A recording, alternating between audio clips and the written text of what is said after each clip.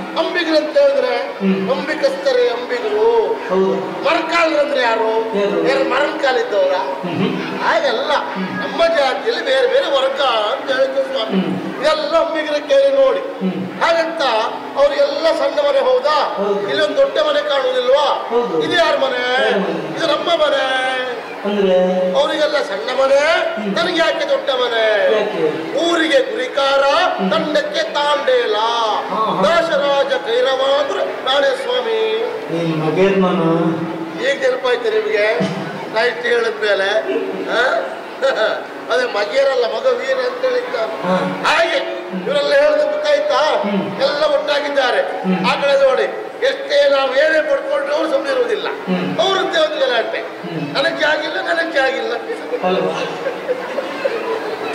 ಯಾರು ಎಲ್ಲ ನಮ್ಮ ಜಾತಿ ಅವರೇ ಅದು ಎಲ್ಲ ಹಿಡ್ಕೊಂಡು ಹೋಗೋ ಬಲೆ ಅಂತ. ಹೊಳೆ ಬದಿಗೆ ಹೋಗ ಮೀನು ಹಿಡಿಯುವ ಅಂತ ಹೇಳ್ತಾ ಇದ್ದಾರೆ. ನನಗೆ ಹೋಗ್ಲಿಕ್ಕೆ ಮನಸ್ಸು ಉಂಟು ಸ್ವಾಮಿ. ಆದ್ರೆ ಸಮಸ್ಯೆ ಉಂಟಲ್ಲ. ನಾನು ಮನೆಯಲ್ಲಿ ಒಬ್ಬನೇ ಇರುವುದಾ? ನನಗೂ ಮದುವೆ ಆಗಿದೆ. ಹಾ, ಮದುವೆ ಆಗಿದೆ. ಆದ್ರೆ ಏನ್ ಮಾಡುವ. ನನ್ನ ಹೆಂಡತಿ ಇಲ್ಲ. ಹೆಂಡತಿ ಇಲ್ಲ. ಅಂದ್ರೆ ಓಡಿ ಮತ್ತೆ? ಅದಲ್ಲ ಸ್ವಾಮಿ. ಬಿಟ್ಟು ಹೋಗಿದ್ದಾಳೆ. ಬಿಟ್ಟೋದ್ ಎಲ್ಲಿಗೆ? ಇನ್ನು ಬರುವುದಿಲ್ಲ ಅಲ್ಲಿಗೆ ಹೋಗಿದ್ದಾಳೆ. ನಾವೇ ಲೋಕ ಅಲ್ಲ. ಬೀರಿ ಹೋಗಿದ್ದಾಳೆ. ಹೌದೌದು ತೀರಿ ಹೋಗುದು ಬೇರೆ. ಹಾಗಂದ್ರೆ ಹೀಗೆ. ಹಾಗಾಗಿ ಸ್ವಾಮಿ ಏನ್ ಮಾಡ್ಲಿಕ್ಕಿಲ್ಲ. ಆದ್ರೆ ಬೇಸಿಗೆ ಗೊತ್ತುಂಟ? ನನಗೆ ಪ್ರಾಯ ಇರುವಾಗಲೇ. ನನ್ನ ಹೆಂಡತಿ ತೀರಿ ಹೋದು. ಗಂಡನಿಯ ಪ್ರಾಯ ಇರುವಾಗ ಹೆಂಡತಿ ತೀರಿ ಹೋದ್ಲು ಅಂತ ಆದ್ರೆ ಆ ದುಃಖವನ್ನು ಮರಲಿಕ್ಕೆ ಯಾವ ಗಂಡನಿಗೂ ಸಾಧ್ಯ ಇಲ್ಲ ಸ್ವಾಮಿ. ಬಹಳ ಕಷ್ಟ. ಅದು ಗೊತ್ತಾಗ್ಬೇಕ? ಅವ್ರವ್ರ ಹೆಂಡರು ಹೋಗ್ಬೇಕು ಅಂತ ನಾ ಹೇಳೋದ್ರಿ ನಮಗಾದ್ಯ ಸಾಕು. ನೂರು ಕಾಲ ಚೆನ್ನಾಗಿ ಬಾಳೆ ಅಂತ ಹೇಳುವ ನಾವು ಹ್ಮ್. ಅದಲ್ಲ ಸ್ವಾಮಿ. ಹೆಂಡತಿ ಹೋದ್ಲು ನನಗಳು ಮಗಳಿದ್ದಾಳೆ ಅಂತ. ಹೌದಾ? ಹೌದು ತಂದೆ ಇದ್ದಾರೆ ಹಾ ಚಂದ ಇದ್ದಾಳೆ. ಏನು? ಮದುವೆ ಆಗಿದೆಯಾ ಆಗ್ಲಿಲ್ಲ ನನ್ನ ಕೈ ಮೇಲೆ ಹಾಕ್ತೀಯ ನಿಮ್ ಕೈಗಳಾಗ್ಲಿಕ್ಕೆ ಎಂತದ್ದು ಅದು? ಎಲ್ಲರಿಗೆಯ ಎಂತ ಹೇಳುದು ಅಲ್ಲ ನಾನು ನಾವು ನಮಗೆ ನಮ್ಮ ಜಾತ್ರೆ ಗಂಡು ಮಕ್ಕಳು ಬರಗಾಲ ಆಗಿದ? ನಾವು ಶೆಟ್ರಿಗೆಲ್ಲ ಕೊಡುವುದಿಲ್ಲ. ಕೊಟ್ಟರು ಎರಡನೇ ಸಂಬಂಧ ಕೊಡುವುದೇ ಇಲ್ಲ. ಅದು ಯಾರಿಗೆ ಕೊಟ್ಟರು ಈ ಭಾಗವತ ಬಗ್ಗೆ ಕೊಡುವುದೇ ಇಲ್ಲ. ನಿಮಗೆ ಕೊಟ್ಕೊಂಡು ನಾನು ನಿಮ್ಮನ್ನೆಲ್ಲ ಹುಡ್ಕೋದ್ ಮತ್ತೆ. ಅಲ್ವಾ ಆ ಸಮಸ್ಯೆ ಆಗ್ತದೆ. ಅದೆಲ್ಲ ಮದುವೆ ಮಾಡೋ ಯೋಚನೆ ಉಂಟು ಅದೇ ಕಾಲ ಮುಂದುಂಟು. ದೊಡ್ಡ ವಿಷಯ ಅಲ್ಲ ಸ್ವಾಮಿ. ಅವಳಲ್ಲಿ ಒಂದು ಮಾತು ಹೇಳಿ ಹೋಗುವ ಅಂತ ಮಾಡಿದ್ದೇನೆ. ನೋಡುವ ದಾರಿಕಾ.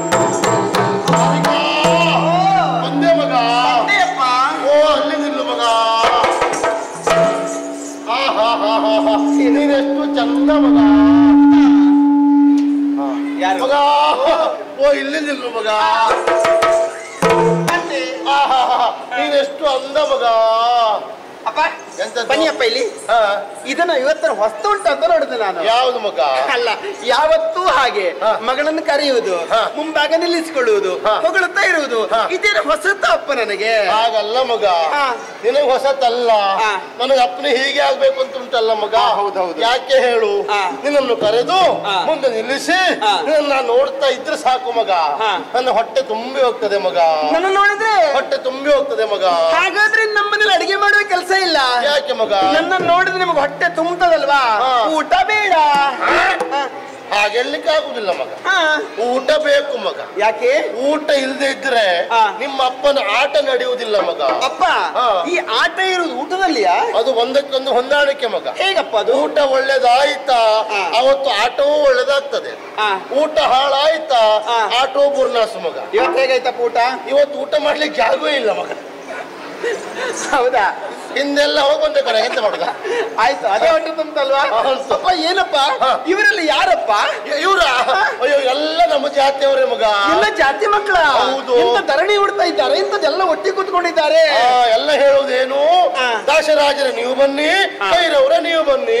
ಎಲ್ಲಿಗೆ? ಹೊಳೆಗೆ ಹೋಗುವ. ಅಲೆ ಬೀಸಿ ಮೀನ್ ಹಿಡಿಯುವ. ನೀವೇನ್ ಹೇಳಿದ್ರಿ ಅಪ್ಪ? ಹೂ ಒಂದೇ. ಕರೆದದ್ದು ಯಾಕೆ? ನೀವು ಮಗ ಮನೆಯಲ್ಲಿ? ಹೌದು. ಹಾಗಾಗಿ ಒಂದು ವಿಷಯ ಹೇಳಿ ಹೋಗುವಂತ ಕರೆದೆ. ಅದಕ್ಕೆ ಹೌದು. ನಾನು ಅಡಿಗೆ ಮಾಡಿ ಇಡ್ಬೇಕು. ಅಡುಗೆ ಇಡ್ಬೇಕು. ಅಪ್ಪ ಎಂತ ಅಪ್ಪ ಎಂತದ್ದೇ ಎಷ್ಟು ಬಾರಿ ಹೇಳಿದೆ. ಏನು? ಇಷ್ಟು ವರ್ಷ ದುಡ್ದ ಸಾಕು.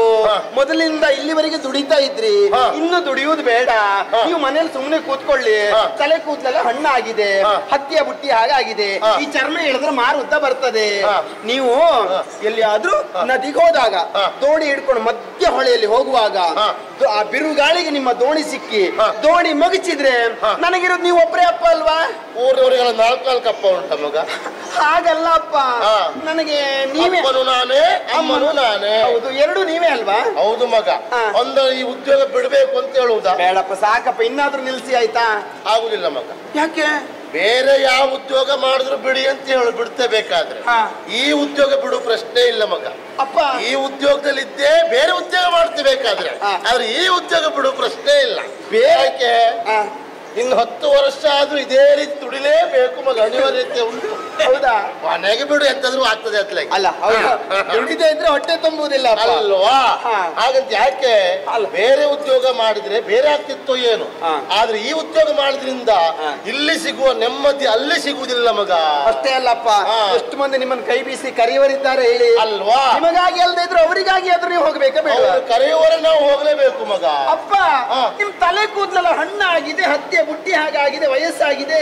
ವಯಸ್ಸಾಗಿ ಹಣ್ಣಾದಲ್ಲ ಮಗ. ಬಿಸಿಲಿಗೆ ಒಣಗಿದ್ದು ಮಗ. ಈ ತಲೆ ಕೂದಲು ಬಿಸಿಲಿಗೆಲ್ಲ ಹಣ್ಣಾಗ್ತದ? ಈ ವರ್ಷ ನೋಡು ಈ ವರ್ಷ ಒಂದು ಮಳೆ ಒಂದು ಬಿಸಿಲು ಎಂತ ಅಂತಿಲ್ಲ. ಅಂದ್ರೆ ಉರಿ. ಒಂದೇ ಒಂದು ಒಂದು ಮಳೆ ಬಂದು ಹೋಯ್ತಾ?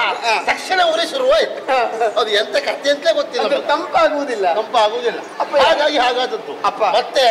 ಎಂತ ಹೇಳಿ ತೋಣಿ ದೋಣಿ ಮುಚ್ಚಿದ್ರೆ ವಯಸ್ಸಾಗಿದೆಲ್ಲ ಬಲ ಬಲ ಇಲ್ಲ ದೇಹದಲ್ಲಿ?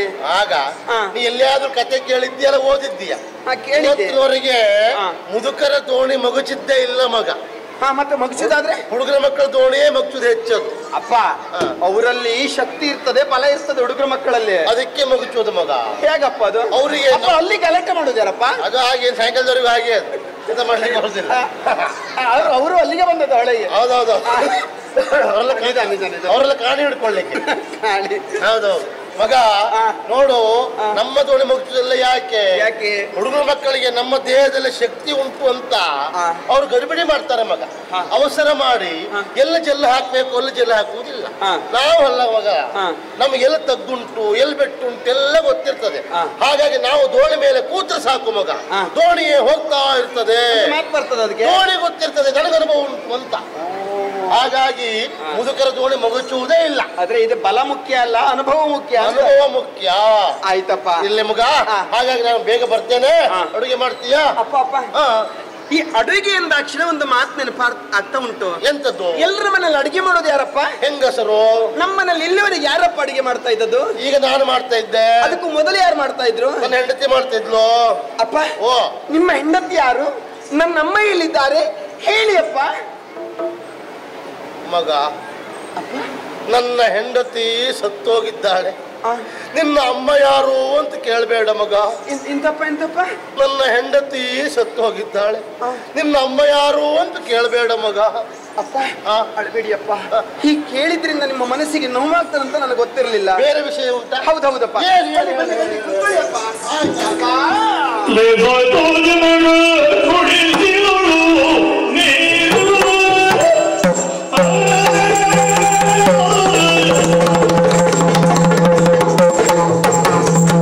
el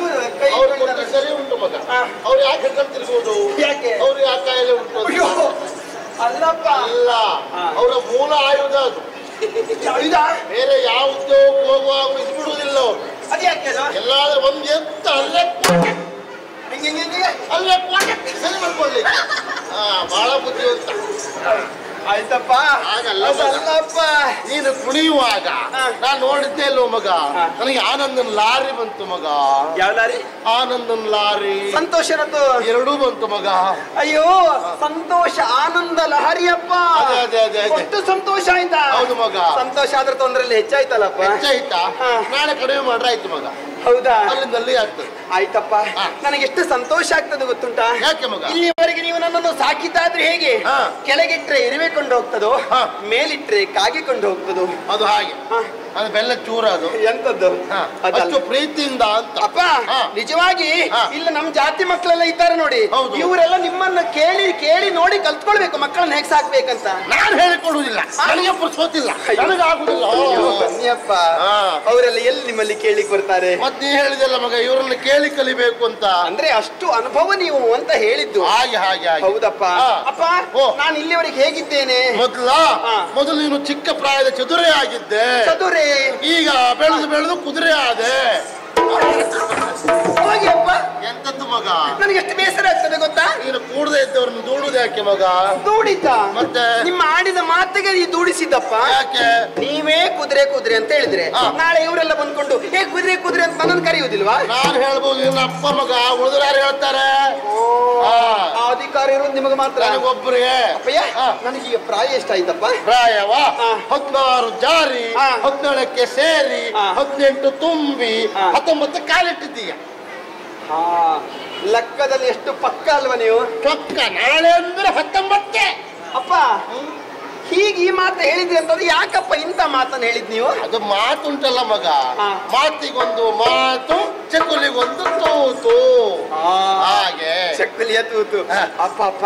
ಅದಲ್ಲ ಈಗ ಅಡಿಗೆ ಮಾಡ್ಬೇಕಂತ ಹೇಳಿದ್ರಿ. ಹೌದು. ಮನೆಯಲ್ಲಿ ನೀರಿಲ್ಲ.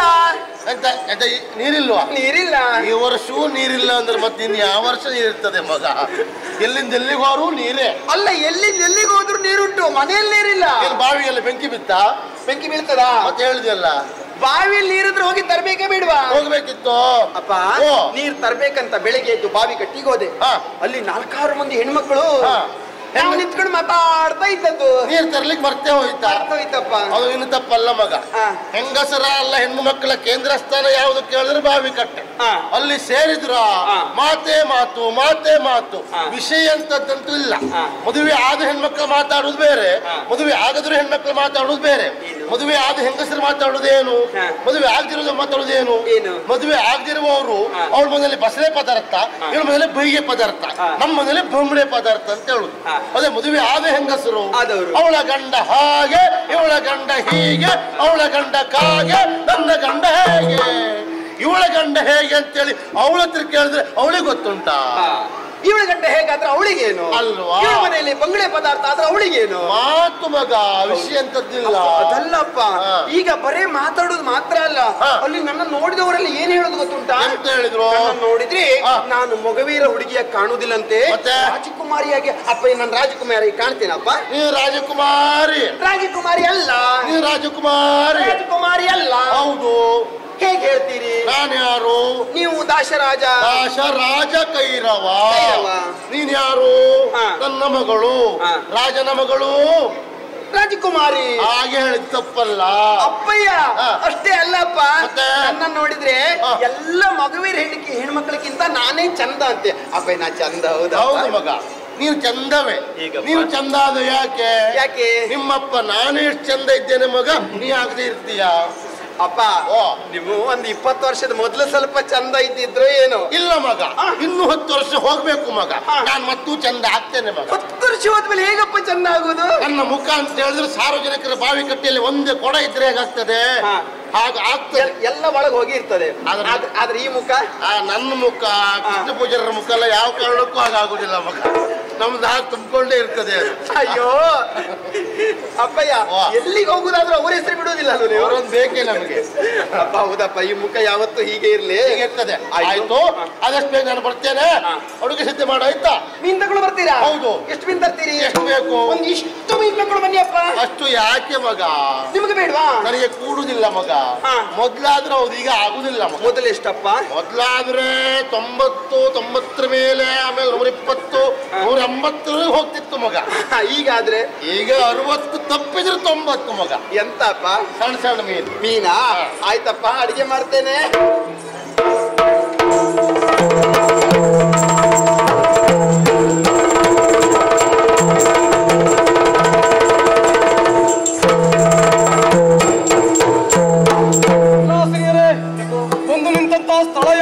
ಗಮನಿಸಿದ್ರ ನರ್ಮದಾ ನದಿಯ ತಟಾಕ.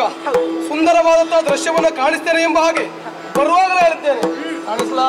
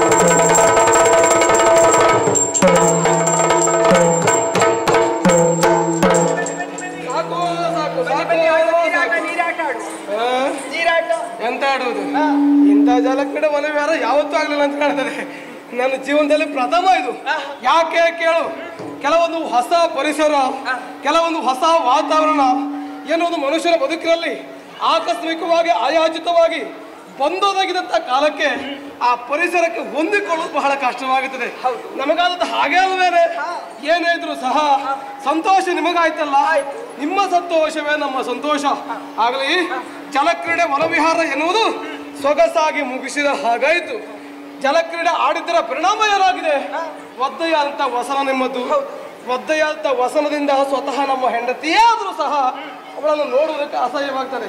ಆದ್ದರಿಂದ ಮಡಿ ಮಾಡಿದ ಬಟ್ಟೆ ಉಂಟಲ್ಲ ತಂದಿಟ್ಟಿದ್ದೀರಲ್ಲ ಅದನ್ನು ಉಟ್ಕೊಂಡು ಕಾಯ್ತಾ ಇರಿ. ನಾನು ಎಲ್ಲಿ ಹೋಗ್ತೇನೆ ತಲೆ ಬಿಸಿ ಮಾಡಬೇಡಿ.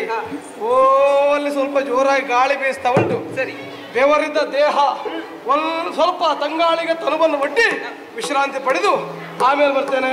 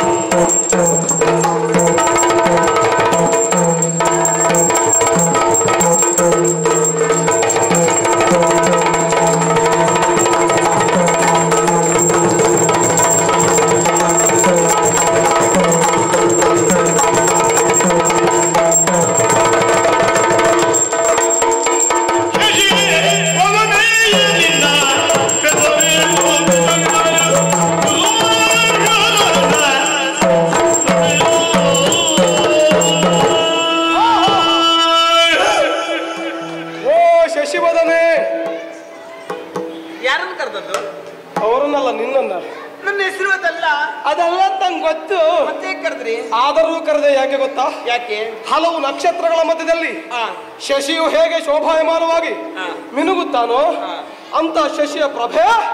ನಿನ್ನ ಮುಖಮಂಡಲದಲ್ಲಿ ಕಂಡೆ. ಓ ಶಶಿಯನ್ನು ಕಂಡ್ರ? ಹೌದು ಆ ಶಶಿಯೇ ನಿನ್ನ ಮುಖದಲ್ಲಿ. ಮನೆ ಮಾಡಿದನು. ಶಶಿಯ ಕಾಂತಿ. ಹೌದೌದು ಆ ಆ ಶಶಿಕಾಂತನೇ ಶಶಿ ಶಶಿಕಾಂತಿಯೇ ನಿನ್ನ ಮುಖದಲ್ಲಿ ರಾರಾಧಿಸುತ್ತಾ ಇದೆಯೋ? ಆಯ್ತಪ್ಪ. ಎನ್ನುವ ಹಾಗೆ ಭಾಸವಾಯಿತು. ಹಾಗಾಗಿ ಓ ಶಶಿವದನೆ ಅಂತ ಕರೆದೆ. ಆಯ್ತಪ್ಪ ತೊಂದರೆ ಇಲ್ಲ. ನಿನಗೆ ಬೇಸರ ಇಲ್ವಲ್ಲ? ಇಲ್ಲ ಇಲ್ಲ ಬೇಸರ ಇಲ್ಲ. ನಿನಗೆ ಬೇಸರ ಇಲ್ಲ ಅಂತ ಆದ್ರೆ ನಮಗ್ ತೊಂದರೆ ಇಲ್ಲ. ಅಂದ್ರೆ ನಾನು ಎಣಿಸಿದ್ದೇನು? ಏನು? ಬರುವಾಗ ಯಾರನ್ನೋ ಕರ್ಕೊಂಡು ಬಂದಿದ್ರಿ.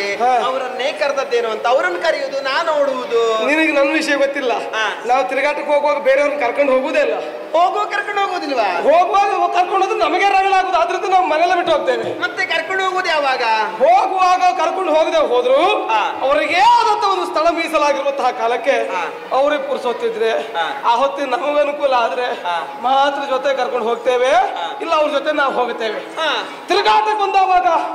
ಹೀಗೆ ವಿಶೇಷವಾದಂತ ಒಂದು ಅನರ್ಘ್ಯ ರತ್ನಗಳು ನಮ್ಮ ಕಣ್ಣ ಮುಂದೆ ಕಾಣ ಸಿಕ್ಕಿದಾಗ ಸಿಕ್ಕಿದಾಗ? ಯಾರಿಗೆ ಬೇಡ ಅಂತ ಅನಿಸೋದಕ್ ಸಾಧ್ಯ. ಹೊಸ ಪರಿಸರ. ಹೊಸ ಜನ. ಹೊಸ ಹೊಸ ವಿಷಯಗಳು ಆಗಾಗ ಸ್ವೀಕರಿಸ್ತಾ ಇರಬೇಕಂತೆ ಅಂದ್ರೆ ಹೋಗುವಾಗ ಸಿಗದೆ ಇದ್ರೆ ಹೋದ್ಮೇಲೆ ಸಿಕ್ಕಿದ್ರೆ ಕರ್ಕೊಂಡು ಹೋಗ್ತೀರಾ? ಅದೆಲ್ಲ ನೀ ಕೇಳುದೇ ಬೇಡ. ನಮ್ಮ ಚಲನವಲನ ನಮ್ಮ ವ್ಯವಹಾರ ಕಂಡ್ರೆ ನಿನಗೆ ಅರ್ಥ ಆಗುದು ಬೇರೆ. ನಮ್ಗೆ ಹೋದ್ಮೇಲೆ ಸಿಗ್ತದ ನಿರೀಕ್ಷೆಯಲ್ಲಿ ನಾವು ಹೋಗುವುದಿಲ್ಲ. ಹೋದ್ಮೇಲೆ ಸಿಕ್ಕಿದ್ರೆ ಕಬಕ್ಕಂತ ಕಚ್ಕೊಳ್ತೇವೆ ಅಷ್ಟೇ. ನಿನ್ನ ಶಶಿವದನ ಅಂತ ಕರೆದೆ. ಸರಿ. ಈಗ ಏನು? ದೂರದಲ್ಲ ಕಂಡು ನಾನು. ಸರೋವರದ ಅಂಚಿನಲ್ಲಿ ಕಂಚಿನ ಕೊಡವನ್ನು ಹಿಡಿದು ಸಳೆ ಮಿಂಚಿನ ಅಪಾದಿಯಲ್ಲಿ ಕಾಣಿಸುವಂತ ಹೆಣ್ಣು ಯಾರು ಎನ್ನುವ ಹಾಗೆ. ಕೊಡಪಾನ ಹಿಡ್ದದ್ದು ಹೌದು ಕಂಚಿನ ಕಡಪನ ಅಲ್ಲ. ಮತ್ತೆ ನನ್ನ ಕಣ್ಣಿ ಪಳಕ್ಕನೆ ಹೊಳಿತಲ್ಲ ಎಂತ ಅದು ಹಾಗಾದ್ರೆ? ಅದು ಹೌದೌದು ಸರಿಯಪ್ಪ. ಈ ಸೂರ್ಯ ಪ್ರಕಾಶಕ್ಕೆ ಯಾವ್ಯಾವ್ದು ಯಾವ್ಯಾವ ರೀತಿ ಹೊಳಿತದೆ ಅಂತ ಹೇಳಲಿಕ್ಕೆ ಆಗುದಿಲ್ಲ.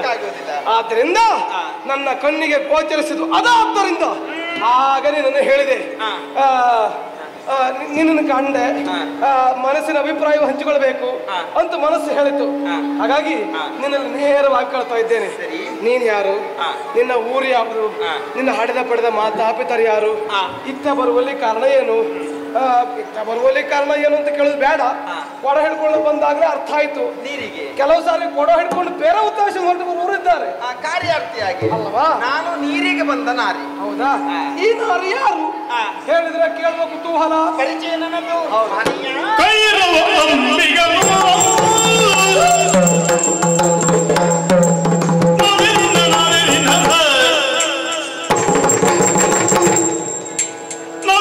Marina, Marina,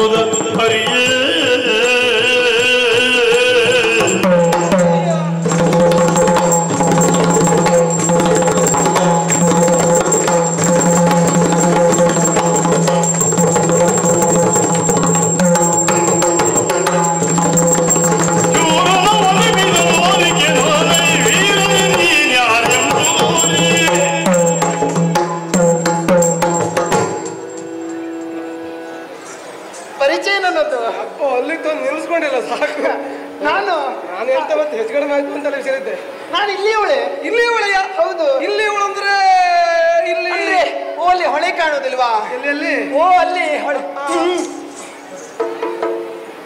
ದೂರ. ಎಷ್ಟು ದಿವಸ ಆಯ್ತು ಯಾವುದು? ನೀ ಹೇಳಿದ್ದು. ಅಯ್ಯೋ ಅಂತರ ಇರ್ಲಿ ದೂರ ನಿಂತ್ಕೊಳ್ಳಿ ಅಂತ ಹೇಳಿದೆ. ಅದೆಲ್ಲ ಮುಗಿದೋಯ್ತು ಇನ್ನೇ ಅಂತ ಅಂತರ ಕಾಯ್ದುಕೊಳ್ಳೋದು ಮಾರ ಹಾಗಲ್ಲ. ನನಗೆ ಹತ್ತಿರ ನಿಂತು ಮಾತಾಡಿ ಅಭ್ಯಾಸ ಇಲ್ಲ. ನಮ್ ಸ್ವಭಾವ ಹೇಗೆ ಗೊತ್ತಾ. ನಾವು ಮಾತಾಡ್ತಾ ಮಾತಾಡ್ತಾ ಸುಲಿಗೆ ಹೆಚ್ಚು ಬೆಳೀತಾ. ಹತ್ರ ನಿಂತೇ ಮಾತಾಡೋ ಅಭ್ಯಾಸ ನನಗೆ. ನನ್ನ ಗೌರವ ಬಿಟ್ಟರೆ ಸಲಿಗೆ ಬೀಳಲಿಲ್ಲ. ಹೌದಾ? ಹೌದು. ಓ ಅಲ್ಲಿ ಕಾಣುದಿಲ್ವಾ.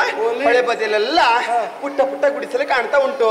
ಪುಟ್ಟ ಪುಟ್ಟ ಗುಡಿಸಲು. ಹೌದು ಅದ್ರಲ್ಲಿ ಯಾರು ಕೇರಿ ಅಂತ ಮಾಡಿದ್ರಿ? ಯಾರು ಕೇರಿ ಎಲ್ಲ ಮಗವೇರಿ ಕೇರಿ. ಸಂತೋಷವಾ? ಸಂತೋಷ ಅಲ್ಲ ಎಂತ ಹುಚ್ಚು ಮಾತೇ ನಿನ್ನದು.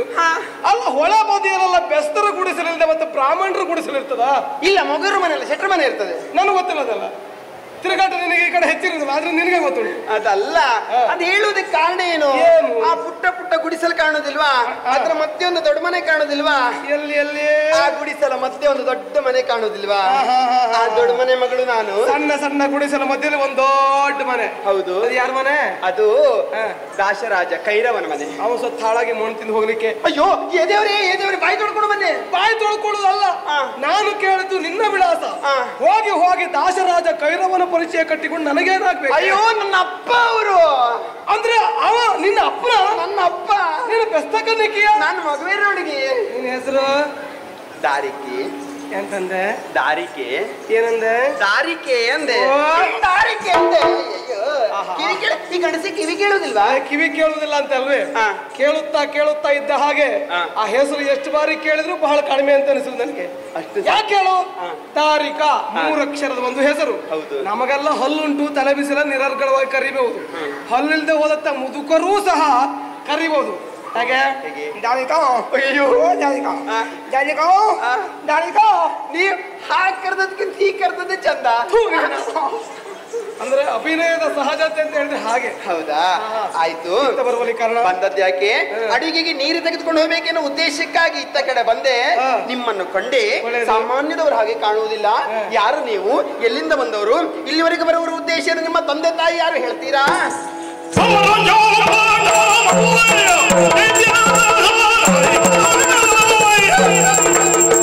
you.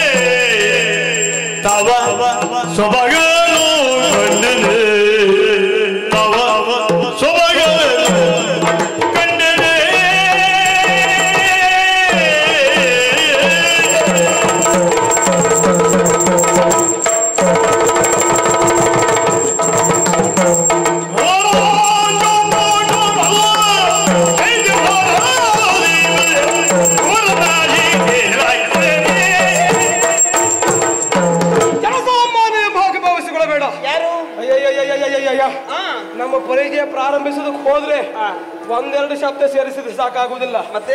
ಎಲ್ಲಿಂದ ಹೇಳಬೇಕು ಅಂತಲೇ ನಮಗೆ ಸಮಸ್ಯೆ ಆಗಿದೆ ಅಷ್ಟು ಉಂಟು. ಅಷ್ಟು ಉಂಟು. ಆಯ್ತಪ್ಪ ಅರ್ಥ ಆಗುವಾಗೆ ಸಂಕ್ಷಿಪ್ತವಾಗಿ ಎಲ್ಲಾ ಅರ್ಥ ಬರುವಾಗೆ ಒಂದು ಎರಡು ಶಬ್ದ ಹೇಳಿದ್ರೆ ಸಾಕು. ಹೌದಾ. ವೀರ. ಧೀರ.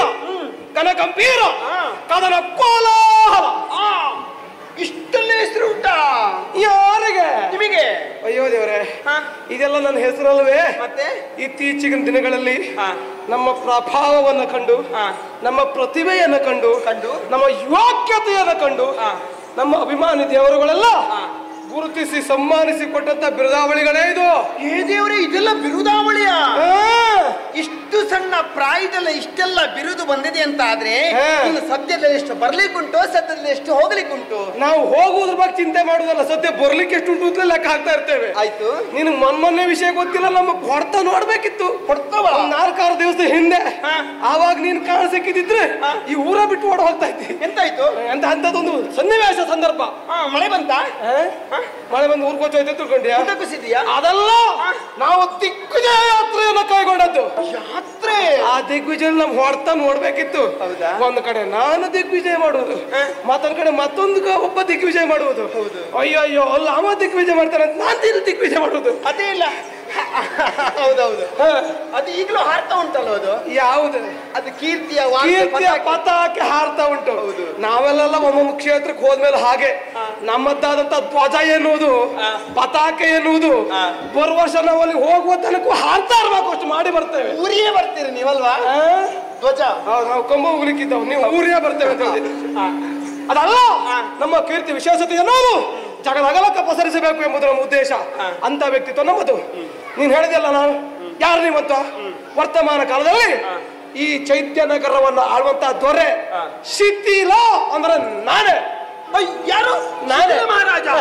ನಿನ್ನಯ ದರ್ಶನವೇ ನಿನ್ನಯ ದರ್ಶನವೇ ನಾನದಿ ಧನ್ಯಳು ಈ ದಿನವೇ ನಾನದಿ ಧನ್ಯಳು ಈ ದಿನವೇ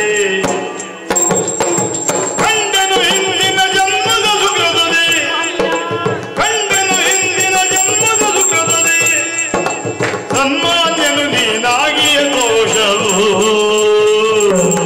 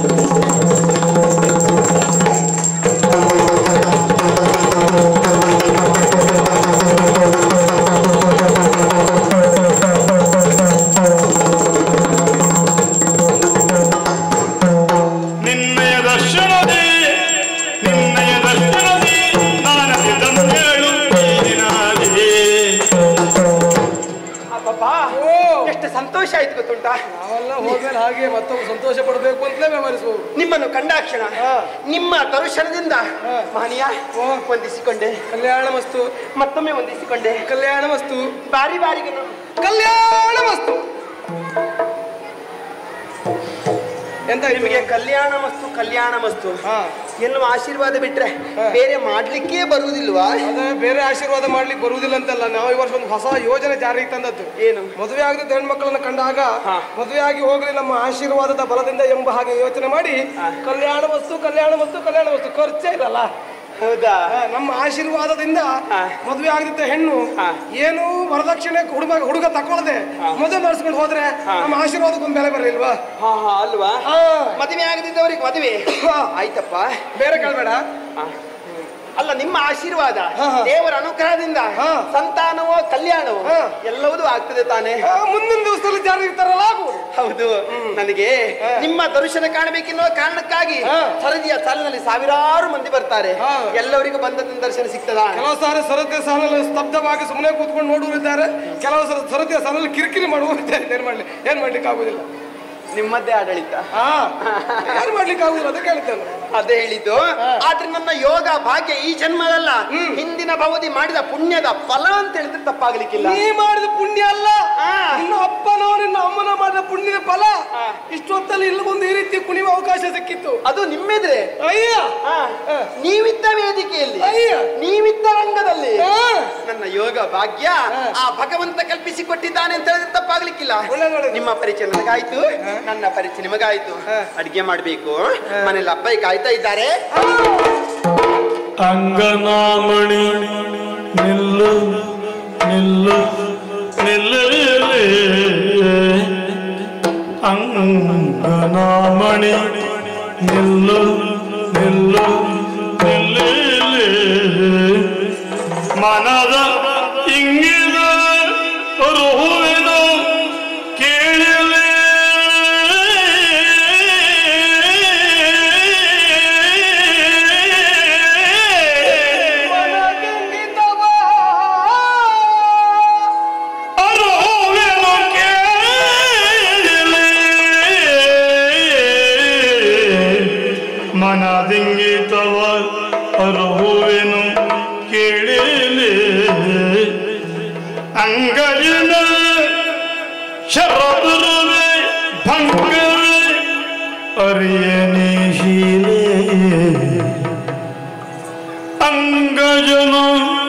ಶರದುರುವೆ ಭಂಗವ ಅರಿಯನೇ ಶೀಲೇ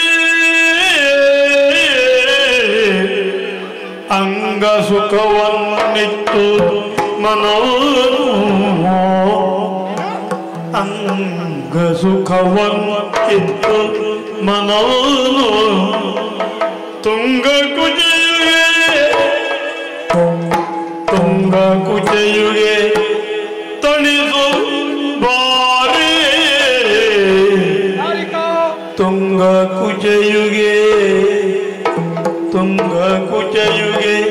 తణిసు బారే. కురంగలోచనే కురంగలోచనే కూడల్ ఎన్నను. బా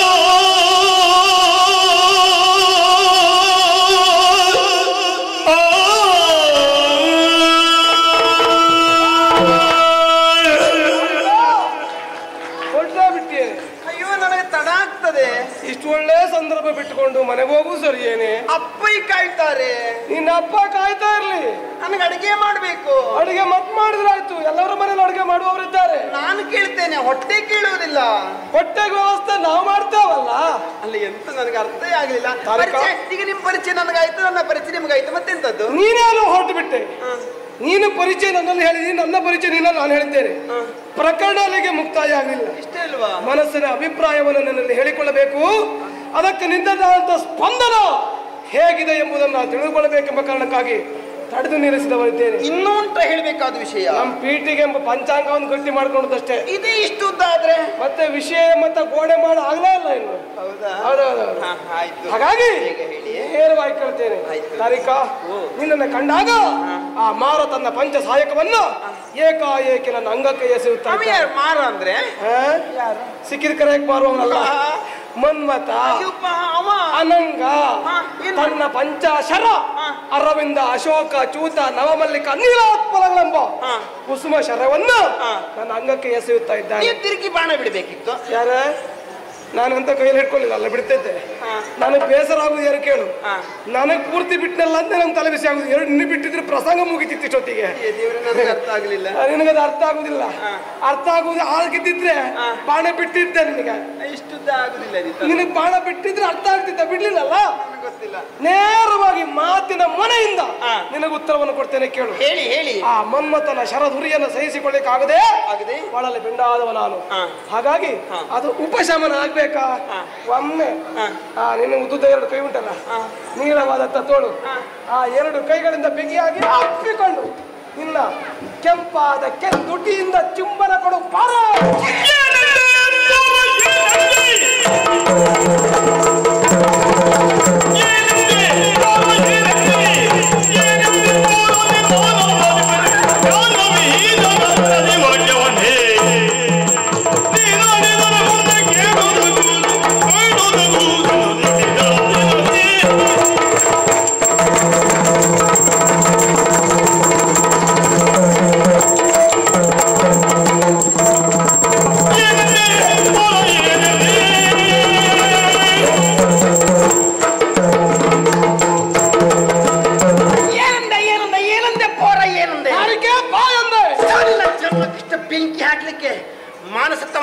ಮರ್ಯಾದೆ ಬಿಟ್ಟವನೇ, ಕುಲ ಕೆಟ್ಟವನೇ, ಲಜ್ಜ ಕೆಟ್ಟವನೇ, ಮಾನ ಮರ್ಯಾದೆ, ನಗೆ, ನಾಚಿಕ, ಪಿತ್ತೆ ಅನ್ನೋದು ಸ್ವಲ್ಪ ಆದ್ರೂ ಉಂಟರ ಥೋ ಮೂರ್ಖ ನೀನು. ಎಂತದ್ದು ತಾನು ಅಂತವ ಇಂತವ ಸಂತೆಯಲ್ಲಿ ಮೆಂತೆ ಕೆಟ್ಟವೇನು ಹಾಗೆ ಬಾಯಿಗೆ ಬಂದ ಹಾಗೆ ಮಾತಾಡಿದಲ್ವಾ? ನಿನ್ನಂತವ್ರು ಹಾಗೆಯೋ, ಮುಖದ ಮೇಲೆ ಚಿಗುರು ಮೀಸೆ ಮೂಡಿದಾಕ್ಷಣ ಓಣಿ ಓಣಿ ಕೇರಿ ಕೇರಿ ತಿರುಗುವುದು. ಎಲ್ಲಿ ಚಂದದ ಹೆಣ್ಮಕ್ಳಿದ್ದಾರೆ ಎನ್ನುವ ಹಾಗೆ. ಅದೇ ಆ ಹೆಣ್ಣು ತಿರುಗಿ ನಿಂತಾಳು ಅಂತಾದ್ರೆ ತಾನು ಅಂತವ್ರ ಮಗ, ಅಂತ ಮಹಾರಾಜ ಅಂತ ಬಾಯಿಗೆ ಬಂದಾಗೆ ಆಡಂಬರದ ಮಾತಾಡುವಂತ ಏ ಮಂಗ ತೋಲಿನ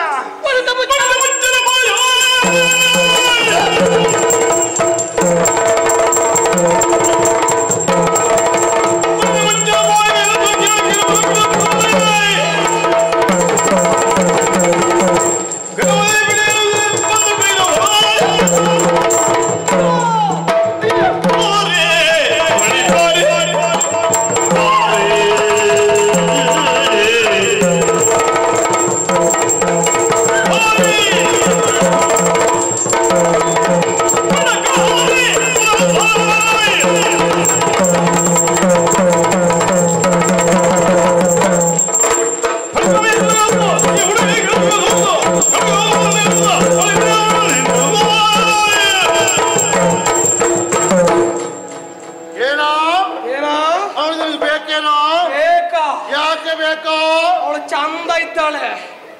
ಬೇಕೇನೋ ಬೇಕು ನಾನು ಚಂದ ಇದ್ದೇನೆ ಬಾರ ಇಷ್ಟೆಲ್ಲ ಇಷ್ಟನ್ನ ಕೇಳುವ ನೀನ್ ಯಾರು ಅವಳ ಅಪ್ಪನ ಹೋಗ ನೆನಪಿಟ್ಟುಕೋ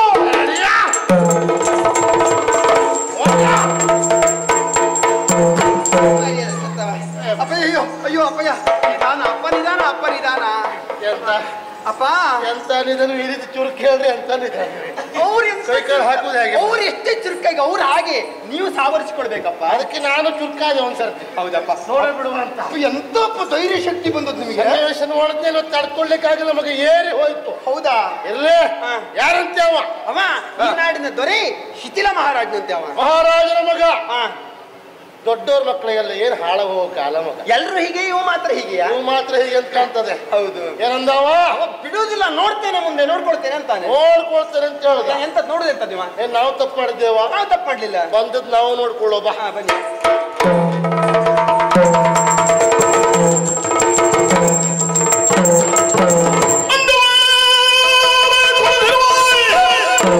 Oh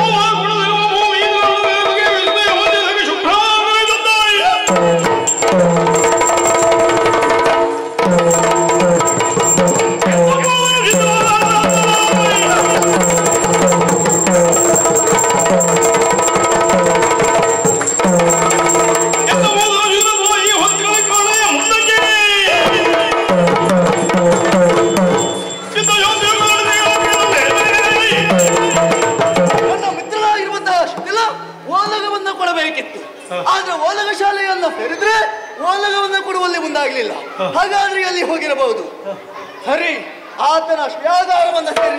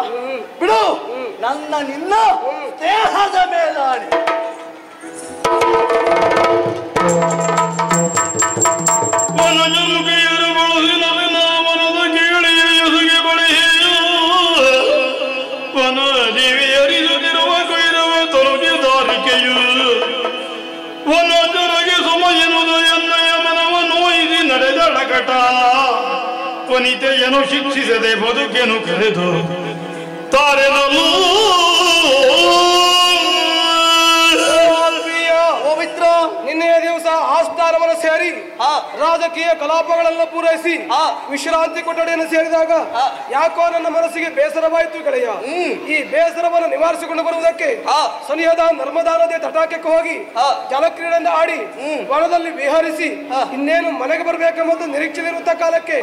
ಆ ನದಿಯ ದಡದಲ್ಲಿ ಒಬ್ಬಾಕೆ ಹೆಣ್ಣು ಆ ಕಡೆಯಿಂದ ಈ ಕಡೆಗೆ ಈ ಕಡೆಯಿಂದ ಆ ಕಡೆಗೆ ತಿರುಗಾಡುವಂತ ಸನ್ನಿವೇಶವನ್ನ ಕಂಡೆ. ಒಬ್ಬಂಟಿಯಾದಂತ ಹೆಣ್ಣು ಕೆಟ್ಟ ಕಾಮಾಂದ್ರ ಕಣ್ಣು ಅವಳ ಮೇಲೆ ಬಿದ್ದಿತ್ತು ಎಂಬ ಕಾರಣಕ್ಕೆ ಬೇಕಾಗಿ ನೇರವಾಗಿ ಯಾರು ನಿರ್ಮಿತವಾಗಿ ಪ್ರಶ್ನೆ ಮಾಡಿದೆ. ತಪ್ಪಲ್ಲ ಬಿಡು. ಅಲ್ಲೇ ಸನಿಹದಲ್ಲಿ ವಾಸ ಮಾಡಿಕೊಂಡಿರುವಂತಹ ದಾಶರಾಜ ಕೈರವನ ಮಗಳಂತೆ. ಹೆಸರು ದಾರಿಕೆಯಂತೆ. ಓಹೋ. ಅಲ್ಲಿಗೆ ಪ್ರಕರಣ ಮುಗಿಲಿಲ್ಲ. ನನ್ನ ಪರಿಚಯವನ್ನು ಕೇಳಿದ್ಲು. ಹೇಳಿಕೊಳ್ಳುವುದಕ್ಕೆ ನನಗೇನು ಕಡಿಮೆ ಉಂಟು ಹೇಳು. ವರ್ತಮಾನ ಕಾಲದಲ್ಲಿ ಚೈತ್ಯನಗರವನ್ನು ಆಳುವಂತಾದವರ ಶಿಥಿಲ ಎಂಬ ಹಾಗೆ ಹೇಳಿದೆ. ಯಾವಾಗ ನಾನು ದೊರೆ ಎಂಬಂತ ವಿಷಯ ಅವಳಿಗೆ ಗೊತ್ತಾಯ್ತು ಅವಳಿಗೆ ಯಾವ ಮಾರಿ ಬಡಿಯಿತು ನನಗೊಂದು ಗೊತ್ತಿಲ್ಲ ಗೆಳೆಯ. ನನಗೆ ಬಾಯಿಗೆ ಬಂದ ಹಾಗೆ ಬೈದಳು. ಸುಮ್ಮನೆ ಸಾಧ್ಯವೇ ಹೇಳು.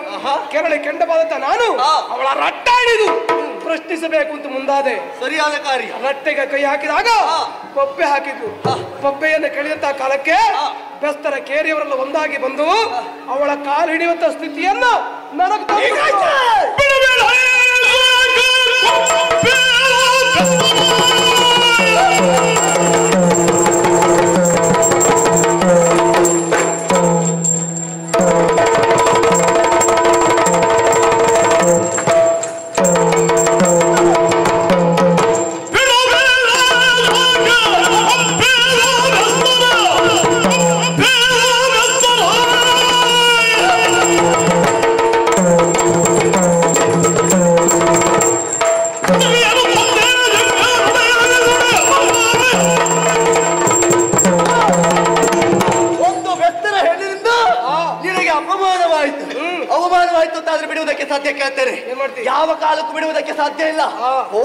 ಹೋಗಿ ಕೇರಿಗೆ. ಚಿತ್ರಾಂಗ ಏನು ಎಂತ ಅನಾಹುತವನ್ನು ಮಾಡುವ ಹೊರಟಿದ್ದೀಯೋ ಯಾಕೋ ಮಿತ್ರ ಒಬ್ಬರು ಮಾಡಿದ ತಪ್ಪಿಗೆ ಬೇಕಾಗಿ ಇಡೀ ಬೆಸ್ತರ ಕೇರಿಗೆ ನೀನು ಬೆಂಕಿಯನ್ನು ಕೊಟ್ಟಂತಾದ್ರೆ ಹಾ. ಅಮಾಯಕರನ್ನು ನಮ್ಮಿಂದ ಪ್ರಾಣ ಕಳೆದುಕೊಳ್ಳುವುದಿಲ್ವಾ ಹಾ, ಹಾ. ಅಂತ ಅನಾಹುತ ನಮ್ಮಿಂದ ಆಗ್ಬೇಕಾ ಆಹಾ. ಅದಾಗಬಾರ್ದು ಅಂತಾದ್ರೆ ಆ ದಾರಿಕೆಗೆ ಸರಿಯಾದ ಶಿಕ್ಷೆ ಆಗ್ಬೇಕು ಅವಳಿಗೆ ಶಿಕ್ಷೆ ಆಗಬೇಕು. ಅಂದರೆ ಅನ್ನರಿಗೆ ಆಗಬಾರದು. ಆಹಾ. ಚಿಂತಿಸಬೇಕಾದದ್ದಿಲ್ಲ. ಏನ್ ಮಾಡ್ತೀನಿ ನೇರವಾಗಿ ಹೋಗ್ತೇನೆ. ಆ ದಾರಿಕೆನ ಹಿಡಿದು ಇಲ್ಲಿವರೆಗೆ ತಂದು ಒಪ್ಪಿಸ್ತೇನೆ? ಅಷ್ಟು ಕೆಲಸ ಮಾಡು. ಮುನ್ನ ನೋಡಿ. ಹಾಗಾದ್ರೆ ಬೆಸ್ತರ ಕೆರೆಯನ್ನು ತರಬೇಕು ಅಂತ ಆದ್ರೆ ನಾನು ಮಾತ್ರ ಹೋಗುದಾ? ನಮ್ಮಲ್ಲಿ ರಾಜಭಟ್. ಯಾರಲ್ಲಿ? ನಿಮ್ಮಿಂದ ಒಂದು ಕೆಲಸ ಆಗಬೇಕು. ಏನು ಏ- ಎನ್ನುವುದನ್ನ ಮಾರ್ಗ ಮತ್ತೆ ಹೇಳ್ತೇನೆ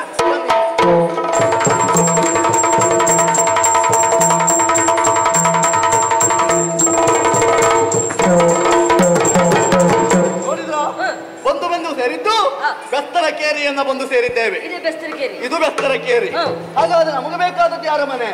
ಬೆಸ್ತರ ದಿಪ್ಪ ಎನ್ನಿಸಿಕೊಂಡವ ಕೈರವನ ಮನೆ. ಭೈರವನ ಮನೆ. ಅವನ ಮನೆ ಎಲ್ಲುಂಟು? ಯಾಕೆ ಹೇಳಿದ್ರೆ ಒಂದಲ್ಲ ಎರಡಲ್ಲ. ನೂರಾರು ಮನೆಗಳೆನ್ನುವುದು ಉಂಟು ಹೌದು. ಹಾಗಾದ್ರೆ ಅವನ ಮನೆಯನ್ನ ಗುರುತಿಸುವ ರೀತಿ ಹೇಗೆ ಕೇಳಿದ್ರೆ? ನಾವು ತಿಳಿದದ್ದುಂಟು. ಅವನ ಮನೆಯ ಮುಂಭಾಗದಲ್ಲಿ ಒಂದು ಬುಡ. ಹೌದು. ಎರಡು ಕವಲು ಅಡಿದಿದೆ ತಲೆ ಎರಡು ಬುಡ ಒಂದು? ಬುಡ ಒಂದು ತಲೆ ಎರಡು. ಹೌದು.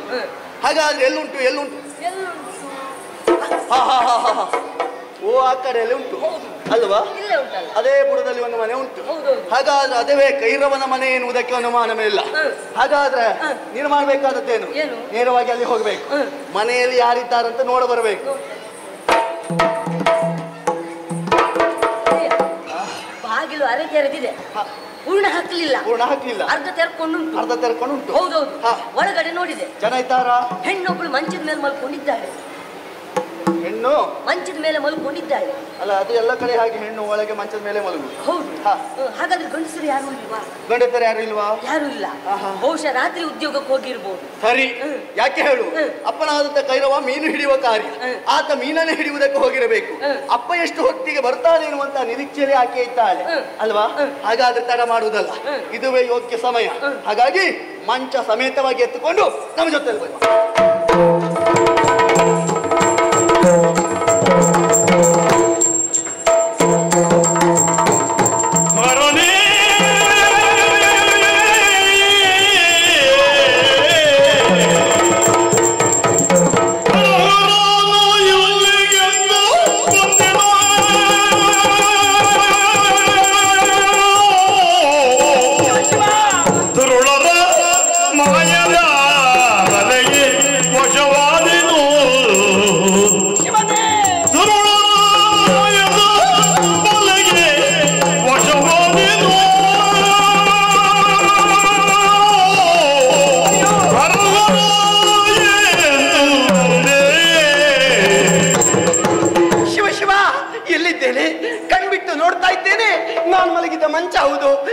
ಮನೆ ಎಲ್ಲ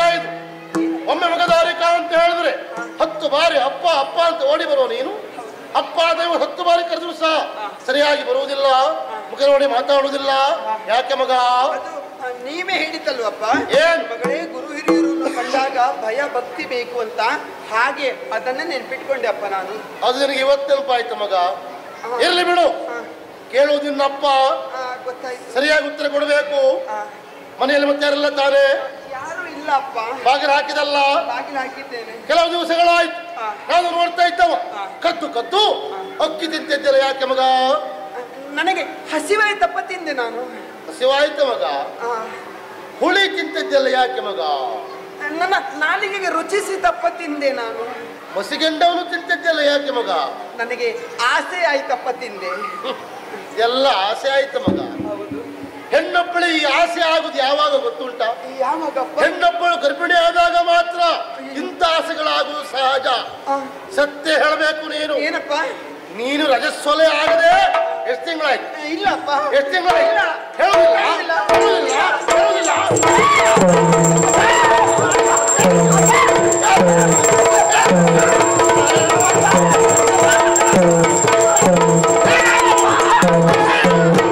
ಕಥೆಯ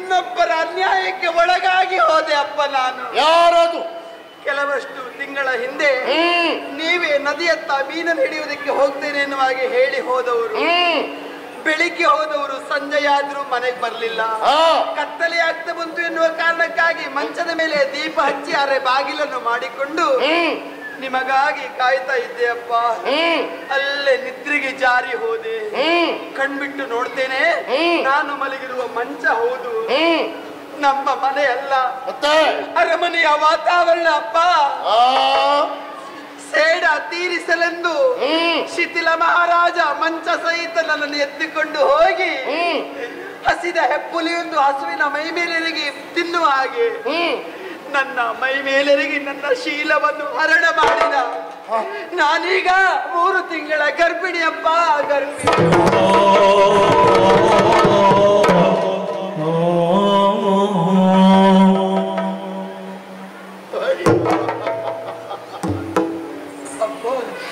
ನಾನು ಕೇಳ್ತಾ ಇದ್ದೆ? ಶಿವನೇ, ನನ್ನ ಮಗಳು ಗರ್ಭಿಣಿ ನನ್ನ ಮಗಳು ಶೀಲಗಟ್ಟವಳೆ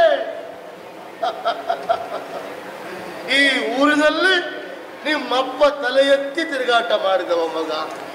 ಆದ್ರೆ ಮಗಳ ಕಾರಣದಿಂದ ತಲೆ ತಗ್ಗಿಸುವಾಗೈತೆ ಇಲ್ಲ ಮಗ ಮಾನ ಹೋಯಿತು ಮರ್ಯಾದೆ ಹೋಯಿತು.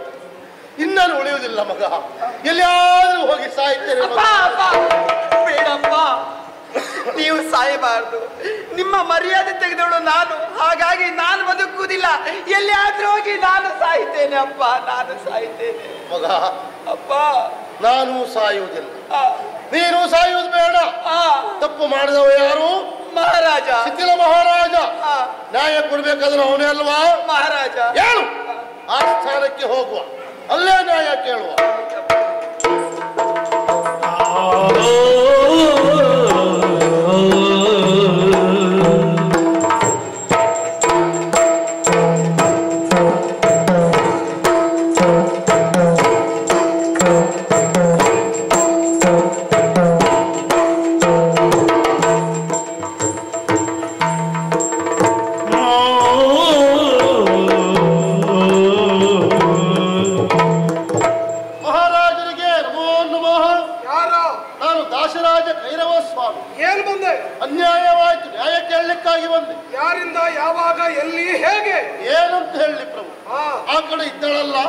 ನನ್ನ ಮಗಳು ಧಾರಿಕಾ ಅಂತ ಅವಳ ಹೆಸರು. ಅದಕ್ಕೆ? ಅವಳಿಗಿನ್ನು ಮದುವೆ ಆಗಲಿಲ್ಲ. ತುಂಬಾ ಗರ್ಭಿಣಿಯಾಗಿದ್ದಾಳೆ. ಆ ನನ್ನ ಮಗಳಿಗೆ ನೀವು ರಾಣಿ ವಾಸಕ್ಕೆ ಸೇರಿಸಿಕೊಳ್ಳಿ ಪ್ರಭು.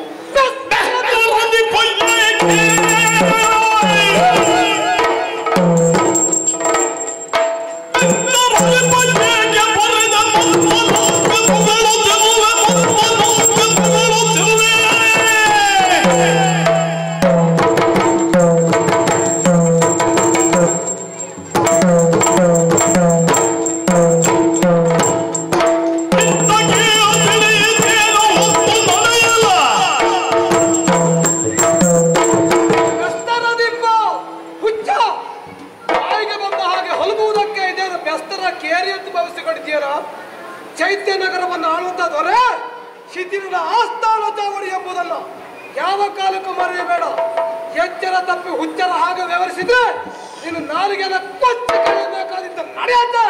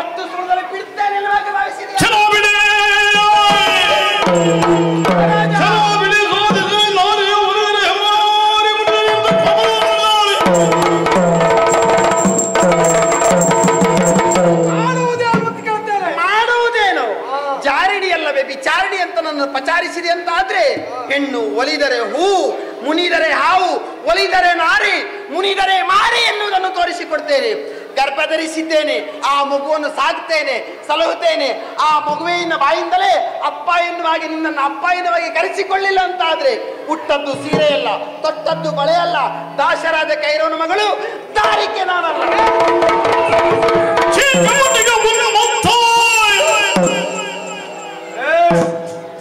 ಒಟ್ಟಾರೆ ನೀನು ಇಡುವುದಕ್ಕೆ ಇದು ನಿನ್ನ ಬೆತ್ತಲ ಕೇರಿ ಅಲ್ಲ ಇದು ಶಿಥಿಲ ಮಹಾರಾಜರ ಆಸ್ಥಾನ ಇರುವುದನ್ನು ಮರಿಬೇಡ. ಮಗ ಕಾಗೆಗಳ ಹೆಂಡಲ್ಲಿ ಕೋಗಿಲೆ ಒಂದು ಕೂಗಿದ್ರೆ ಬೆಲೆ ಇಲ್ಲ ಮಗ. ನ್ಯಾಯ ಸಿಗ್ತದೆ ಅಂತ ಆಸ್ಥಾನಕ್ಕೆ ಬಂದ್ರೆ ಅನ್ಯಾಯ ಆಯ್ತು ನ್ಯಾಯ ಸಿಗಿಲ್ಲ ಮಗ. ಮರ್ಯಾದೆ ಇದ್ದಿದ್ದ ಮೇಲೆ ಆ ಸ್ಥಳದಲ್ಲಿ ಇರೋದು ಯೋಗ್ಯ ಅಲ್ಲ? ಹೇಳಿ ಹೋಗಬೇಕು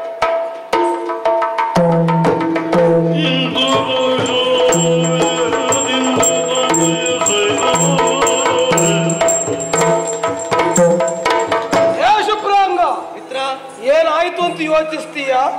ತಲೆ ಕಡಿಸಿಕೊಳ್ಳುವಂತ ಅಗತ್ಯ ಇಲ್ಲ. ರಾಜಕೀಯ ರಂಗ ಅಂತ ಹೇಳಿದ ಮೇಲೆ ಹಾಗೆ ಇಂಥದ್ದೆಲ್ಲ ಬದುಕಿನಲ್ಲಿ ಸಾವಿರ ಒಂದು ಹೋಗುತ್ತದೆ ಅದಕ್ಕೆಲ್ಲ ತಲೆ ಕೆಡಿಸಿಕೊಳ್ತಾ ಕುಳಿತುಕೊಂಡ್ರೆ ನಮ್ಮ ಬದುಕನ್ನು ರೂಪಿಸಿಕೊಳ್ಳೋದಕ್ಕೆ ಸಾಧ್ಯ ಇಲ್ಲ. ಇಂದಿನ ಸಭೆಯಲ್ಲಿ ಮುಗಿಸೋಣ. ನಾಳೆಯನ್ನು ತೋಡಿಕೊಳ್ಳೋಣ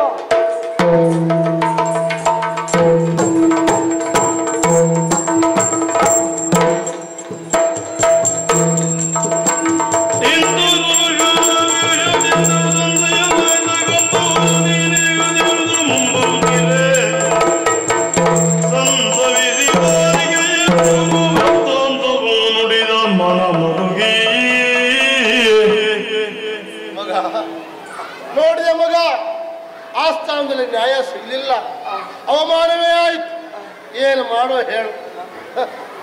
ಇಲ್ಲಿ ನಾನು ಹೊಡೆದೆ ಬಡ್ದೆ ಬೈದೆ ಮಗ. ಏನೇ ಮಾಡಿದ್ರು ಸಹ ಅಪ್ಪ ಅಪ್ಪ ಅಂತ ಹೇಳ್ತೇವೆ ಬಿಟ್ರೆ ನಿನ್ನ ಬಾಯಲ್ಲಿ ಬೇರೆ ಶಬ್ದವೇ ಬರುವುದಿಲ್ಲ ಮಗ. ಅಪ್ಪ ನೀವು ಹೊಡಿಬೇಕಪ್ಪ ನೀವು ಬಡಿಬೇಕು ಗದರಿಸಬೇಕು. ನೀವು ಅಪ್ಪ ನಾನ್ ಮಗಳು ನೀವು ಹೊಡಿದ್ ಸರಿಯಪ್ಪ ತಪ್ಪಿಲ್ಲ ತಂದೆ. ಯಾರು ಅಪ್ಪ ಯಾರು ಮಗಳು? ನೀವು ಅಪ್ಪ ನಾನು ಮಗಳು. ಇಲ್ಲ ಮಗ. ಸತ್ಯ ಹೇಳ್ತೇನೆ ಮಗ. ನೀನು ನನ್ನ ಮಗಳಲ್ಲಮ್ಮ. ಏನಪ್ಪ? ನನ್ನ ಸ್ಥಿತಿ ಹೀಗಾಯ್ತೆನ್ನುವ ಕಾರಣಕ್ಕಾಗಿ ಎಲ್ಲರೂ ನನ್ನನ್ನು ನೋಡಿ ನೋಡದಿದ್ದವರಾಗಿ ಮಾಡ್ತಾರೆ. ಆದ್ರೆ ನೀವು ನನ್ನನ್ನು ದೂರ ಮಾಡ್ತೀರಾ ಅಪ್ಪ? ನನಗೆ ಯಾರ ಗತಿ ತಂದೆ? ಇಲ್ಲ ಮಗ. ತಪ್ಪು ಮಾಡಿದ್ದೀನಿ ಅಲ್ಲ ಮಗ ತಪ್ಪು ಮಾಡಿದವ ನಾನು. ಏನು? ವಿಷಯವನ್ನು ಮುಚ್ಚಿಟ್ಟೆ ತಪ್ಪು ಮಾಡಿದೆ ಮಗ. ಏನಪ್ಪ ಅಂತ ಸತ್ಯ ಹೇಳ್ತೇನೆ ಮಗ. ನೀನ್ ನನ್ನ ಸಾಕು ಮಗಳಮ್ಮ. ಅಂದ್ರೆ ನನಗೆ ಸಿಕ್ಕಿದವರು ಹುಟ್ಟುವುದಕ್ಕೆ ಕಾರಣ ನೀವಲ್ವಾ? ಅಲ್ಲ ಮಗ ನನ್ನನ್ನು ಪಡೆದವರ ನೀವು. ಪಡೆದವ ಮಗ. ಏನಪ್ಪ ಯಾರಪ್ಪ ಯಾರಿಗೆ ನಾನು ಬಾರಾಗಿ ಹೋದೆ ಅಪ್ಪ? ಏನು ಮಾಡು ಹೇಳು. ಎಲ್ಲಿ ಸಿಕ್ಕಿದವಳು ನಾನು? ಸಿಕ್ಕಿದ್ದು ಹೊಳೆಯಲ್ಲಿ ಮಗ. ಅದನ್ನು ಸಾಕಿದವ ನಾನಮ್ಮ. ಅಪ್ಪ ನನಗೊಬ್ಬ ಅಣ್ಣನೋ ತಮ್ಮನೋ ಇದ್ದಿದ್ರೆ ಮಹಾರಾಜನ ರಟ್ಟೆಗೆ ಕೈ ಹಿಕ್ಕಿ ಕೇಳ್ತಾ ಇದ್ದ. ಯಾರಿದ್ದಾರೆ ಹೇಳಿ ನಮಗೆ ಹೇಳುವವರು ಕೇಳು. ಮಗ ಸಿಕ್ಕಿದವಳು ನೀನು ಒಬ್ಬಳೇ ಅಲ್ಲ ಸಿಕ್ಕಿದ್ದ ಅವಳೆ ಶಿಶುಗಳು. ಒಂದು ಗಂಡು ಮತ್ತೊಂದು ಹೆಣ್ಣು. ಹೆಣ್ಣು ಮಗು ನೀನು. ಅಣ್ಣ ಅಂತ ಹೇಳಿದೆಲ್ಲ ಆ. ಗಂಡು ಮಗು ಬೇರೆ ಯಾರು ಅಲ್ಲ. ಶಿಥಿಲ ಮಹಾರಾಜರ ಆಸ್ಥಾನದಲ್ಲಿ ಇದ್ನಲ್ಲ. ಆ ಶುಭ್ರಾಂಗ ಅವನಿಂದ ಅಣ್ಣ ಮಗ ಶುಭ್ರಾಂಗ ಶುಭ್ರಂಗ? ಹೌದು. ಅಪ್ಪ ಅಣ್ಣನನ್ನು ಕಾಣ್ಬೇಕಪ್ಪ ಮಾತಾಡ್ಬೇಕು. ಸಮಯ ನೋಡಿ ಅವನನ್ನೇ ಮಾತಾಡಿಸುವ ಮಗ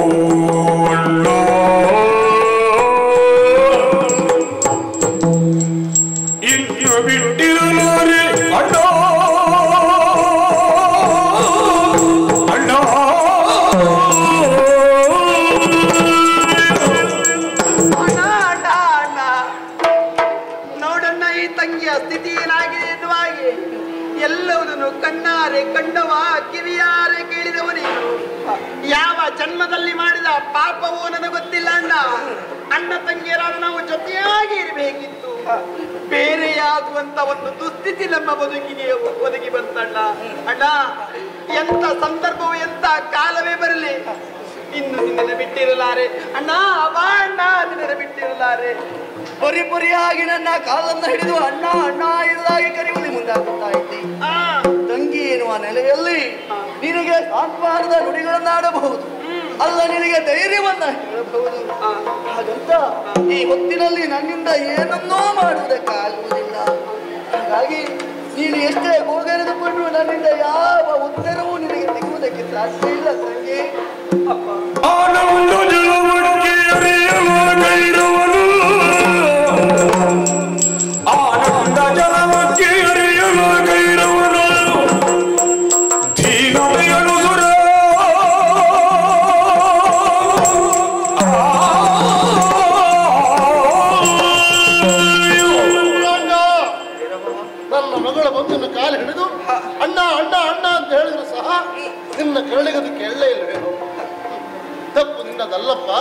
ಅವಳದ್ದು ಅಲ್ಲಪ್ಪ ತಪ್ಪು ಮಾಡಿದವ ನಾನೇ. ವಿಷಯವನ್ನು ಮುಚ್ಚಿಟ್ಟೇ ತಪ್ಪು ಮಾಡಿದೆ ಅಂತ ಈಗ ಅನಿಸ್ತಾ ಉಂಟು. ಹೌದಪ್ಪ. ಸತ್ಯ ಹೇಳ್ತೇನೆ ಕೇಳು. ಯಾಕೆ ನಾನು ಸುಳ್ಳು ಹೇಳಬೇಕು? ಹೊಳಗೆರಗಿನ ಬರ ನಾನು. ಕಳೆದ ದಿನ ಹೆಚ್ಚು ಉಳದಿನ ಕಡಿಮೆ ಅಪ್ಪ. ಆಗ ಈಗಾಗಲೂ ಸತ್ಯ ಹೇಳ್ತೇನೆ. ಈ ದಾರಿಕೆ ಇದ್ದಾಳಲ್ಲ. ಇವಳು ನನ್ನ ಮಗಳಲ್ಲಪ್ಪ ಅಲ್ಲ. ಭೈರವ ಓ ಈಗ ತಾನೇ ನೀನೇ ಆಡಿದವ?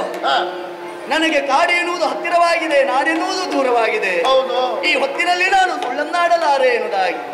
ಆದ್ರೆ ಈ ಹೊತ್ತಿನಲ್ಲಿ ಮತ್ತೆ ಸುಳ್ಳನ್ನೇ ಆಡುವಲ್ಲಿ ಗೊತ್ತಾಗುತ್ತಾ ಇತ್ತು ಏನಪ್ಪ? ಅದಿಲ್ಲದಿದ್ರೆ. ಆಕೆ ನನ್ನ ಮಗಳಲ್ಲ ನನ್ನ ಮಗಳಲ್ಲ ಎನ್ನುವುದಾಗಿ ಆಡುತ್ತಾ ಇತ್ತು ಹೌದು. ಈಗಾಗಲೇ ಚೈತ್ಯದಲ್ಲಿರುವಂತಹ ಪ್ರತಿಯೊಬ್ಬರೂ ತಿಳಿದುಕೊಂಡದ್ದು ನಿನ್ನ ಮಗಳೇ ಎನ್ನುವುದಾಗಿ. ಆದ್ರೆ ಈ ಹೊತ್ತಿನಲ್ಲಿ ಅಲ್ಲ ಅಂತ ಹೇಳಿದ್ರೆ ಅದು ಸುಳ್ಳಾಗುವುದಿಲ್ಲವೇ ಹೇಳು? ನನ್ನ ಮಗಳು ಹೇಳುವುದು ಸತ್ಯ. ಆದ್ರೆ ಪರಮ ಸತ್ಯ ಅದಲ್ಲಪ್ಪ. ಅವಳ ಕತೆ ಬಿಡು. ನೀನು ಯಾರಪ್ಪ? ನಾನ್ಯಾರು ಎನ್ನುವಂತ ಪ್ರಶ್ನೆಗೆ ನನಗೆ ಗೊತ್ತಿದ್ದದ್ದು ಇಷ್ಟೇ. ಹೀಗಾಗಿ ನಾನೊಬ್ಬ. ಸಿಕ್ಕಿದಂತ ಮಗುವನ್ನ ಮಹಾರಾಜರು ಸಾಕಿ ಬೆಳೆಸುವಲ್ಲಿ ಮುಂದಾದ್ರಂತೆ ಆ ಒಬ್ಬ ಸಿಕ್ಕಿದ ಮಗು ನಾನು. ಅಷ್ಟು ಬಿಟ್ಟು ನಿನಗೆ ಏನೂ ಗೊತ್ತಿಲ್ಲ. ನಾನೊಬ್ಬ ಸಾಕು ಮಗ. ನನಗೆ ಗೊತ್ತುಂಟಪ್ಪ. ಅಂತ ಹೇಳಿದ್ರೆ ನನ್ನ ಕತೆ ನನಗೆ ಗೊತ್ತುಂಟು. ಹಾಗಾದ್ರೆ ನನ್ನ ಕತೆ ಏನನ್ನು ನೀನು ತಿಳಿದಿದ್ದಿ ಕೈರವ? ನನ್ನ ಕತೆ ಅಲ್ಲಪ್ಪ. ಸುಮಾರು ಇಪ್ಪತ್ತು ವರ್ಷಗಳ ಹಿಂದೆ ನರ್ಮದಾ ನದಿ ಅಂತ ಮೇಲಿಡಲಿಕ್ಕೆ ಹೋದ ತೇಲಿ ಬಂತು ತೊಟ್ಟೆಲು. ಎತ್ತಿ ನೋಡುವಾಗ ಅವಳ ಶಿಶುಗಳು. ಒಂದು ಗಂಡು ಮತ್ತೊಂದು ಹೆಣ್ಣು.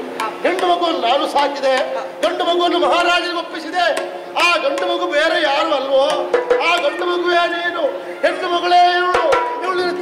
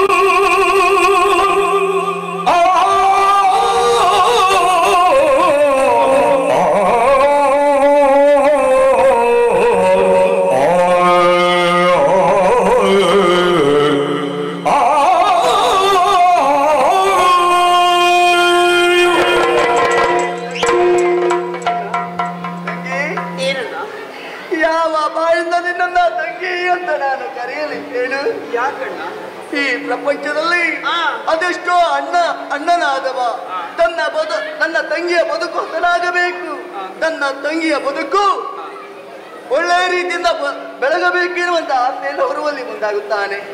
ತನ್ನ ತಂಗಿಯನ್ನ ತನ್ನ ಕಣ್ಣಿನ ತದ್ರೀತಿಯಾಗಿ ಕಾಪಿಡುವಲ್ಲಿ ಮುಂದಾಗುತ್ತಾನೆ ತಂಗಿ.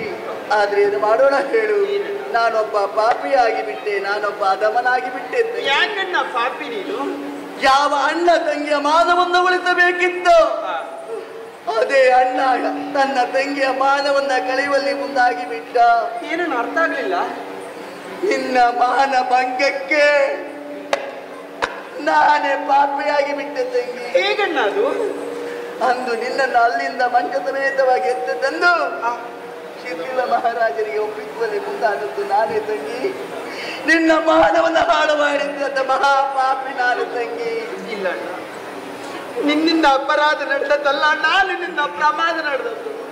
ಆ ಬ್ರಹ್ಮದೇವನನ್ನ ಹಣೆಯಲ್ಲಿ ಹೀಗೆ ಆಗಬೇಕೆನ್ನುವ ಹಾಗೆ ಬರ್ತದಿದ್ರೆ ತಪ್ಪಿಸುವುದಕ್ಕೆ ಯಾರಿಂದ ಸಾಧ್ಯ ಅಣ್ಣ? ನನ್ನ ಬದುಕಾಯ್ತಣ್ಣ, ಇಲ್ಲಿಗೆ ಮುಕ್ತಾಯ ಆಯಿತು. ನಿನ್ನಿಂದ ತಪ್ಪಿಲ್ಲ ಅಣ್ಣ ನಿನ್ನಿಂದ ತಪ್ಪಾಗ್ಲಿಲ್ಲ. ಅಂಗಿ ಯಾವ ಕಾಲಕ್ಕೆ ನಿನ್ನ ಬದುಕು ಇಲ್ಲಿಗೆ ಕೊನೆಯಾಯ್ತು ಎನ್ನುವುದಾಗಿ ತಿಳಿದುಕೊಳ್ಳಬೇಡ ತಂಗಿ ತಿಳಿದುಕೊಳ್ಳಬೇಡ. ಯಾಕೆ ಮತ್ತೇನನ್ನ ಮುಂದೆ? ಯಾವ ಅಣ್ಣನ ಕೈಯಿಂದ ನಿನ್ನ ಬದುಕೆನ್ನುವುದು ಹಾಳಾಗಿ ಹೋಯಿತು. ಇದೇ ಅಣ್ಣ ನಿನ್ನ ಬದುಕನ್ನ. ಸುಭದ್ರಗೊಳಿಸುವಲ್ಲಿ ಮುಂದಾಗ್ತೇನೆ ತಂಗಿ. ಹೇಗದು? ಯಾಕೆ ಅಂತ ಹೇಳಿದ್ರೆ ಆ. ಶಿಥಿಲ ಮಹಾರಾಜ ನನಗೆ ಮಿತ್ರನಿದ್ದಾನೆ. ಯಾವ ಕಾಲಕ್ಕೂ ನನ್ನ ಮಾತನ್ನು ಅಂಗೀಕರಿಸುವವ ಅಲ್ಲ ನಾನು ಹೇಳಿದ್ದು ಹೌದು ಅಂತಾದ್ರೆ ಖಂಡಿತವಾಗಿ ನಿನ್ನ ಮದುವೆ ಆಗುತ್ತಾನೆ ತಂಗಿ. ನಿನ್ನ ತಂಗಿ ಎನ್ನುವ ವಿಚಾರ ಗೊತ್ತಾದ್ರೆ ಖಂಡಿತವಾಗಿ ಮದುವೆ ಆಗ್ತಾ ಆಯ್ತಲ್ವಾ? ನಿನಗೆ ನ್ಯಾಯವನ್ನು ನಾನು ಕೊಡಿಸ್ತೇನೆ ತಂಗಿ. ಆಯ್ತಲ್ಲ ಜೊತೆ ಹೋಗೋಣ. ಆಹಾ, ಇಲ್ಲ ಮಾರಾಯ ಹಾಲು ನೀರು ಒಂದಾಯ್ತು ಬಟ್ಲು ಮಾತ್ರ ಬೇರೆ ಆಯ್ತಲ್ಲ. ಇಲ್ಲ ಕೈರವ. ಹಾ. ಯಾಕೆ ಹೇಳು? ಹಾಲು ನೀರು ಒಂದಾಗಬೇಕು ಅಂತ ಆದ್ರೆ ಭತ್ತದ ಅವಶ್ಯಕತೆ ಎನ್ನುವುದು ಇರುತ್ತದೆ. ಹೌದು. ಈಗಲೂ ಹಾಗೆ. ಹಾ. ನಮ್ಮ ಇಬ್ಬರ ಸತ್ಯಗತೆ ಎನ್ನುವುದು ನಿನಗೆ ಮಾತ್ರ ತಿಳಿದದ್ದು. ಬಿಟ್ಟು ಮತ್ತೆ ಯಾರಿಗೂ ಗೊತ್ತಿಲ್ಲ. ಈಗ ಸತ್ಯವನ್ನು ಆಡುವುದಕ್ಕೆ ನೀನೇ ನಮಗೆ ಬೇಕು. ನೀನೇ ನಮಗೆ ಸಾಕ್ಷಿಯಾಗಿದ್ದಿ. ನನ್ನ ಮಗಳಿಗೆ ನ್ಯಾಯ ಸಿಗ್ತದೆ ಅಂತಂದ್ರೆ ನಾನು ಅಲ್ಲಿಗೆ ಬರ್ತೇನೆ. ಹೌದಾ? ಹಾಗಾದ್ರೆ ನನ್ನ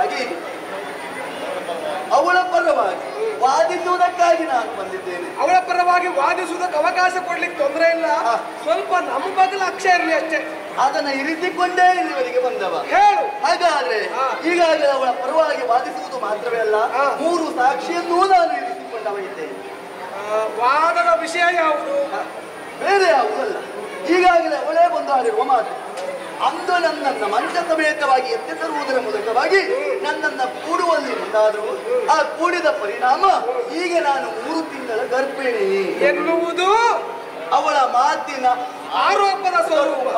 ಆರೋಪಿಸಿದಲ್ಲಿ ಅಪರಾಧಿ ಎಂಬಾಗ ಪರಿಗಣಿಸುವುದಕ್ಕೆ ಸಾಧ್ಯ ಇಲ್ಲ. ಆರೋಪಿ ಅಪರಾಧಿ ಆಗಬೇಕು ಅಂತ. ಆದ್ರೆ ಸರಿಯಾದಂತಹ ಸಾಕ್ಷಿ ಆಧಾರ ಪುರಾವೆಗಳು ಬೇಕಾಗುತ್ತದೆ ಎಲ್ಲೊಂಟು ಸಾಕ್ಷಿ? ಆ ಮೂರು ಸಾಕ್ಷಿ ನನ್ನಲ್ಲೇ ಉಂಟು. ಯಾವುದು ಒಂದನೇ ಸಾಕ್ಷಿಯಾಗಿ ನಾನಿದ್ದೆ. ಹೇಗೋ? ಅಂದು ನಾನು ನೀನು ಸಭಾಸ್ಥಾನವನ್ನು ಸೇರಿ ಓಲಗವನ್ನು ಪಡೆದಿದ್ದಾಗ. ನಿನ್ನ ಶಯಾಗಾರವನ್ನು ಬಂದು ಸೇರಿದೆ. ಬಂದಾಗ ಚಿಂತಾಕ್ರಾಂತನಾಗಿ ಕುಳಿತವ ನಾನು. ಏನಾಗಿ ಅಲ್ವಾ? ನಾನು ಕುಳಿತವನು ಹೌದು. ಅಂದು ನಾನು ಒಂದು ಕೇಳಿದಾಗ. ಚಿಂತೆಯಲ್ಲಿ ಇದ್ದದ್ದು ಸತ್ಯ. ಹಾಗಾದ್ರೆ ಚಿಂತೆ ಯಾಕೆ ಎನ್ನುವುದಾಗಿ ಪ್ರಶ್ನಿಸಿದಾಗ ನನಗೆ ಮಾನಹಾನಿ ಆಯಿತು ಅಂತ ಆಡಿದವ ನೀನು ಹೇಳ್ತೇನೆ. ಯಾರಿಂದ ಅಂತ ಕೇಳಿದೆ. ಆ ಹೊತ್ತಿನಲ್ಲಿ ಬೆತ್ತರ ಕನ್ನೆಯಿಂದ ನನಗೆ ಅವಮಾನವಾಯಿತು ಅಂತ ಆಡಿದೆ ಅವಳನ್ನ ಕರೆತಂದು ಒಪ್ಪಿಸಬೇಕು ಅಂತ ಹೇಳ್ತೇನೆ. ಅದೇ ಮಾತಿನ ಪ್ರಕಾರವಾಗಿ. ನಮ್ಮವರನ್ನ ಕೂಡಿ ಅಲ್ಲಿ ಹೋಗುವುದರ ಮೂಲಕವಾಗಿ ಮಂಚ ಸಮೇತವಾಗಿ ಕರೆತಂದು ಒಪ್ಪಿಸಿದವ ನಾನು. ಒಪ್ಪಿಸಿದ್ದಕ್ಕೆ ನೀನು ಸಾಕ್ಷಿ ಆಯಿತೇ ವಿನಃ ನಾನು ಕೂಡಿದ್ದೇನೆ ಎಂಬುದಕ್ಕೆ ಸಾಕ್ಷಿ ಆಗಲಿಲ್ವಲ್ಲ ಶುಭ್ರಾಂಗ? ಹಾಗಾದ್ರೆ ಈ ಒಂದನೇ ಸಾಕ್ಷಿಯನ್ನು ನೀವು ತಳ್ಳಿ ಹಾಕಿದವರಿದ್ದೀರಿ ಅಲ್ವಾ? ಇದು ನಿಮಗೆ ಸಾಕ್ಷಿಯನ್ನು ಸರಿಯಾಗಿ ನಾನು ಕೂಡಿದ್ದೇನೆ ಎಂಬುದಕ್ಕೆ ಸಾಕ್ಷಿ ಆಗಲಿಲ್ಲ. ಹಾಗಾದ್ರೆ ಕೂಡಿದ್ದೀರಿ ಏನು ಸಾಕ್ಷಿ ಬೇಕು. ಇನ್ನು ನಿನಗೊಂದು ಪ್ರಶ್ನೆ ಕಾಣಬಹುದು. ಏನು? ಆವತ್ತು ಕರೆದುಕೊಂಡು ಬಾ. ಶಿಕ್ಷೆ ಕೊಡ್ತೇನೆ ಅಂತ ಹೇಳಿದ್ದೇನಲ್ಲ? ಯಾವ ಶಿಕ್ಷೆ ನಾನು ಕೊಟ್ಟೆ ಎಂಬುದು ನಿನ್ನ ಪ್ರಶ್ನೆ ಅಲ್ಲ ಖಂಡಿತವಾಗಿ ಹೌದು. ಅಲ್ಲಿ ಏನಾಯ್ತು ಕೇಳು. ಕರ್ಕೊಂಡು ಬಂದೆ ನೀನು. ಬಿಟ್ಟು ಆಚೆ ಹೋದಿಯಾ? ನಾನು ಈಚೆ ಬಂದೆ. ಬರುವಂತ ಹೊತ್ತಿಗೆ ಅವಳು ಓಡಾಡಿ ಬಂದು ನನ್ನ ಕಾಲು ಹಿಡಿದು ಬೇಡಿಕೊಂಡ್ಳು ಸ್ವಾಮಿ ಮಹಾರಾಜರೇ ನಿನ್ನ ಅಪರಾಧವಾಯ್ತು. ದೊರಗಳಾದ ನಿಮ್ಮ ಕುರಿತಾಗಿ ನಾನು ಅಪವಾದ ಹೇಳಬಾರದಿತ್ತು ಅಂತ ಹೇಳಿ ಅವಳ ಕಣ್ಣೀರಿನಿಂದ ನನ್ನ ಪಾದವನ್ನು ತೊಳೆದಕ್ಕೆ ಮುಂದಾದ್ಲು. ನನ್ನ ಸ್ವಭಾವ ನಿನ್ನ ಗೊತ್ತಿಲ್ವೇನು ಮಹಾರಾಯ? ಹೆಣ್ಮಕ್ಳು ಕಣ್ಣೀರು ಕಂಡಾಗ ನಮ್ಮ ಕರಳು ಕರಗಿ ನೀರಾಗಿ ಹೋಗ್ತದೆ. ಆದ್ದರಿಂದ ಅವಳ ಕಣ್ಣೀರಿಗೆ ಕರಗಿದಂತ ನಾನು ಅವಳನ್ನ ಕ್ಷಮಿಸಿ ಬಿಟ್ಟು ಹೌದಾ? ಹಾಗಾದ್ರೆ ಒಂದನೇ ಸಾಕ್ಷಿ? ಒಂದನೇ ಸಾಕಿ ಒಪ್ಲಿಕ್ಕೆ ಆಗುದಿಲ್ಲ ಹಾಗಾದ್ರೆ ಎರಡನೇ ಸಾಕ್ಷಿಯಾಗಿ? ಯಾವುದು? ಯಾರಲ್ಲಿ? ರಾಜಭಟ್ಟರನ್ನು ಬರಬೇಡಿ. ಯೋಗ ಭಾಗ್ಯ ಇದ್ರೆ ಇನ್ನು ಮುಂದೆ ಪ್ರಯತ್ನ ಹೆಚ್ಚು ಮಾಡಿದ್ರೆ ಭವಿಷ್ಯ ಉಂಟು ಉದ್ಧಾರ ಆಗ್ತೀವಿ ಹೋಗ್ ಕರೆದವರು ಯಾರ? ನೀವು. ಹೋಗಿ ನಮಸ್ಕಾರ ಕೊಟ್ಟಿದ್ದೆ ಯಾರೀಗ ಮಹಾರಾಜರಿಗೆ. ಯಾಕೆ ನಮಸ್ಕಾರವನ್ನ ಕೊಟ್ಟೆ? ಮಹಾರಾಜರು ಅಂತ ಹೇಳಿದ್ರೆ ದೇವರಿಗೆ ಸಮಾನ. ಹ. ಹಾಗಾದ್ರೆ ದೇವರಿಗೆ ಸಮಾನ ಅಂತ ಹೇಳಿದ್ರೆ. ಇದು ಆಸ್ಥಾನ ಅಂತ ಹೇಳಿದ್ರೆ ದೇವಾಲಯಕ್ಕೆ ಸಮಾನ. ದೇವಸ್ಥಾನಕ್ಕೆ ಸಮಾನ? ಈ ದೇವಸ್ಥಾನದಲ್ಲಿ ಯಾವ ವ್ಯಕ್ತಿಯೂ ಕೂಡ ಸುಳ್ಳನ್ನು. ಆಡಬಾರದು. ಆಡಬಾರದು. ಒಂದೊಮ್ಮೆ ಸುಳ್ಳು ಆಡಿದಂತಾದ್ರೆ ಸತ್ತು ಮಣಿ ಕಚ್ಚಿ ಹೋಗ್ತಾರೆ. ಸತ್ಯವನ್ನು ಹೇಳಿದಂತಾದ್ರೆ ಸತ್ಯಕ್ಕೆ ಸಾವಿಲ್ಲ. ಅಲ್ವಾ? ಸುಳ್ಳಿಗೆ ಸುಖ ಇಲ್ಲ. ಹಾಗಾದ್ರೆ ಸತ್ಯವನ್ನ ಹೇಳುತ್ತೇನೆ. ಸತ್ಯವನ್ನ ಬಿಟ್ಟು ಬೇರೇನೂ ಬೇರೇನು ಹೇಳಲಾರೆ? ಬೇರೆ ಏನು ಹೇಳುವುದಿಲ್ಲ. ಹೌದಾ? ಅದು ಆ ಕಡೆಯಲ್ಲಿ ನೋಡು. ನೋಡಿದ್ಯಾ. ಅವಳನ್ನ ನೀನು ಎಷ್ಟು ಬಾರಿ ನೋಡಿದೆ? ಮೂರು ಬಾರಿ ನೋಡಿದ್ದೇನೆ. ಏ ನೀನು ಮೂರು ಸಾವಿರ ನೋಡಿದೇನ ಮಹಾರಾಜ್ರ ಒಂದ್ ಸ್ವಲ್ಪ ಗಮನ ಈ ಕಡೆ ಇರಲಿ ಅಯ್ಯೋ ಪ್ರಧಾನ ಸಾಕ್ಷಿ ಅಲ್ವಾ ಮಹಾರಾಯ? ಖಂಡಿತವಾಗಿ ಹೌದು. ನಾವು ನೋಡುದು ಬೇರೆ ಕಡೆಗಾದ್ರೂ ಕಿವಿ ಆ ಕಡೆಗೆ ಉಂಟು. ಹಾಗಾದ್ರೆ ನೀನು ಪ್ರಥಮವಾಗಿ ನೋಡಿದ್ದಲ್ಲಿ? ಒಂದು ಆವತ್ತು ನಿಮ್ಮ ಜೊತೆಯಲ್ಲಿ ಹಾ. ಬೆಸ್ತರ ಕೇರಿಗೆ ಬರು ನಾನು ರಾತ್ರಿ ಬಂದವ ಹಾ. ಮಂಚ ಸಹಿತ ಹೊತ್ಕೊಂಡು ಬರ್ಲಿಕ್ಕೆ. ಅದು ಒಂದು ಸಾರಿ ನೋಡಿದ್ದೆ. ಹ. ಎರಡನೇ ಬಾರಿ. ಆ ದಿವಸ ನಾನು ಮಂಚ ಸಹಿತ ತಂದು. ಮನೆಗೆ ಹೋಗ್ಲಿಲ್ಲ. ಮನೆ ಹೋಗ್ಲಿಲ್ಲ ಮನೆಗೆ ಹೋಗ್ಲಿಲ್ಲ. ನಿಮಗೆ ವೇತನವನ್ನ ಕೊಟ್ಟು ಮನೆ ಹೋಗಿ ಅಂತ ಕಳಿಸಿದವ ನಾನಲ್ವಾ? ನೀವು ಹೇಳಿದ್ರಿ ಹೌದು. ಅಲ್ಲಿ ಏನ್ ಮಾಡುವ? ಏನು ಮಾಡಿದೆ? ಬೀದಿಯಲ್ಲಿ ನಾಯಿಗಳು ಕಾಟ. ಹೌದಾ? ಹೌದೌದು. ಮನೆಗೆ ಹೋಗ್ಲಿಕ್ಕೆ ಆಗ್ಲಿಲ್ಲ. ಅರಮನೆ ಹೊರ ಜಗಲಿ ಮೇಲೆ ಮಲ್ಕೊಂಡೆ. ಮಧ್ಯ ಮಧ್ಯರಾತ್ರಿ ಹೊತ್ತು.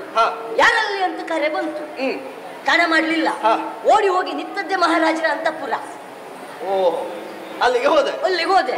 ಅಲ್ಲಿ ಹೋಗಿದ್ದಾಗ. ಅವಳು ನೋಡಿದ್ದೆ. ಮೂರನೇ ಬಾರಿ ನೋಡಿದ್ದೆ. ಎರಡನೇ ಬಾರಿ ನೋಡಿದ್ದೆ. ಎರಡನೇ ಬಾರಿ ಒಂದು ಕರೆ ತಂದದ್ದು. ನೋಡುವಾಗ. ಸೀರೆ ಎಲ್ಲ ಅಸ್ತವ್ಯಸ್ತ ಆಗಿತ್ತು ಅವಳ ಸ್ಥಿತಿಯಲ್ಲಿ ಹೇಗಿತ್ತು? ಸೀರೆ ಅಸ್ತವ್ಯಸ್ತ ಆಗಿತ್ತು ಹಾ. ಕುಪ್ಪಸ ಹೊರದಿತ್ತು. ಕೇಶ ಎಲ್ಲ ಕೆದರಿಕೊಂಡಿತ್ತು. ಹೌದಾ? ನೋಡುವಾಗ. ಭಾರಿ ಬಳಲಿದವಳು ಹಾಗೆ ಕಾಣ್ತಾ ಇದ್ಲು. ಏನೋ ಭಯ ಏನು ಆವರಿಸಿ ಹೌದೌದು. ಆಗ ಮಹಾರಾಜರನ್ನು ನೋಡಿದೆ. ಹಾಗಾದ ಆ ಹೊತ್ತಿನಲ್ಲಿ ನಿಮ್ ಮಹಾರಾಜರು ಯಾವ ಸ್ಥಿತಿಯಲ್ಲಿದ್ರು? ಯಪ್ಪ ಹಾ. ಇವತ್ತೊಂದು ನಾನೊಂದು ಭಯಂಕರ ದೊಡ್ಡ ಸಾಧನೆ ಮಾಡಿದೆ ಅನ್ನೋ ಲೆಕ್ಕದಲ್ಲಿ ಇದ್ರು ಕರ್ಮ! ಅದೆಲ್ಲ ಸಾಧನೆ ಹೇಳಿ ಸತ್ತದ್ದೇ ಅಲ್ಲ ಮಹಾರಾಜರೇ ಸರಿಯಾಗಿ ಕೇಳಿಸಿಕೊಳ್ಳಿ. ಹಾ, ಕೇಳ್ತಾ ಇದ್ದೆ ಕೇಳ್ತಾ ಇದ್ದೆ ಹಾ. ಆಗ ನಾನ್ ತಿಳ್ಕೊಂಡೆ. ಏನು? ಅವರಿಬ್ಬರ ಮಧ್ಯೆ ಏನೋ ಒಂದು ಎಂಟೆಂಟ್ಲಿ ಆಯ್ತಂದ್ ನನ್ಗೆ ಗೊತ್ತಾಯ್ತು. ಮಹಾರಾಜರೇ ಹೇಳಿ ಕೇಳಿ. ಪುಣ್ಯಾತ್ಮ. ಇವನನ್ನು ಒಳಗ್ ಕಳ್ಸ ಮತ್ತು ನಿಲ್ಸ್ಕೊಂಡ್ರಿ ಏನಂತ ಹೇಳಿ ಸಾಯ್ತ ಕಡೆಗೆ ಹೌದಾ? ಅದು ಎರಡನೇ ಬಾರಿ. ಹಾ. ಅಷ್ಟೊತ್ತಿ ಮಹಾರಾಜರು ಹೇಳಿದ್ರು. ಇವಳನ್ನ ಎಲ್ಲಿಂದ ಕರೆತಂದಿಯೋ ಅಲ್ಲಿಗೆ ಹೂ ಅಂದ್ರೆ. ಎಂತ ಇನ್ನೊಂದ್ಸರಿ ಹೇಳ? ಎಲ್ಲಿಂದ ಕರೆದು ತಂದಿಯೋ ಅಲ್ಲಿಗೆ ಹ್ಮ್. ಅಡ್ಡಿಲ್ಲ. ಆಳು ವಾಮನ ಮೂರ್ತಿ ಆದ್ರೂ ಚಾಪ್ ಭಯಂಕರ ಜೋರು ಉಂಟು. ನಿಮ್ಮದು ಯಾರು ಇದು? ಹ್ಮ್, ಹ್ಮ್. ಪ್ರಯತ್ನ ಮುಂದುವರಿಸಿದ್ರೆ ಇನ್ನು ಹತ್ತು ವರ್ಷದಲ್ಲಿ ನನ್ನ ಸ್ಥಾನ ತುಂಬುತ್ತೀನಿ. ಹೌದಾ? ಅದು ಎರಡನೇ ಬಾರಿ. ಒಂದು ಅದು ಬಿಟ್ರೆ. ಈಗ ನೋಡ್ತಾ ಇದ್ದೆ. ಹೌದಾ? ಮೂರು ಬಾರಿ. ಮಹಾರಾಜರೇ ಸಾಕ್ಷಿಯನ್ನ ಕೊಟ್ಟಿದ್ದೇನೆ. ಇವ ಮತ್ತೆ ನಿಲ್ಸ್ಕೊಂಡ್ರೆ ಮತ್ತೆ ಮುಂದುವರ್ಸ್ತಾ ಎಂತ ಹೇಳಿ ಸಾಹಿತ್ಯ ಕಡೆಗವ ಅವನೊಬ್ಬ ಒಳ ಕಳಿಸು ಹಾಗಾದ್ರೆ ಒಂದು. ಈ ನಿರ್ಧಾರ ಆಗುವಲ್ಲಿವರೆಗೆ ನೀನು ಈ ಪುರ ಬಿಟ್ಟು ಹೋಗ್ಲಿಕ್ಕಿಲ್ಲ. ಇಲ್ಲ. ಇರಬೇಕು. ಸಾಕ್ಷಿಯನ್ನ. ಒಂದನೇ ಸಾಕ್ಷಿ ಅಂತ ತಳ್ಳಿ ಹಾಕಿದ್ದೇನೆ. ಇದು ಎರಡನೇ ಸಾಕ್ಷಿಯ. ಒಬ್ಬಲಿಕ್ಕೆ ಸಾಧ್ಯ ಇಲ್ಲ. ಯಾಕೆ ಕೇಳು? ಸಾಕ್ಷಿ ಅಂದ್ರೆ ಸಂಪೂರ್ಣವಾಗಿ ಸರಿ ಇರಬೇಕು. ಎಲ್ಲಿ ತಪ್ಪಿರಬಾರದು. ಇವ ಕೆಲವಷ್ಟು ಸರಿ ಹೇಳ್ತಾನೆ ಕೆಲವಷ್ಟು ಕೈಯಿಂದ ಸೇರಿಸಿಕೊಂಡು ಹೇಳ್ತಾನೆ. ಸಾಕ್ಷಿ ಸಂಪೂರ್ಣವಾಗಿ ಸರಿ ಇಲ್ಲವಾದ್ರಿಂದ ಈ ಸಾಕ್ಷಿಯನ್ನು ಧಿಕ್ಕರಿಸಿದ್ದೇನೆ. ಹಾಗಾದ್ರೆ ಎರಡು ಸಾಕ್ಷಿಯನ್ನು ಧಿಕ್ಕರಿಸಿದ್ದೇನೆ. ಹಾಗಾದ್ರೆ ಮೂರನೇ ಸಾಕ್ಷಿ. ಯಾವ್ದದು?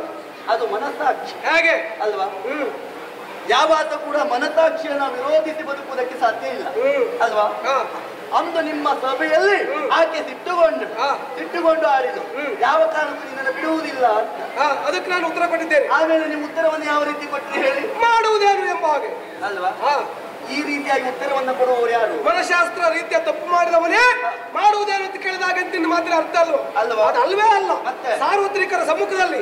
ಜಯ ಸೇರಿದಂತ ಜನಸ್ತೋಮದ ಮಧ್ಯದಲ್ಲಿ. ಒಬ್ಬ ಸ್ವಾಭಿಮಾನಿಗಳಂತ ಗಂಡು ಮಗನ ಮುಂದೆ ಇಲ್ಲ ತನದ ಅಪವಾದವನ್ನು ಹೇಳುವುದಕ್ಕೆ. ಒಬ್ಬ ಆತ ಮನ ಮಾಡ್ತಾರಂತೆ ಆದ್ರೆ ಅವ ಸ್ವಾಭಿಮಾನಕ್ಕೆ ಕಟ್ಟು ಬಿದ್ದು ಕೇಳುವ ಪ್ರಥಮ ಪ್ರಶ್ನೆಯೇ ನೀನು ಮಾಡುವುದೇನು ಎಂಬ ಹಾಗೆ ಆ ನೆಲೆಯಲ್ಲಿ ನಾನು ಕೇಳಿದ್ದೇನೆ ವಿನಃ ನಾನು ಅಪರಾಧ ಮಾಡಿದ್ದೇನೆ ನೀನು ಮಾಡುವುದೇನು ಅಂತ ಕೇಳಿದ ಅರ್ಥ ಅಲ್ಲ ಹೌದಾ. ಆಮೇಲೆ ಮತ್ತೊಂದು ಮಾತನಾಡಿದವರು ನೀವಿದ್ದೀರಿ ನೀವು ಯಾವುದು ಹೇಳಿ. ಈ ಹುಚ್ಚರ ಮಾತು. ಕೆಲವಷ್ಟು ಸಂದರ್ಭ ಹುಚ್ಚರ ಮಾತನ್ನು ಪಂಥಾಹ್ವಾನವನ್ನು ಸ್ವೀಕಾರ ಮಾಡ್ಲಿಕ್ಕೆ ಆಗುದಿಲ್ಲ ಹಾಗಾದ ಹೊತ್ತಿನಲ್ಲಿ ಯಾಕೆ ಆಡಿದಾಗ ಮಾಡುವುದೇನು ಅಂತ ಯಾಕೆ ನೀವು ಬಂದಾವನವನ್ನು ಕೊಟ್ಟಿದ್ರಿ ಅಲ್ಲ ಕಲ್ ಆ ಸಂದರ್ಭ ಹಾಗಿತ್ತು. ಆದ್ರಿಂದ ಕೇಳಿದ್ದೇನೆ. ಹೌದಾ? ಸರಿ. ಹಾಗಾದ್ರೆ ಇದನ್ನೆಲ್ಲವನ್ನ ಕೈ ಬಿಟ್ಟಿದ್ದೇನೆ ವೆಚ್ಚವನ್ನು ಒಳಗಿಂದ ವಾದಿಸುವುದನ್ನು ಕೈ ಬಿಟ್ಟಿದ್ದೇನೆ ಹಾಗಾದ್ರೆ ಈಗ ನನ್ನ ನಿಮ್ಮ ಸಂಬಂಧದ ಬಗ್ಗೆ ಹಾ. ನಮ್ಮ ನಿಮ್ಮ ವೈಯಕ್ತಿಕ ಬಗ್ಗೆ ಇಲ್ಲೇ ಮಾತಾಡುವ ಆಚೆ ಹೋಗುವ. ಆಚೆ ಮಾತನಾಡುವುದಕ್ಕಾಗುವುದಿಲ್ಲ. ತುಂಬಿರುವ ಸಭೆಯ ತನ್ಮಧ್ಯದಲ್ಲೇ. ಅದು ಇತ್ಯರ್ಥ ಆಗ್ಬೇಕು. ಏನದು? ಈಗ ನಿಮ್ಮಲ್ಲಿ ಕೇಳ್ತೇನೆ? ನಿಮಗೂ ಒಬ್ಬಳು ತಂಗಿ ಇದ್ದದ್ದು ಹೌದು ಅಂತ ಆದ್ರೆ ಆ ತಂಗಿಗೆ ಇದೇ ಸ್ಥಿತಿಗತಿ ಬಂತು ಅಂತ ಆದ್ರೆ ಆಗ ನೀವೇನ್ ಮಾಡ್ತಾ ಇದ್ದೀರಿ? ಯಾರವ? ನನ್ನ ತಂಗಿಯ ಬಾಳನ್ನು ಹಾಳು ಮಾಡಿದ ಪಾಪಿ ಎಲ್ಲಿ ಇರಲಿ. ಅವನನ್ನು ಹಿಡಿದು ತರಿಸಿ. ತಲೆ ಪೋಲಿಸಿ ತಲೆ ಮೇಲೆ ಸಗಣಿ ಕಟ್ಟೆ ಕಟ್ಟಿ. ಕತ್ತೆ ಮೇಲೆ ಕೂರಿಸಿ. ಮೆರವಣಿಗೆ ಮಾಡಿಸ್ತೇನೆ. ಹೌದಾ? ಬಿಡಿ. ಎಲ್ಲಿಯಾದ್ರೂ ನನಗೆ ಒಂದು ತಂಗಿ ಇದ್ದದ್ದು ಅಂತಾದ್ರೆ ನಿಮ್ಮ ಮಿತ್ರನ ತಂಗಿಗೆ. ಇದೇ ಸ್ಥಿತಿಗತಿ ಒದಗಿ ಬಂತು ಅಂತಾದ್ರೆ. ಆಗ ನೀವೇನು ಮಾಡ್ತಾ ಇದ್ದೀರಿ? ನನ್ನ ತಂಗಿ ನಿನ್ನ ತಂಗಿ ಎಲ್ಲ ಬೇರೆ ಉಂಟಲ್ಲ ಶುಕ್ರಾಂಗ? ಹಾ. ನನ್ನ ತಂಗಿಗೆ ಅಪಮಾನ ಮಾಡಿದವನಿಗೆ ಯಾವ ಶಿಕ್ಷೆಯ. ನಿನ್ನ ತಂಗಿಗೆ ಅಪಮಾನ ಮಾಡಿದವನಿಗೆ ಅದ ಶಿಕ್ಷೆ. ಜುಟ್ಟ ಹಿಡಿಯುವುದೇ? ಹಾಗಾದ್ರೆ ಈಗ ನಾನು ನಿಮ್ಮ ಚುಟ್ಟಕ್ಕೆ ಕೈ ಹಾಕಲ? ಕೊಟ್ಟ ಸಲುಗೆನ ದುರುಪಯೋಗ ಪಡಿಸಿಕೊಳ್ತೀಯನ ಹಾಗಲ್ಲ. ಯಾಕೆ. ನಿಮ್ಮನ್ನ ಖಂಡ- ಖಂಡಿಸಬೇಕು. ಅಲ್ಲ ನಿಮ್ಮನ್ನ ಅವಮಾನಿಸಬೇಕೆಂಬ ಉದ್ದೇಶ ಅಲ್ಲವೇ ಅಲ್ಲ. ಈಗ ಈಗಾಗಲೇ ಅಪರಾಧ ಸ್ಥಾನದಲ್ಲಿ ಬಂದು ನಿಂತಿದ್ದಾಳಲ್ಲ ಅನ್ಯಾಯವಾಗಿ ಅಂತ ಗೋಂಗನಿಂದ ಇದ್ದಾಳಲ್ಲ. ಅವಳು ಅನ್ಯಾಯಲ್ವೇ ಅಲ್ಲ. ಯಾರು? ಅವಳು ನನಗೆ ತಂಗಿ ಇದ್ದ ಇವತ್ತು ಇವಳನ್ನು ಕರ್ಕೊಂಡು ಬಂದು ನನ್ನ ತಂಗಿ ಅವಳು ಅವಳಿಗೆ ಮೂರ್ ತಿಂಗಳಾಗಿದೆ. ಅದಕ್ಕೆ ನೀನೇ ಕಾರಣ ಅಂತ ಹೇಳ್ತೀಯ. ನಾಳೆ ಮತ್ತೊಬ್ಬಳನ್ನು ಕರ್ಕೊಂಡು ಬಂದು ಅವಳನ್ನ ಅಕ್ಕ ಅವಳಿಗೆ ಆರು ತಿಂಗಳಾಗಿದೆ. ಅದಕ್ಕೂ ನೀನೇ ಕಾರಣ ಅಂತ ಹೇಳ್ತೀಯ?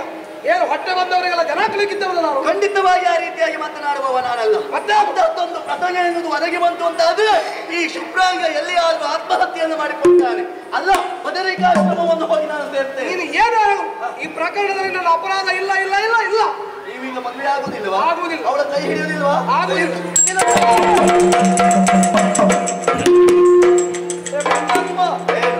ಕತ್ತಿ ತೋರಿಸ್ಬೇಡ ಮಹಾರಾಜ.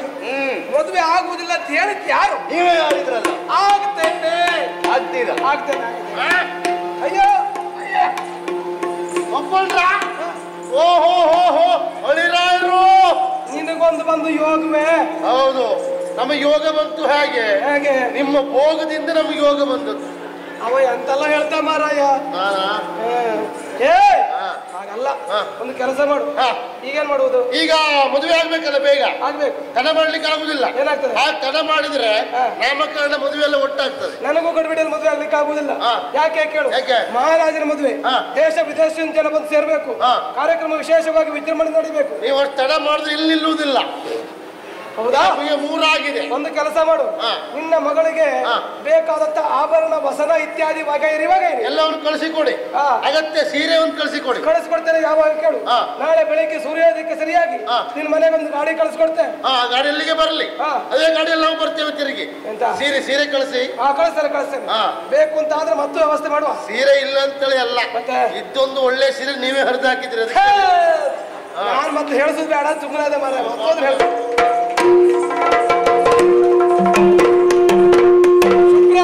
ಮಿತ್ರ ನಿನಗೆ ಕೆಲಸ ಇಲ್ಲ ಅಂತ ಭಾವಿಸಬೇಡ. ಏನು? ಮದುವೆಗೆ ಮುಹೂರ್ತ ಬೇಕು. ಬ್ರಾಹ್ಮಣನಿಗೆ ಹೋಗಿ ಮುಹೂರ್ತ ಕಳ್ಕೊಳ್ಬ. ಆದಷ್ಟು ಬೇಗ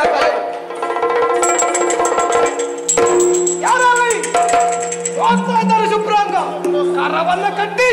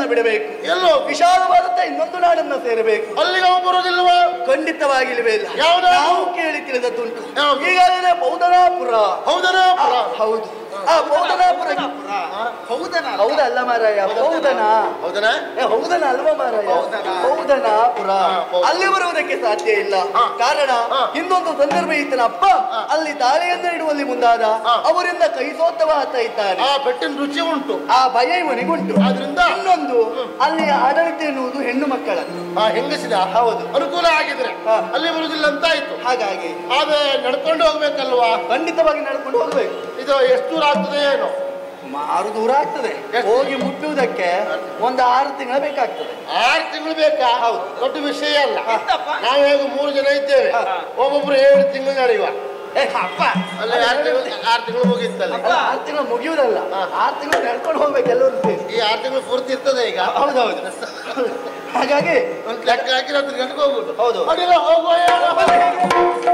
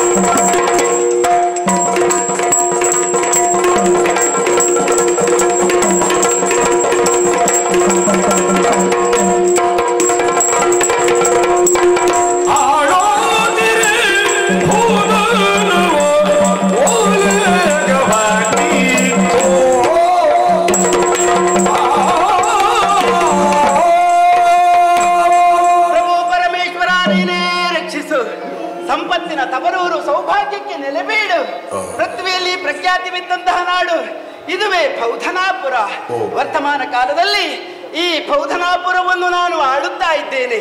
ನಾಗಶ್ರೀಗೆ ಜಯವಾಗಲಿ ಎನ್ನುವಂತಹ ವೇದ ಘೋಷ ಯಾಕೆ ಇವರೆಲ್ಲವರು ಈ ರೀತಿಯಲ್ಲಿ ಹೇಳ್ತಾ ಇದ್ದಾರೆ? ಪ್ರಜೆಗಳಿಗೆ ಉಣ್ಣುವುದಕ್ಕಾಗಲಿ ಉಡುವುದಕ್ಕಾಗಲಿ ಕೊರತೆ ಮಾಡಿದವಳು ನಾನು ಅಲ್ವೇ ಅಲ್ಲ. ನಾರಿಯೋರುಳು ನಿದ್ದೆಯ ಕಣ್ಣಿನಲ್ಲಿಯೂ ತನ್ನ ಸೀರೆಯ ಸೆರಗು ಜಾರದ ಹಾಗೆ ಎಷ್ಟು ಜಾಗ್ರತೆ ವಹಿಸುತ್ತಾಳೋ ತದ್ರೀತಿಯಲ್ಲಿ ನಮ್ಮ ನಾಡನ್ನು ಕಾಪಿಟ್ಟುಕೊಂಡು ಬಂದವಳು ನಾನಾಗಿದ್ದೇನೆ. ಅನಾಥೋ ದೈವರಕ್ಷಕ ಎನ್ನುವ ಹಾಗೆ ಹೇಳ್ತಾರೆ. ಆ ಮಾತು ಅಕ್ಷರ ಸಾಲನ ಜೀವನದಲ್ಲಿ ಸತ್ಯವೇ ಆಯಿತು. ಹುಟ್ಟುವಾಗ ತಂದೆ ತಾಯಿಗಳೇ ನನಗಿರಲಿಲ್ಲವಾಗಿತ್ತು. ಆದರೂ ಈ ಪೌಧನಾಪುರದ ಅಧಿಕಾರವೆನ್ನುವುದು ನನ್ನ ವಶವಾಯಿತಲ್ವೇ ಮಾವನಾಗಿರುವಂತಹ ಶ್ವೇತದತ್ತರ ಮಾರ್ಗದರ್ಶನದ ಮೇರೆಗೆ ಅವರ ಆಶೀರ್ವಾದದ ಮೇರೆಗೆ ಸಂತೋಷದಿಂದ ಸಂಪ್ರೀತಿಯಿಂದ ಈ ಪೌಧನವನ್ನು ಆಡುತ್ತಾ ಇದ್ದೇನೆ. ಯಾವ ಕುಂದುಕೊರತೆಗಳಿಲ್ಲ ಯಾರೋ ಬರ್ತಾ ಹಾಗಿಲ್ಲ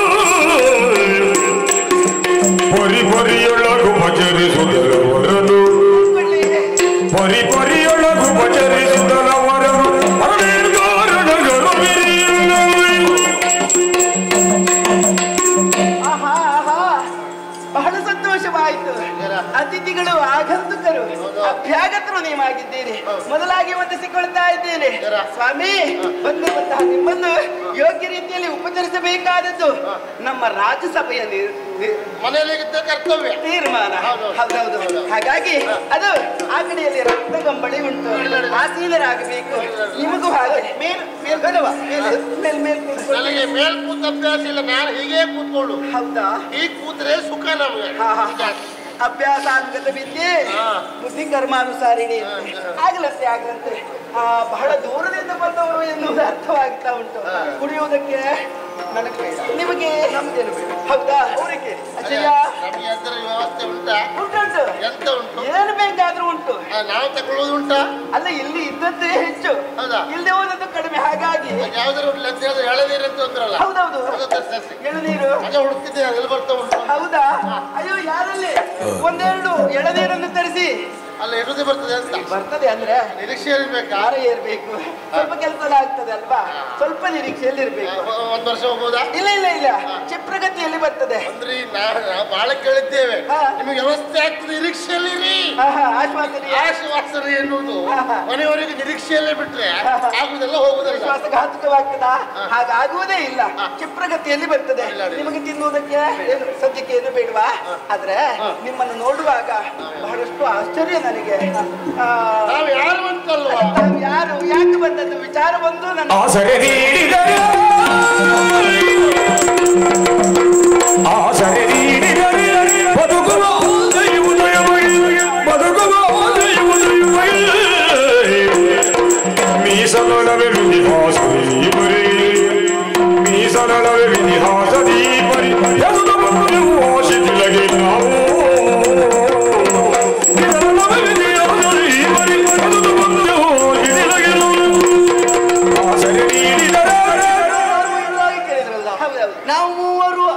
ಅನಾಥರಿದ್ದೇವೆ ಹೌದು. ಹೌದು ನನ್ನ ಹೆಸರು ಶುಕ್ರಾಂಗ ಎನ್ನುವುದಾಗಿ. ಈಕೆ ನನ್ನ ತಂಗಿ. ಹಾರಿಕೆ ಎನ್ನುವುದಾಗಿ. ಹೌದಾ? ಓ ಅಲ್ಲಿದ್ದಾರಲ್ಲ. ನಾನು ಅವಳ ಸಾಕಪ್ಪ ಕೈರವ ಅಂದ್ರೆ ನಾನು. ಸಾಕಪ್ಪ ಅಂತ ಹೇಳಿದ್ರೆ ಮತ್ತೆ ಮುಂದೆ ಬೇಡವಾ? ಬೇಕಪ್ಪ? ಬೇಕಪ್ಪ. ಎಲ್ಲರಿಗಪ್ಪ? ಹೌದೌದು ಅದು ಬೇಕು. ಅಲ್ವಾ? ಜೀವನ ಪರ್ಯಂತರ ಇರಲೇಬೇಕು. ಹಾಗಾಗಿ ನಮಗೆ ಬದುಕಬೇಕಿರುವ ಏನು ಹೊತ್ತವರು ನಾವು. ಹಾಗಾಗಿ ನಿಮ್ಮ ನಾಡಿನಲ್ಲಿ ಬಂದದ್ದು ಅಂತಾದ್ರೆ ನಮ್ಮ ಬದುಕಿಗೆ ಆಶ್ರಯ ಸಿಗುತ್ತದೆ ಅಂತ ಬಂದವರು. ಆಶ್ರಯವನ್ನು ಪಟ್ಟದ್ದು ಅಂತಾದ್ರೆ ಬದುಕುವ बड़ी देर तक गिरना बड़ी देर तक गिरना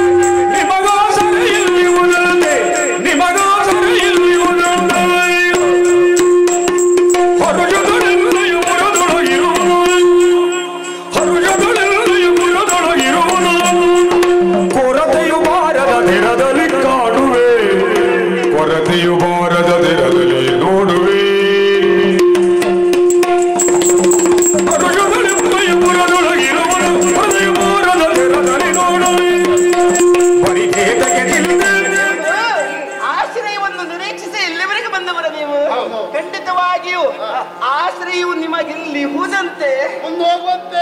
ಅಂದ್ರೆ ಇಲ್ಲಿ ಇಲ್ಲಂತೆ ಅಯ್ಯೋ ಹಾಗಲ್ಲ. ಸರಿ ಇಲ್ಲಿ ಹೂದಂತೆ ಇಲ್ಲಿ ಇಲ್ಲಂತೆ ಅಲ್ಲ ಇಲ್ಲಿ ಇರುವುದಂತೆ. ಹೌದೌದೌದು ಹಾಗಾಗಿ ಈಗ ಹೇಳು? ಅಲ್ಲಿ ಯಾವ ಕೊರತೆಯೂ ಬಾರದ ತೆರದಲ್ಲಿ ನಾನು ನೋಡಿಕೊಳ್ತೇನೆ. ಒಂದಲ್ಲಿದಂತಲ್ವಾ ನಾವು ಯಾವ ಊರಿಂದ ಬಂದವರು ಏನು? ಇಲ್ಲಿಂದ. ಚೈತ್ಯ ನಗರ. ಅಲ್ಲಿ ಅಧಿಕಾರಿ. ಆ ಶಿಥಿಲ ಮಹಾರಾಜನ ಆಡಳಿತವನ್ನ ಹೇಳ್ತಿ ಅಲ್ಲಿಂದ ಇಲ್ಲಿವರೆಗೆ ಬಂದವರು. ಶಿಥಿಲ? ಕೇಳಿ ಕೇಳಿದವರು ನಾವು. ಅಪ್ಪ ಅಪ್ಪ ಬರ್ತೀಯಪ್ಪ. ಇವರು ಶಿಥಿಲ ಅಂದ್ರೆ ಇಲ್ವಾ ಇಲ್ಲಿಗೂ ಬಂದನು ಇಲ್ಲ ಇಲ್ಲ. ಆದರೂ ಅವ ಮಾಡಿರುವಂತಹ ಕರ್ಮ ಇದೆಯಲ್ಲ ಅದು ಇಲ್ಲಿವರೆಗೆ ಬಂದು ತಲುಪಿದೆ. ಅವರ ಆಳ್ವಿಕೆಗೆ ಹೇಸಿ ನಾವು ಬಂದು ಹೌದಾ? ಅವರ ಆಳ್ವಿಕೆ ಹೇಗುಂಟು ಅಂತ ಬೇಕಾ? ಹಾ? ಹಾಗುಂಟು. ಅಯ್ಯೋ ದೇವ್ರೇ ಮುಂದುವರಿದೆ ಅಂತ ಅಲ್ವಾ? ಕೇಳಿ ತಿಳಿದವರಾಗಿದ್ದೇವೆ ಆ ಛೇದಿಯಲ್ಲಿರುವಂತಹ ನಾಯಕ ಈಗಾಗಲೇ ಅಲ್ಲಸಲ್ಲದ ವ್ಯವಹಾರ ಮುಂದಾಗಿದ್ದಾನೆ ಅಂತ ಅದಕ್ಕೆ ಹೇಸಿ ಹೌದಾ? ಆಶ್ರಯ ನೀವು ಕೊಡ್ತೀರಿ ಯಾವ ಚಿಂತೆಯೂ ಬೇಡ ನಿರಾತಂಕದಿಂದ ನಮ್ಮ ಮನೆಯಲ್ಲೇ ನೀವಿರಬಹುದು ನಾವಿಬ್ರು ಗಂಡಸರು ನಾವು ಹೇಗಾದ್ರೂ ಇರ್ತೇವೆ. ದೊಡ್ಡ ವಿಷಯ ಅಲ್ಲ. ಅವಳು ನೋಡೇ ನನ್ನ ಮಗಳು ಹೌದೌದು. ಅವಳಿಗೆ ಇನ್ನು ಮದುವೆ ಆಗಲಿಲ್ಲ. ಮದುವೆ ಆಗದೆ ತುಂಬಾ ಗರ್ಭಿಣಿ ಆಗಿದ್ದಾಳೆ ಹೆಣ್ಣೊಬ್ಬಳು ಮದುವೆ ಆಗದೆ ತುಂಬಾ ಗರ್ಭಿಣಿ ಆಗ್ತಾಳೆ ಅಂತ ಆದ್ರೆ. ಏನ್ ಆಗ್ಬೋದು ಅಂತ ನಿಮ್ಗೆ ಗೊತ್ತಿಲ್ವಾ ಖಂಡಿತವಾಗಿ. ಅವರಿಗೆ ಬೇಕಾಗಿರುವಂತ ಅವ್ರಿಗೆ ಗೊತ್ತಾಗಿದೆ ಮತ್ತೆ ನೀ ಎಂತ ಹೇಳ್ತೇನೆ? ಅಂದ್ರೆ ಗೊತ್ತುಂಟು. ಅಂದ್ರೆ. ಏನಾಗ್ತದೆ ಮುಂದಿನ ಸ್ಥಿತಿ ಅದು ಆಗ ಆಗುವುದು ಬೇಡ. ಹೆಣ್ಣಿನ ಕಷ್ಟ ಹೆಣ್ಣಿಗಲ್ಲದೆ ಅನ್ಯರಿಗೆ ಅರ್ಥ ಆಗುತ್ತೆ ಅದಕ್ಕೆ ಅವ್ರಿಗೆ ಅರ್ಥ ಆಗಿದೆ. ಗೊತ್ತಾಗಿದೆ. ಹಾಗಾಗಿ ಅವಳು ಒಂದ್ ನಾಲ್ಕು ದಿನ ಸ್ಕೂಲಿಗೆ ಪರಿಚಾರಕಿಯರ. ಹೌದು. ನಾನು ಪ್ರತ್ಯೇಕವಾಗಿರುವಂತಹ ವ್ಯವಸ್ಥೆನ ಅವರಿಗೆ ಮಾಡ್ತೇನೆ. ಆಮೇಲೆ? ವಾಯು ಗುಳಿಗೆ ಒಂದು ಮೂರು. ಅದ್ಯಾಕ ಅದು ಯಾರಿಗೆ? ಒಂದು ಅವಳಿಗೆ. ಓಹೋ ಅವರಿಗೂ ಬೇಕಾ? ಹಾ, ಎರಡು ನಂಗೆ. ನಿಮಗೆ ಎರಡು ಹೆಚ್ಚಾಗುವುದಿಲ್ವಾ ಹೆಚ್ಚೆ ಬೆಳಗಿನ ಜಾವ ಹೆಚ್ಚಾಯ್ತು ಅದಕ್ಕೆ ಬೇಕು ಅಂತ ಓ, ಹೇಳಿ ಹಾಗಾಗಿಯಾ ಹಾ, ಆಗ್ಲಂತೆ. ಅಡ್ಡಿಲ್ಲ, ಅಡ್ಡಿಲ್ಲ. ಯಾವ ಇವ್ರು ಯಾರು ಗೊತ್ತಾಯ್ತಾ? ಇವ್ರು ಯಾರು ಇವ್ರು? ಅಲ್ಲ, ಇವ್ ಯಾರು ಇವ ಯಾರು ಇವ ಅಲ್ಲ. ಮತ್ತೆ? ಮಹಾರಾಜ ಹೆಣ್ಣು. ಹೆಣ್ಣ? ಗಂಡು ಹುಡುಗ ಎಷ್ಟು ದಟ್ಟಿ ಚಲನ ಇವರೇ ಲೆಕ್ಕ ಹಾಕಿ ಮಾತಾಡಿ ಆಶ್ಚರ್ಯ ಆಗುದಕ್ಕೆ ನಿಮ್ಗೆ ಮೊನ್ನೆ ಒಂದು ಸಾಗಿ ಆಯ್ತು. ಒಬ್ಬ ಹೋಗ್ತಾ ಇದ್ದ. ತಮ್ಮ ಎಲ್ಲೋ ಅಂತ ಹಿಂದಿನ ಒಂದು ಹೊಡೆದೆ. ಹೀಗ್ ತಿರ್ಗಿ ನೋಡಿದ್ರೆ ಗಂಡಲ್ಲ ಮರೆತಿ ಹೆಣ್ಣು. ಅವ ಗಂಡು ಹುಡುಗಿಯನ್ನು ತೊಟ್ಕೊಂಡು. ತಲೆ ಇಷ್ಟಿಷ್ಟೇ ತಲೆ ಬಿಟ್ಕೊಂಡು ಹೋಗ್ತಾ ಇದ್ಲು ಕಾಲ ಬದಲಾಗಿದೆ ಯಾವುದು ಏನು ಎನ್ನುವುದು ಗೊತ್ತಾಗುದಿಲ್ಲ ಗೊತ್ತಾಯ್ತಾ? ನಾಗಶ್ರೀ. ನಾಗು ನಾಗಶ್ರೀ ನಾಗುಶ್ರೀ ನಾಗೇಶ್ವರಿ ನಾಗಶ್ರೀ ಯಾವುದು? ಸಂಪೂ- ಸಂಪೂರ್ಣ ನಾಗಶ್ರೀಯ ಅರ್ಧ ಅರ್ಧದ ನಾಗಶ್ರೀ ಆಯ್ತಾ ಹಾಗಿಲ್ಲ. ಸಂಪೂರ್ಣವೇ. ಯಾವಾಗ್ಲೂ ಸಂಪೂರ್ಣವೇ. ಅಡ್ಡಿಲ್ಲ? ಬೇಕಾಗಿರುವಂತಹ ಶ್ರೀ ಆಯ್ತು,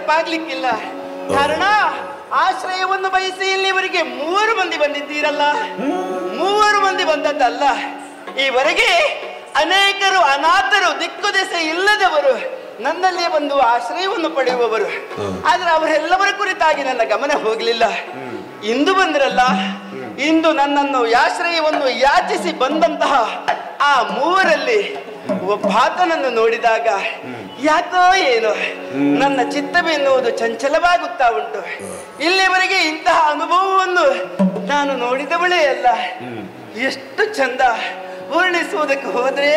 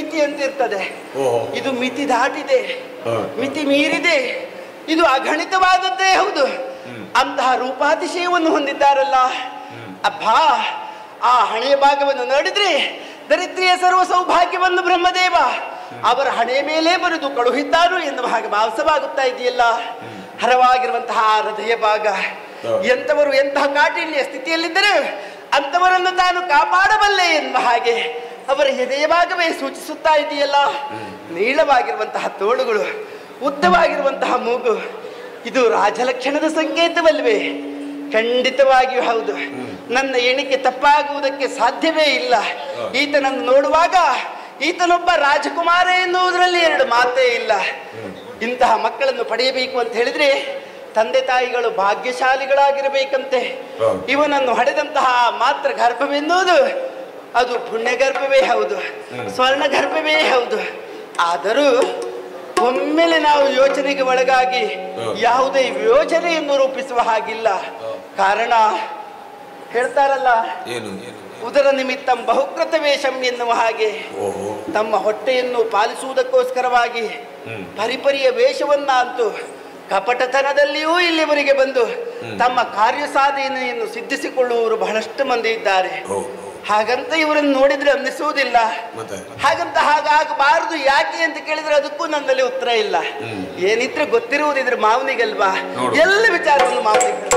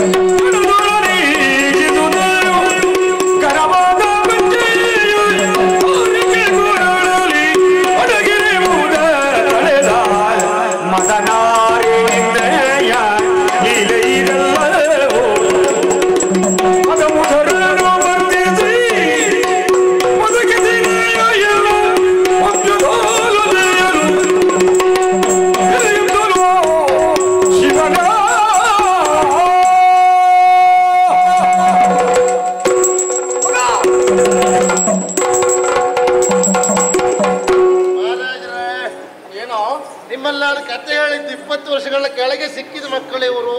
ಇಂಥ ನದಿಯಲ್ಲಿ ಅಂತ ಹೇಳಿದೆ. ಕತೆ ಕೇಳಿದ ನೀವು ಅವ್ನ ಹೆಣತ್ತುಗಳು ನೋಡಿದ್ರೆ ಇವಳು ಬಹಳ ಕುತ್ತಿಗೆ ನೋಡಿದ್ರೆ ಮಕ್ಕಳೇ ಅಂತ ಒಪ್ಕೊಂಡ್ರಿ. ಅಂದ್ರೆ ನೀವು ಮಕ್ಕಳ ಕಳ್ಕೊಂಡವ್ರಿ. ಹಾಗಲ್ಲ ಕೈರವ. ನನ್ನ ಬದುಕಲ್ಲಿ ನಡೆದಂತ ಒಂದು ಕರಾಳ ದಿವಸ ದಿವಸ ದಿವಸ ಅದು. ಅದು ನಿಮ್ಮ ಜೀವನದಲ್ಲೂ ಒಂದು ಘಟನೆ ಆಗಿ ಹೋಗಿದೆ. ಖಂಡಿತ. ನಿಮ್ಮ ಜೀವನದಲ್ಲೂ. ಮತ್ತೆ? ಕೇಳುವ ಕೇಳುವ. ನೋಡು ಪಟ್ಟವನ್ನ ಏರುವಂತ ಆ ಕಾಲದಲ್ಲಿ. ಕುಲೀಲವನ್ನು ತರುವ ಹೆಣ್ಣನ್ನು ನೋಡಿ ಮದುವೆಯಾದೆ. ನನ್ನ ಹಾಗೂ ಅವಳ ಸುಖ ದಾಂಪತ್ಯ ಜೀವನದಲ್ಲಿ ನನ್ನ ಹೆಂಡತಿ ತುಂಬು ಗರ್ಭಿಣಿ ಆದಳು. ಒಂದೇ ವರ್ಷದೊಳಗೆ. ಅದು ಬಿಡ. ಹೇಳಿದ್ ನಾನು ಹೇಳಿದ್ ಹೆರಿಗೆಗಾಗಿ ತವರು ಮನೆಯತ್ತ ಕಳಿಸಿಕೊಡುವಂತ ಶಾಸ್ತ್ರ ಇಲ್ವೇನು ಕ್ರಮ ಅದು. ಹಾಗೆ ಕಳುಹಿಸಿಕೊಟ್ಟೆ. ಚೊಚ್ಚಲ ಹೆರಿಗೆಯಲ್ಲೇ ಆಗ್ಬೇಕು. ಕೆಲವು ದಿವಸಗಳ ನಂತರ ಅಲ್ಲಿಂದ ಬಂತು ಒಂದು ವರ್ತಮಾನ. ಏನು? ನನ್ನ ಹೆಂಡತಿ ಏಳು ಮಕ್ಕಳಿಗೆ ಜನ್ಮವನ್ನು ನೀಡಿದ್ದಾಳೆ ಎನ್ನುವ ಹಾಗೆ. ಏನು ಯೋಗ ಪುರುಷರು ಬರ್ರೆ ನೀವು. ಮತ್ತೆ? ಒಂದೇ ಸರ್ತಿ ಎರಡು ಮಕ್ಕಳು. ಕೇಳಿ ಸಂತೋಷಗೊಂಡೆ ಕೈರವ. ಮಕ್ಕಳ ಮುಖವನ್ನ ಎಷ್ಟು ಹೊತ್ತಿಗೆ ಕಾಣುವುದು ಕಾಣುವುದು ಕುತೂಹಲ ಹೆಚ್ಚಾಗಿ ಹೋಯಿತು. ತಪ್ಪಲ್ಲಪ್ಪ. ಏನು ಮಾಡೋಣ ಹೇಳು. ರಾಜಕೀಯ ಒತ್ತಡದಿಂದ ನನಗೆ ಹೋಗ್ಲಿಕ್ಕಾಗ್ಲಿಲ್ಲ ಹೌದು ಸಮಸ್ಯೆ ಉಂಟು ನಿಮ್ಗೆ ಅಲ್ವಾ. ನನ್ನ ಭಾವನಾಗೆ ಸುದರ್ಶನ ಅಲ್ಲಿವರೆಗೆ ಕಳುಹಿಸಿಕೊಟ್ಟೆ. ಒಳ್ಳೇದು. ತೊಟ್ಟಿಲು ಸಮೇತ ಕರೆತರುತ್ತಿರುವ ಸಂದರ್ಭದಲ್ಲಿ. ದಾರಿ ತಪ್ಪಿತಂತೆ. ತಪ್ಪಿದಾಗ ಕತ್ತಲಾಗಿ ಹೋಯಿತು. ಕತ್ತಲೆಯಲ್ಲಿ ಸಂಚಾರ ನಮಗೆ ಒಳ್ಳೆಯದಲ್ಲ ಎಂಬ ಕಾರಣಕ್ಕಾಗಿ. ನದಿಯ ದಡದಲ್ಲಿ ಒಂದು ಡೇರೆಯನ್ನ ನಿರ್ಮಿಸಿ ಅಲ್ಲಿಯೇ ಒಂದು ರಾತ್ರಿ ಕಳೆಯೋಣವಂತ ಭಾವಿಸಿದರಂತೆ ನರ್ಮದಾ ನದಿ ಹೌದು ಹಾ. ಮಧ್ಯರಾತ್ರಿಯ ಕಾಲ. ಯಾರೋ ಮೂರ್ಖರು. ಯಾರೋ ಪಾಪಿಗಳು. ನನ್ನ ಮಕ್ಕಳನ್ನು ತೊಟ್ಟಿಲನ್ನು ನದಿಗೆ ಬಿಸಾಡಿದ್ರು. ಸೇನಾಧಿಪತಿಯನ್ನ ಕೊಂದ್ರು. ನನ್ನ ಹೆಂಡತಿಯನ್ನ ಕೊಂದ್ರು ನೋವಾಯ್ತು ಕೈರವ? ಅವ್ರು ಬಂದು ನಿಮ್ಗೆ ಹಾಗೆ ಹೇಳಿದ್ರ? ಹೌದು. ನೀವು ಒಪ್ಕೊಂಡ್ರಿ. ಒಪ್ಕೊಂಡೆ. ಆಮೇಲೆ? ಆಮೇಲೆ ಕೆಲವು ದಿವಸ ಹೀಗೆ ಕುಳಿತುಕೊಂಡೆ ಕುಳಿತುಕೊಂಡೆ. ಹೌದಪ್ಪ. ಒಂದು ದಿವಸ ಮೃಗಬೇಟೆಗಾಗಿ ನಾನು ಹೋಗುತ್ತಿರುವ ಸಂದರ್ಭದಲ್ಲಿ ನನ್ನ ಭಾವ ಸುದರ್ಶನ ಮತ್ತೆ ಅಲ್ಲಿವರೆಗೆ ಬಂದ. ಬಾವಾ ಭಾವ ನೀವು ಒಬ್ಬರು ಹೋಗುವುದು ಬೇಡ. ನಿಮ್ಮ ಜೊತೆಯಲ್ಲಿ ನಾನು ಬರ್ತೇನೆ ಬಾವ ಎಂದು ಹೇಳಿದ. ಒಬ್ಬರಿಗಿಂತ ಇಬ್ಬರು ಲೇಸಲ್ವೇನು? ಲೇಸು, ಲೇಸು. ಹೀಗೆ ಬೇಟೆಯಾಡುತ್ತಾ ಆಡುತ್ತಾ ಇರುವ ಸಂದರ್ಭದಲ್ಲಿ ದೂರದಲ್ಲಿ ಒಂದು ಹುಲಿಯನ್ನ ಕಂಡೆ ಬಾಣವನ್ನ ಪ್ರಯೋಗ ಮಾಡಿದೆ. ಇನ್ನೇನು ಹುಲಿ ಸಾಯುತ್ತದೆ ಸಾಯುತ್ತದೆ ಎಂಬ ಸ್ಥಿತಿಯಲ್ಲಿ ಇತ್ತು. ಆದರೆ ಮತ್ತೊಂದು ಗುರಿ ಇಡುತ್ತಾ ಇದ್ದೆ ನನ್ನ ಭಾವ ಹಾಗೆ ಮಾಡಿದ್ದಲ್ಲ. ನನ್ನನ್ನ ಕೊಲ್ಲುವುದಕ್ಕೆ ಗುರಿ ಮಾಡ್ತಾ ಇದ್ದಾನೆ. ಆಮೇಲೆ? ಹಾಯುವ ಸ್ಥಿತಿಯಲ್ಲಿರುವಂತ ಹುಲಿ ನನ್ನ ಮೈ ಮೇಲೆ ಹಾರಬೇಕೆಂದು ಎರಗಿದ್ದೇನೋ ಸತ್ಯ? ಹಾರಿದ ಹುಲಿಯಿಂದ ನಾನು ತಪ್ಪಿಸಿಕೊಂಡೆ. ಹಾರಿದ್ದು ನನ್ನ ಭಾವನ ಮೈ ಮೇಲೆ. ಸಾಯುವ ಸತ್ಯ ಗಳಿಗೆಯಲ್ಲಿ. ನನ್ನ ಭಾವ ಸತ್ಯ ವಿಚಾರವನ್ನ ಹೇಳಿದ ಕೈರವ ಏನಂತ ಭಾವ.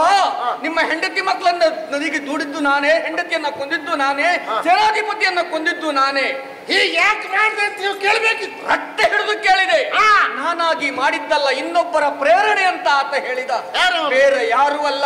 ಅವನ ಹೆಂಡತಿ ನನ್ನ ತಂಗಿಯ ಪ್ರೇರಣೆ ಅಂತ ಹೇಳಿದ. ಇಷ್ಟು ಹೇಳಿದಂತ ಪಾವ ಅಲ್ಲೇ ನನ್ನ ಕಾಲಬುಡದಲ್ಲಿ ಪ್ರಾಣವನ್ನ ಬಿಟ್ಟ ಕೈರವ. ಆದ್ರೆ ನೀವು ತಂಗಿ ಬಿಡಬಾರ್ದು ಹೀಗೆ ಯಾಕೆ ಮಾಡಿದ್ ಕೇಳ್ಬೇಕಿತ್ತು? ರಟ್ಟೆ ಹಿಡಿದು ಕೇಳಬೇಕೆಂಬ ಕಾರಣಕ್ಕಾಗಿ ನೇರವಾಗಿ ಅರಮನೆಯ ದಾರಿಯನ್ನ ಹಿಡಿದೆ. ನಾನು ಬರುತ್ತಾ ಇದ್ದೇನೆಂಬ ಸುದ್ದಿ ಅವಳಿಗೆ ಗೊತ್ತಾಯಿತು ಏನೋ ಗೊತ್ತಿಲ್ಲ. ತಲೆಯನ್ನ ನೆಲಕ್ಕೆ ಬಡಿದುಕೊಂಡು ಅವಳು ಆತ್ಮಹತ್ಯೆ ಮಾಡಿಕೊಂಡಳು. ಅಯ್ಯೋ ಎಲ್ಲ ಬಾವು ಹೋದ್ರು ಎಲ್ಲ ತಂಗಿ ಹೋದ್ರು. ಇತ್ತ ಮಕ್ಕಳು ಇಲ್ಲ. ಹೆಂಡತಿ ಇಲ್ಲ. ಹೆಂಡತಿ ಇಲ್ಲ ಸೇನಾಧಿಪತಿ ಇಲ್ಲ. ಬಾವಿಲ್ಲ ತಂಗಿ ಇಲ್ಲ. ನಾನು ಯಾರಿಗಾಗಿ ಬದುಕಬೇಕು? ಅಂತೇಳಿ ನೀವು ಸತ್ತೋದ್ರಿ ಅಯ್ಯೋ. ಸತ್ರ ಮಾತಾಡ್ತಾರೆ. ಸತ್ತೋದ್ರೆ ಮಾತಾಡ್ತಾನೆ ಸತ್ತಿ ನಾನು. ಓ ನೀವು ಜೀವಿದ್ರಲ್ಲ ಮರ ಹೌದು. ಆವಾಗ ತೊಟ್ಟೆಯಲ್ಲಿ ಅಳುತ್ತಿರುವ ಮಗುವಿನ ಶಬ್ದ ನನಗೆ ಕೇಳಿ. ಆ ಮಗು ಇವ್ರೆ. ಹೌದು. ಹಾ ಹಾ. ತಂಗಿ ಅವಳಿಗಾಗಿ ನಾನು ಇಲ್ಲಿವರೆಗೆ ಬದುಕಿದ್ದೇನೆ. ಆದರೆ ಮಗನೇ ಮಗನಂತ ಒಪ್ಪಿಕೊಳ್ಳುವುದಕ್ಕೆ ಕಾರಣ ಏನು. ಇಲ್ಲಿ ನೋಡಿ. ಮಚ್ಚೆ. ಹೆಣ್ಣಿನ ಕುತ್ತಿಗೆಯ ಬಲಭಾಗದಲ್ಲಿ ಮಚ್ಚೆ. ಬ್ರಾಹ್ಮಣರು ಹೇಳಿದ್ದು ಮಕ್ಕಳು ಹುಟ್ಟಿದ ಗಳಿಗೆ ಸರಿ ಇಲ್ಲ. ಆದಷ್ಟು ಬೇಗ ಕರೆತರಬೇಕು ಎನ್ನುವುದಾಗಿ ಹೇಳಿದ್ದಾರೆ. ಅದಕ್ಕಾಗಿ ಈ ವ್ಯವಸ್ಥೆ ಮಾಡಿದ್ದಯ್ಯ. ದೋಷ ಹಾಗಾಯ್ತು. ಹೌದೌದು ಹೌದು ಹೌದು. ಹಾ, ಹಾ, ಹಾ. ಹಾಗಾಗಿ ನನ್ನ ಮಕ್ಕಳೇ ಅಂತ ನಿಮ್ಮ ಮಕ್ಕಳನ್ನು ಸಿಕ್ಕಿದ್ದಾರೆ ಅಂತ ಆಯ್ತು. ಮಾವ ಯಾಕೆ ಬೇಕು ಈ ಬದುಕು? ಲೋಕದಲ್ಲಿ ಒಂದು ಮಾತುಂಟು. ಏನು? ಕೆಟ್ಟ ಮಕ್ಕಳಾದ್ರೂ ಹುಟ್ಟಿಯಾರು ಕೆಟ್ಟ ತಂದೆ ತಾಯಿಗಳು ಇರುವುದಕ್ಕೆ ಸಾಧ್ಯತೆ ಇಲ್ಲ ಅಂತೆ. ಆದ್ರೆ ನಮ್ಮ ಅಪ್ಪ ಅಮ್ಮ ಅಂತಹ ಒಂದು ಪಾಪಕೃತ್ಯಕ್ಕೆ ಮನ ಮಾಡಿದ ಮೇಲೆ ಮತ್ತೆ ನಾನು ಯಾಕೆ ಬದುಕಬೇಕು? ಅಪ್ಪ ಅಮ್ಮನ ಗುಣ ನಿನಗೆ ಬರ್ಲಿಕ್ಕಿಲ್ಲ ಯಾಕೆ? ನಿನ್ನ ನಿನ್ನನ್ನ ಸಾಕಿ ಬೆಳೆಸಿದವ ನಾನಲ್ವಾ? ನಿಮ್ಮ ಸಂಸ್ಕಾರ. ಮತ್ತೆ? ಎಂತ ಎಂತ ನೀವು ಸಾಯ್ಲಿಕ್ಕೆ ಹೊರಟಿದ್ದ ಅದೇ ಹೆಣ ಹೊರದ ಕೆಲಸ ನಮ್ಗೆ ಇಲ್ಲಿ? ಖೇದವಾಯ್ತು. ಯಾರು ಸಾಯುವುದು ಬೇಡ. ಅಂತೂ ನಿಮ್ಮ ಮಕ್ಕಳು ನಿಮ್ಗೆ ಸಿಕ್ಕಿದ್ರು. ಹೌದು. ಅಧಿಕಾರ ಉಂಟು. ಹ ಅಂತಾದ ಮೇಲೆ ಮತ್ತೆ ನಮ್ಗೆ ಈ ಅಧಿಕಾರ ಯಾಕಪ್ಪ? ಸರಿಯಲ್ಲ. ನಿಮ್ಮ ಮಗ ಸಿಕ್ಕಿದ ಮೇಲೆ ಈ ಅಧಿಕಾರ ರೂಢನಾಗಬೇಕಾದದ್ದು ಮಗ ಅಲ್ವಾ? ನನ್ನ ಮನಸ್ಸು ಅದೇ ಹೇಳುತ್ತಾ ಉಂಟು ಮಗ. ಹಾಗಾಗಿ ಅಧಿಕಾರವನ್ನು ಅವ್ರಿಗೆ ಕೊಟ್ಟುಬಿಡಿ. ಏನು? ಯಾವ ಕಾಲಕ್ಕೂ ನಮಗೆ ಈ ಅಧಿಕಾರ ಬೇಡ. ಯಾಕೆ? ಯಾಕೆ? ಈ ಅಧಿಕಾರದಿಂದಲೇ ಎಲ್ಲವರು ದರ್ಪದಿಂದಲೇ ವ್ಯವಹರಿಸುವಲ್ಲಿ ಮುಂದಾಗುತ್ತೆ. ಅದಕ್ಕಿಂತಲೂ ಈಗ ಅಪ್ಪನ ಅಧಿಕಾರ. ಅಪ್ಪನ ನಿಮ್ಮ ಆ, ಸೊಸೆ. ಕೊಟ್ಟಿದ್ದು ಅವ್ರ ನಿಮಗೆ ಕೊಡುವುದು. ಯಾಕೆ? ಹೆಣ್ಣಿನ ಅಧಿಕಾರ ಬೇಡ ಅಂತ ಹೇಳುವುದಾ? ಹೌದು. ಹೆಣ್ಣಿನ ಅಧಿಕಾರ ಆಗಲಿ ಹೆಣ್ಣಿನಲ್ಲಿ ಸಂಪಾದನೆ ಆಗಲಿ. ಅದ ಯಾವ ಪುರುಷನಾದವ ಪಡಿತಾನೋ ಅವ ಈ ಪ್ರಪಂಚದಲ್ಲಿ ಬದುಕಿಯೂ ಸತ್ತ ಹಾಗೆ. ಅಂದ್ರೆ ಸ್ತ್ರೀ ಅಂತ. ಶ್ರೀವಿಸ್ತಮ್ಮ ದಮಾಧಮ ಹಾ, ದಮ್ಮ ದಮ್ಮ ದಮ್ಮ. ನಿನಗೆ. ಹಾಗಾಗಿ ನೀವು ಬೇಡ. ನನಗೆ. ಈಗ ಇವ್ರಿಗೆ ಬೇಡ ಅಂತೇಳಿ ಇವ್ರಿಗೆ ಕೊಟ್ಟು ಕೊಟ್ಟಿದ್ದೆ. ಇವ್ರು ಬೇಡ ಅಂತೇಳಿ ನೀನು ಕೊಟ್ಟರು ನೀ ಬೇಡ ಹೇಳ್ತಾರೆ ಇನ್ನು ಎಂತ ಮಾಡುದು ಜನ ಬೇಕಲ್ಲ ನಾನು ಒತ್ತೆ ಮಾಡಬೇಡಿ. ನನ್ನ ಹತ್ರ ಆಗುದಿಲ್ಲ. ಹತ್ತು ವರ್ಷ ಮೊದಲಾದ ಪ್ರಯತ್ನ ಮಾಡ್ತಿದ್ದೆ. ಏನು ಈಗ ಆಗುದಿಲ್ಲ. ಒತ್ತೆ ಮಾಡಬೇಡಿ ಮಹಾರಾಜರೇ. ಒತ್ತೆ ಮಾಡಬೇಡಿ. ನೀವು ಬೇಕಾದ್ರೆ ಮೀನು ವ್ಯಾಪಾರ ಮಾಡು ಹೇಳು. ನಾನು ಮಾಡ್ತೇನೆ. ಇದನ್ನು ನನ್ನ ಹತ್ರ ಅಧಿಕಾರ ಬೇಡ. ಹೌದಾ? ಮಗು ನೀನು. ಆ, ಹಾಗಾದ್ರೆ ಹೀಗೆ. ನೀವು ಹೇಳಿದ್ರಲ್ಲ ಇವರು ಅವ್ರು ನೋಡಿ ಇಷ್ಟಪಟ್ಟವರು ಅಂತ ಹೇಳಿ. ಖಂಡಿತ. ಇವರನ್ನು ಅವ್ರು ಮದುವೆ ಆದ್ರೆ ಅಧಿಕಾರಿ ಹೇಗೋ ಹೇಗೆ ಅವರಿಗೆ ಆಗುದು ಅವ್ರಿಗೆ ಒಳ್ಳೇದು ಅಯ್ಯೋ ಹೊಟ್ಟೆ ಹೊಟ್ಟೆ ಕೆಲಸ ಮಾಡುವ ಈಗ ಯಾವ್ದಕ್ಕೆ ಇವಳು ಬಹಳ ನೇರ ಆಗ್ಬೇಕು ಈಗ ಒಳಗೆ ಕಳಿಸಿ ಅವಳು ಅವಳು ಬಹಳ ಹಾಳಾಗ್ಲಿಕ್ಕೆ ಕಾರಣ ಯಾರು ಗೊತ್ತುಂಟಾ ಸಿದ್ಧಿಲ್ಲ.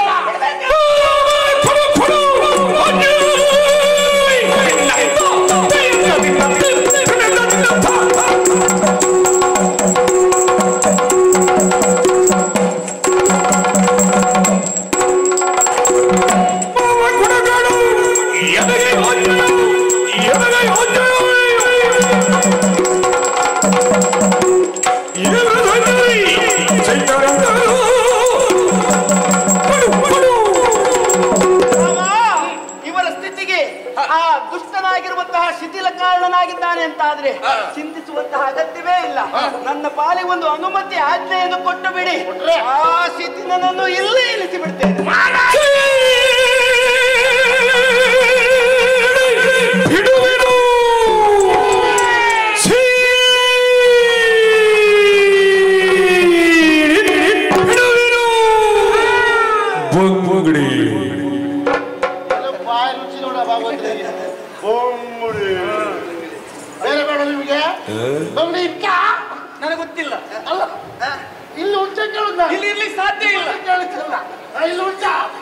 ಹೇಳ್ತೀರಿ ನೀವು ಹಾಗಲ್ಲ ಯಾರು ಹೇಳೋದು ಇವ್ರು ಹೇಳಿದ್ರಲ್ಲ ಸಿಟ್ಟಿ ಏರಿ ಹೋಯ್ತು.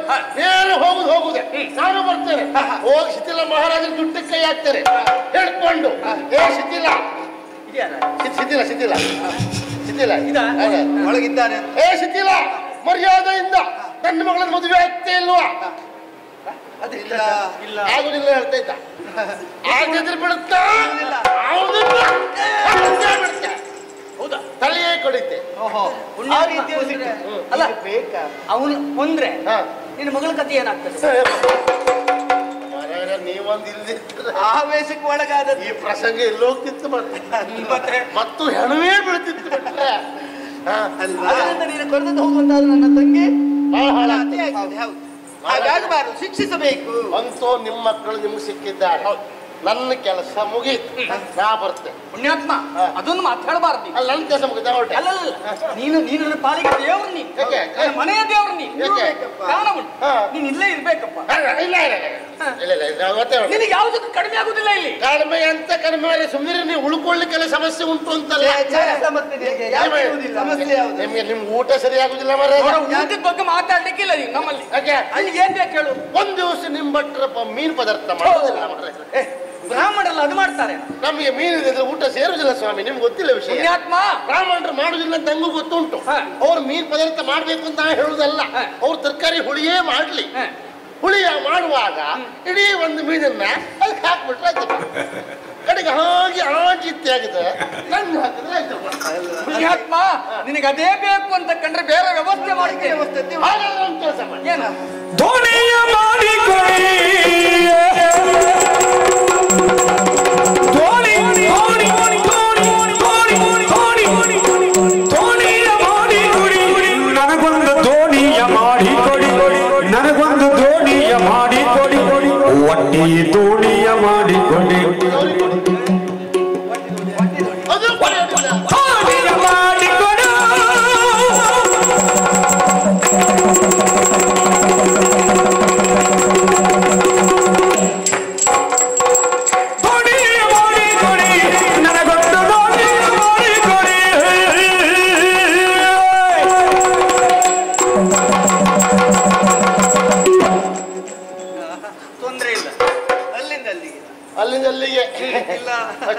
ಗಟ್ಟಿ ಏನ ಏನ ಏನ? ಒಂದು ಕೆಲಸ ಮಾಡಿ ನೀವು. ನಮ್ಮೊಂದು ದೋಣಿ ಮಾಡಿ ಕೊಡಿ. ದೋಣಿ. ಪುಣ್ಯಾತ್ಮ ಇಷ್ಟು ಅವಸರದಲ್ಲಿ ದೋಣಿ ಮಾಡ್ಲಿಕ್ಕೆ ಆಗುದಿಲ್ಲ. ಆದ್ರೆ ದೋಣಿ ಇಲ್ಲ ಅಂತಲ್ಲ. ನನ್ನ ಕಾಲದ ಒಂದು ದೋಣಿ ಉಂಟು. ನೀವು ಪ್ರಾಯಕಾಲ ತಿರುಗಾಟ ಮಾಡೋ ದೋಣಿ ಉಂಟಾ? ಉಂಟು ಹೇಗುಂಟದು? ಆದ್ರೆ. ಒಂದು ಹೊಟ್ಟೆಯಾಗಿದೆ ಪುಣ್ಯಾತ್ಮ. ಒಂದೇ ಹೊಟ್ಟೆ ಅಲ್ಲ? ಅಷ್ಟೇ. ಬಿಡಿ ಸಮಸ್ಯೆ ಇಲ್ಲ. ಹಾ. ನಾ ನೀರಿಗೆ ಇಳಿಸ್ತೆ. ಯಾಕೆ? ನೀರಿಗೆ ಇಳಿಸ್ತೆ. ಹೊಟ್ಟೆ ಉಂಟು ನೀರಿಗೆ ಇಳಿಸ್ತೆ. ಹೊಟ್ಟೆ ಉಂಟು ಪುಣ್ಯಾತ್ಮ. ನೀರು ಬರ್ತಿದೆ ಉಂಟಲ್ಲ ಒಂದು ಮುಳುಗಿ ಹೋಗುದಿಲ್ವೇ ಇದ್ದದ್ದು ಒಂದೇ ಹೊಟ್ಟೆ ಅಲ್ವಾ. ಇನ್ನೊಂದು ಹೊಟ್ಟೆ ಮಾಡ್ರೆ ಆಯ್ತಪ್ಪ. ಹಿಂದಿನಿಂದ. ಆಚೆ ಬಂದು ನೀರು ಈ ಹೊಟ್ಟೆಲಿ ಪುಸ್ತಕ ಈಚೆ ಹೋಗ್ತದೆ. ವಿಚಾರ ಸತ್ಯವೇ. ಅದು ಬೇಡ ಬಿಡಿ. ನೋಡಿ ಬೇಡ. ನಾನು ಗಾಳ ಹಾಕಿ ಮೀನು ಹಿಡಿತೆ. ಇವಾಗಲೂ ನಿನ್ನ ಮೀನು ಕಚ್ಚೋದೇನೋ? ಯಾವುದಕ್ಕೆ? ಗಾಳಕ್ಕೆ. ನನ್ನ ಗಾಳಕ್ಕ? ನಿಮ್ ಲೆಕ್ಕ ಏನು? ನೀವೆಲ್ಲ ಮಾತ್ರ ಗಾಳ ಹಾಕುದಂತಲ್ಲ ನನ್ನ ಜೀವಮಾನದಲ್ಲಿ ಅದೊಂದು ಅಭ್ಯಾಸ ಮಾಡ್ದವಲ್ಲ ಯಾವುದಾ? ಗಾಳ ಹಾಕೋದು ಬಲೆ ಬೀಸಿದ್ದೆ ಬಿಟ್ರೆ ಗಾಳ ಹಾಕಿದ ಅಭ್ಯಾಸ ನನಗಿಲ್ಲ. ಹಾಗಂತ ಹಾಕುದೇ ಇಲ್ಲ ಅಂತ ಲೆಕ್ಕ ಅಲ್ಲ? ನಾನು ಗಾಳ ಹಾಕಿದ್ನ ಮೀನು ಕತ್ತಂತಲೇ ಲೆಕ್ಕ. ಹೌದಾ? ಯಾಕೆ? ಮೀನು ಇದ್ದಲ್ಲೇ ನಾ ಗಾಳ ಹಾಕ್ತೆ ಹಾಗೆ ಕೆಲವರು ನೋಡ್ಬೇಕು. ಬೆಳಗಿನ ಸಾಯಂಕಾಲದವರೆಗೆ ಗಾಳ ಹಾಕುದು ರಾತ್ರಿಂದ ಬೆಳಗೋರಿಗೆ ಗಾಳ ಹಾಕುದು ಆ ಮೀನು ಕಚ್ಚುವುದಿಲ್ಲ ಇವ್ರು ಎರೆ ಮೇಲೆ ಎತ್ತುವುದಿಲ್ಲ. ಬೇಕ ಇವ್ರ ಅವಸ್ಥೆ. ಭಾರಿ ಕಷ್ಟ. ಭಾರಿ ಕಷ್ಟ. ಏನೇ ಇರ್ಲಿ. ಇಷ್ಟು ವ್ಯವಸ್ಥೆ ಆಗ್ತದೆ ಅಂತ ಅಂದ್ರೆ ಇಲ್ಲ ಇಲ್ಲೇ ಇರ್ತೇನೆ. ಆ ವ್ಯವಸ್ಥೆ ಮಾಡು. ಗಂಡು ಮಗು ಆಯ್ತಂತೆ.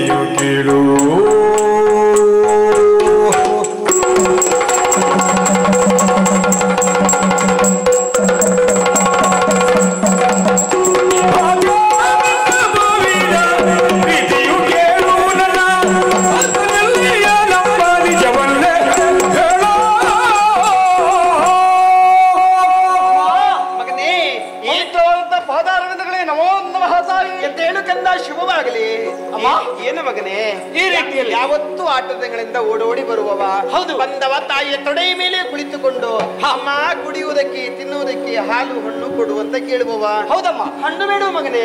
ಖಂಡಿತವಾಗಿ ಬೇಡ. ನಿನಗೆ ಹಸಿವೆ ಆಗುವುದಿಲ್ವಾ? ಏನಮ್ಮ ನೀನು? ಏನು? ಮಗ ಹಸಿವೆಯಾಗಿ ಇಲ್ಲಿವರೆಗಾಗಿ ಓಡೋಡಿ ಬಂದದ್ದು ಎನ್ನುವ ಹಾಗೆ ಭಾವಿಸಿಕೊಂಡ್ರ? ಮತ್ತೆ ಅದಕ್ಕೆಲ್ಲ ಓಡಿ ಬಂದದ್ದು? ಖಂಡಿತವಾಗಿ ಇಲ್ಲ ತಾಯಿ. ಹಾಗಂತ ಹಸಿವು ಹಸಿವೊಂದಿದೆ ಹಸಿವೆ ಇಲ್ಲ ಅಂತಲ್ಲ. ಅದು ಯಾವ ಹಸಿವು? ಯಾವ ಹಸಿವು ಮಗನೇ? ಯಾವುದೋ ಒಂದು ವಿಚಾರವನ್ನು ತಿಳಿಯಬೇಕಾದಂತಹ ಹಸಿವು. ಹೌದಾ? ವಿಚಾರ ಅಂದ್ರೆ ಸಮಸ್ಯೆಯಲ್ಲಿ ಸಿಲುಕಿದವ ನಾನು ಸಮಸ್ಯೆ ಆ ಸಮಸ್ಯೆಗೆ. ಉತ್ತರವನ್ನು ಕಂಡುಕೊಳ್ಳಬೇಕು ಎನ್ನುವ ಹಾಗೆ ಆ ಹಸುವಿನಲ್ಲಿ ಆ, ತುಡಿತದಲ್ಲಿದ್ದವ ನಾನು. ಮಗನೇ ಇಷ್ಟು ತನ್ನ ಇಷ್ಟು ಸಣ್ಣ ತಲೆಗೆ ಏನು ಅಂತ ಸಮಸ್ಯೆ ನಿನಗೆ? ಸಮಸ್ಯೆ- ಎಲ್ಲ ಇದ್ದಾಗ ಪರಿಹಾರ ಮಾಡಿಕೊಡೋದಕ್ಕೆ ಜನ ಬೇರೆ ಇದ್ದಾರೆ. ನಿನಗೆ ಯಾಕೋ? ಅದು ಈಗಲೇ ಬರಬೇಕಾದ ಸಮಸ್ಯೆ ತಾಯಿ. ಅಲ್ಲದೆ ಇದ್ರೆ ಹುಟ್ಟಿಯಿಂದ ಹುಟ್ಟಿನಿಂದ ಅಂದಿನಿಂದ ಇಂದಿನವರೆಗಾಗಿ. ನಿನ್ನೊಟ್ಟಿಗೆ ಬೆಳೆದವ ನಾನು. ಹೌದು. ನಿನ್ನ ಪಾಲನ ಪೋಷಣೆಯಲ್ಲಿ. ತಿಂದುಟ್ಟು ಈ ರೀತಿಯಲ್ಲಿ ಸದೃಢವಾಗಿ ಬೆಳೆದು ನಿಂತಿದ್ದೇನೆ. ನಿನಗೇನಾದ್ರೂ ಕಡಿಮೆ ಆಗಿದೆ ಮಗನೇ? ಖಂಡಿತವಾಗಿ ಇಲ್ಲಿವರೆಗೆ ಯಾವುದೇ ಕೊರತೆ ಬಂದದ್ದಿಲ್ಲ. ಮತ್ತೆ? ಆದ್ರೆ ಈ ಹೊತ್ತು ಈ ರೀತಿಯಲ್ಲಿ ಬಂದು ಹೊಂದಿಸಿಕೊಳ್ಳುವುದಕ್ಕೆ ಕಾರಣ. ಅಮ್ಮ ಪ್ರಪಂಚ ಮುಖದಲ್ಲಿ ಹುಟ್ಟಿದಂತಹ ಪ್ರತಿಯೊಂದು ಮಗುವಿಗೂ ತಾಯಿ ಯಾರು ಎನ್ನುವ ಹಾಗೆ ಮತ್ತೊಬ್ಬರು ಸೂಚಿಸಿಕೊಡಬೇಕಾದಂತ ಅಗತ್ಯತೆ ಇಲ್ಲ ತಾಯಿ. ಇಲ್ಲ. ಹುಟ್ಟಿದ ಮರುಗಳಿಗೆ ಇಲ್ಲೇ ಆ. ಮಗು ತನ್ನ ಅಮ್ಮನನ್ನ ಅಮ್ಮ ಎನ್ನುವ ಹಾಗೆ ಕರೆಯುವುದಕ್ಕೆ ಮುಂದಾಗ್ತದೆ. ಆದ್ರೆ ಆ ಮಗುವಿಗೆ ತಾಯಿ ಯಾರು ಎನ್ನುವ ವಿಚಾರ ಗೊತ್ತಿದ್ದರೂ ತಂದೆ ಯಾರು ಎನ್ನುವಂತಹ ವಿಚಾರವನ್ನ ತಿಳಿಸಿ ಕೊಡಬೇಕಾದದ್ದು. ತಾಯಿಯಾದವಳ ಕರ್ತವ್ಯವಂತೆ. ತಾಯಿಯು. ಯಾರತ್ತ ಬೆರಳು ಮಾಡಿ ತೋರಿಸಿ. ಮಗನೇ ಇವನೇ ನಿಮ್ಮ ಅಪ್ಪ ಎನ್ನುವ ಹಾಗೆ ತೋರಿಸಿ ಕೊಡ್ತಾಳು ಅವನನ್ನ ಮಗು ಅಪ್ಪ ಎನ್ನುವ ಹಾಗೆ ಕರೆಯುವುದಕ್ಕೆ ಮುಂದಾಗ್ತದೆ. ಆದ್ರೆ ಇಲ್ಲಿಯವರೆಗಾಗಿ ನಿನ್ನಲ್ಲಿ ಅಪ್ಪ ಯಾರು ಎನ್ನುವ ಹಾಗೆ ಪ್ರಶ್ನೆಯನ್ನು ಇತ್ತವ ನಾನಲ್ಲ. ಈ ಹೊತ್ತು ಬಂದು ಕರ ಮುಗಿದು ಶಿರ ಬಾಗಿ ನಿನ್ನಲ್ಲಿ ಕೇಳಿಕೊಳ್ತಾ ಇದ್ದೇನೆ. ಅಮ್ಮ ನನ್ನ ಹುಟ್ಟಿಗೆ ಕಾರಣೀಕರ್ತನಾಗಿರುವಂತಹ ನನ್ನ ಅಪ್ಪ ಯಾರು ಅಂತ ಹೇಳ್ತೀರಾ? ಅಪ್ಪ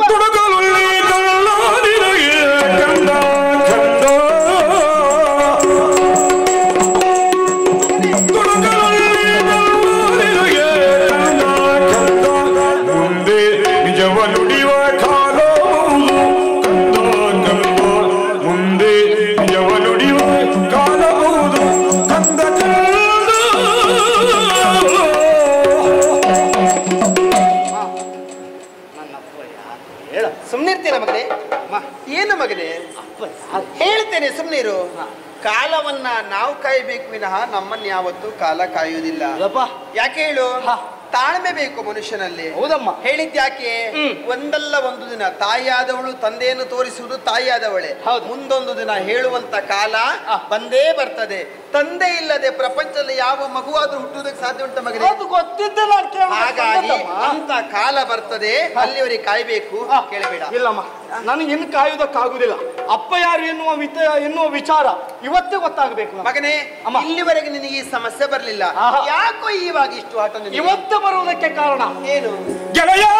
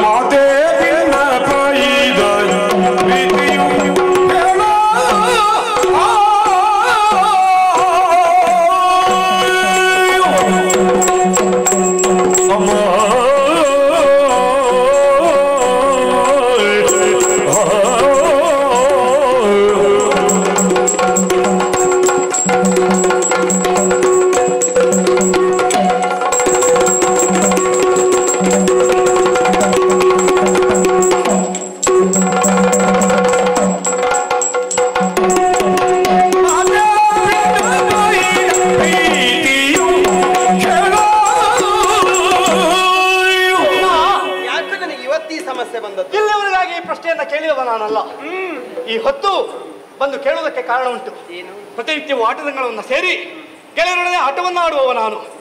ಅಮ್ಮ ನಿನ್ನ ಮಗನೋರ್ವ ಆಟದಂಗಳಿಗೆ ಇಳಿತಾನೆ ಅಂತಾದ್ರೆ ಆದ್ರಿಂದ ಜಯ ಎನ್ನುವುದು ನನ್ನ ಪಾಲಿಗೆ ಕಟ್ಟಿಟ್ಟ ಬುತ್ತಿ. ನಿನಗೆ ಮಗನೇ. ಹೌದಮ್ಮ. ಹಾಗೆ ಇವತ್ತು ಗೆಳೆಯರೊಡನೆ ಆಟವನ್ನ ಆಡಿ ಜಯವನ್ನು ಸಾಧಿಸಿದ್ದೇನೋ ಆಯ್ತು. ಆದ್ರೆ ಜಯವನ್ನು ಸಾಧಿಸಿದ ನನ್ನ. ಕಂಡು ಹೊಟ್ಟೆ ಉರಿಯವರಿಗೆ ಯಾರು ಮಗನೇ? ತಡ್ಕೊಳ್ಳಿಕ್ಕಾಗುವುದಿಲ್ಲ ಯಾರು ನಿನ್ನ ಗೆಳೆಯರ? ನನ್ನ ಗೆಳೆಯರಿಗೆ. ಅದೇ ಇರ್ತಾರೆ ದೈಹಿಕವಾಗಿ ನನ್ನನ್ನು ಸೋಲಿಸಲಿಕ್ಕಾಗದೇ ಇದ್ದ ಅವರು ಹಾ. ಮಾನಸಿಕವಾಗಿ ಕುಗ್ಗಿಸಬೇಕು ಎನ್ನುವ ಹಾಗೆ. ಆಲೋಚನೆಯನ್ನು ಮಾಡ್ತಾರೆ. ಆಗ ಅವರು ಕೇಳುವ ಪ್ರಶ್ನೆ ಯಾವುದು ಗೊತ್ತುಂಟ? ಏನ್ ಮಗನೇ? ಏ ಶೈತಿಲ್ಯ ನೀನೇನು ಆಟವನ್ನು ಗೆದ್ದಿರಬಹುದು. ಆದ್ರೆ ಸರಿಯಾಗಿ ರಟ್ಟೆ ಹಿಡಿದು ಕೇಳಿದ್ರೆ ನಿನಗೆ ಹುಟ್ಟಿಸಿದ ಅಪ್ಪ ಯಾರು ಅಂತ ಗೊತ್ತುಂಟ ಕೇಳು. ಅವರಿಗೆ ಉತ್ತರ ಕೊಡಬೇಕು ಎನ್ನುವ ಹಾಗೆ ಎದೆಯೇರಿಸಿ ಹೋಗ್ತೇನೆ. ಉತ್ತರ ದೊರಕದೆ ತಲೆ ತಗ್ಗಿಸಿ ಬರ್ತೇನೆ ಅಮ್ಮ. ಅಯ್ಯೋ ಹಾಗಂತ ಬಿಡ್ಲಿಲ್ಲ. ಇವತ್ತು ಒಂದು ಮಾತು ಹೇಳಿದ್ದೇನೆ. ನನ್ನ ಅಪ್ಪ ಯಾರು ಯಾರು ಅಂತ ಕೇಳ್ತಾ ಇದ್ದೀರಲ್ಲ? ನನ್ನಮ್ಮನ ಬಳಿ ಹೋಗಿ ವಿಚಾರವನ್ನ ತಿಳಿದುಕೊಂಡು ಬಂದು ಹೇಳದೇ ಇದ್ರೆ ನಾನು ಸೈತಿಲ್ಲೇನೆ ಅಲ್ಲ ಅಂತ ಮಾತು ಹೇಳಿ ಬಂದಿದ್ದೇನೆ. ಅಮ್ಮ ಹಾಗಾಗಿ ನನ್ನ ಅಪ್ಪ ಯಾರು ಅಂತ ಹೇಳಿ ಅಮ್ಮ.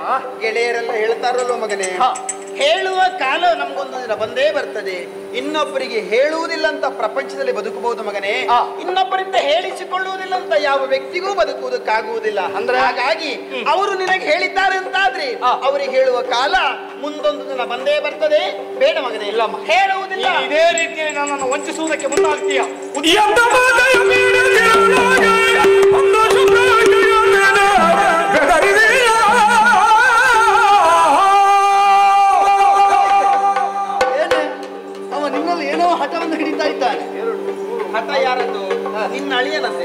ಅಡುಗೆ ಮನೆಗೆ ಬಂದ್ಕೊಂಡು ಅವನಿಗೆ ಅಪ್ಪ ಬೇಕು ಅಪ್ಪ ಬೇಕು ಹೇಳ್ತಾ ಇದ್ದ ಹೌದಾ? ಹಾಗಾದ್ರೆ ಏನು ಅಂತ ನಾ ಪ್ರಶ್ನೆ ಯಾವಪ್ಪ? ತಿನ್ನುವ ಅಪ್ಪ ಅಲ್ಲ? ತನ್ನ ಜನ್ಮಕ್ಕೆ ದಾತಾರ ಯಾರು ಅಂತ ಕೇಳ್ತಾ ಇದ್ದಾನೆ. ಹೌದಾ? ಆಗುದಿಲ್ಲ ಹೇಳದೆ ಹೇಳಿದ್ರೆ ನಾನು ಸಾಯ್ತೇನೆ ಅಂತ ಮುಂದಾಗ್ತಾ ಇದ್ದಾನೆ. ಅವನ? ಅಣ್ಣ ತುಂಬಾ ಹೊತ್ತಿನಿಂದ ರಗಳೆ ಮಾಡ್ತಾ ಇದ್ದಾನೆ ಅಡಿಗೆ ಮನೆ ಬಂದ್ಕೊಂಡು ಸರಿಯಾಗಿ ಪಾಠ ಸಲುಗೆ ಅವನು. ಅದು ಏನೇ ಆಗ್ಲಿ ಇವತ್ತು ಸರಿಯಾಗಿ ಹೊಳಿಬೇಕು. ಖಂಡಿತವಾಗಿ. ಸರಿಯಾಗಿ ಬುದ್ಧಿ ಅವನು ಸರಿಯಾದ ಪಾಠ ಕಲಿಸ ಅಣ್ಣ ಎಷ್ಟು ಹೊಡೆದ್ರು ತೊಂದ್ರೆ ಇಲ್ಲ. ಎಷ್ಟು ಹೊಡೆದ್ರು ತೊಂದ್ರೆ ಇಲ್ಲ. ಹೌದಾ? ನೋವಾಗುವ ಹೊಡಿ ಶೈತಿಲ್ಯ ಏ ಶೈತಿಲ್ಯ ಏನ ಮೇಲೆ? ಏನ? ಅಡುಗೆ ಮನೆ ಬಂದ್ಕೊಂಡು ಅಮ್ಮನಿಗೆ ರಗಳೆ ಕೊಡ್ತಾ ಇದ್ದೀಯ? ರಗಳೆ ಅಲ್ಲ ಮಾವ. ಏನು ಅಪ್ಪ ಬೇಕಾ? ಇಲ್ಲಪ್ಪ ಯಾರು ಯಾರು ಹೇಳಿದ್ದು ನಿನಗೆ? ಯಾರು ಹೇಳಿದ್ದ ಅಮ್ಮ ಹೇಳಿದ್ಲಲ್ಲ. ಅಮ್ಮ ಹೇಳ್ತಾನ ನಾ ಅದೆಲ್ಲ ಕೇಳಲಿಲ್ಲ ಮತ್ತೇನಂತ ಕೇಳಿದೆ? ಹೊಟ್ಟೆ ಹೊಸವಾಗಿದೆ ಊಟಕ್ಕೆ ಬೇಕು ಅಂತ ಹೇಳಿದ್ ನಾನು. ನಾ- ನಾ ಅದೆಲ್ಲ ಕೇಳ್ತೇನೆ ಈ ಮಾತೆಲ್ಲ ಬೇಡ ಆಯ್ತಾ? ನೀನೇನು ಅಂತ ನಮಗೆ ಗೊತ್ತುಂಟು. ಬರೀ ನಿನಗೆ ತಿನ್ನುವುದು ಆಡುವುದು ಮಲಗುವುದು ಇದನ್ನ ಬಿಟ್ಟು ಬೇರೆ ಏನು ನಿನಗೆ ಗೊತ್ತಿಲ್ಲ. ಮತ್ತೆ ನೀನಿರುವಾಗ ನಂತರ ತಲೆ ವಿದ್ಯೆಯನ್ನು ಹೇಳಿಕೊಡುತ್ತಾ ಇದ್ದವ ನಾನು. ಹೌದು. ನಾನು ಹೇಳಿಕೊಟ್ಟಂತ ಎಲ್ಲಾ ವಿದ್ಯೆಯನ್ನ ಕಲ್ತಿದ್ದೀಯಾ? ಎಲ್ಲ ಕಲ್ತಿದ್ದೇನೆ. ಎಲ್ಲ ಕಲ್ತಿದ್ದೇನೆ. ಹಾ. ಬರೀ ಹೇಳಿದ್ರೆ ಆಗುವುದಿಲ್ಲ. ಬಿಲ್ ವಿದ್ಯೆಯನ್ನು ಹೇಳಿಕೊಟ್ಟಿದ್ದೇನೆ. ಹೌದೌದು ತಕೊಂಡು ಬಾ. ಇಲ್ಲ ಉಂಟು ಹಿಡ್ಕೊಂಡು ಬರ್ತಾರೆ. ಹಿಡ್ಕೊಂಡು ಬಾ.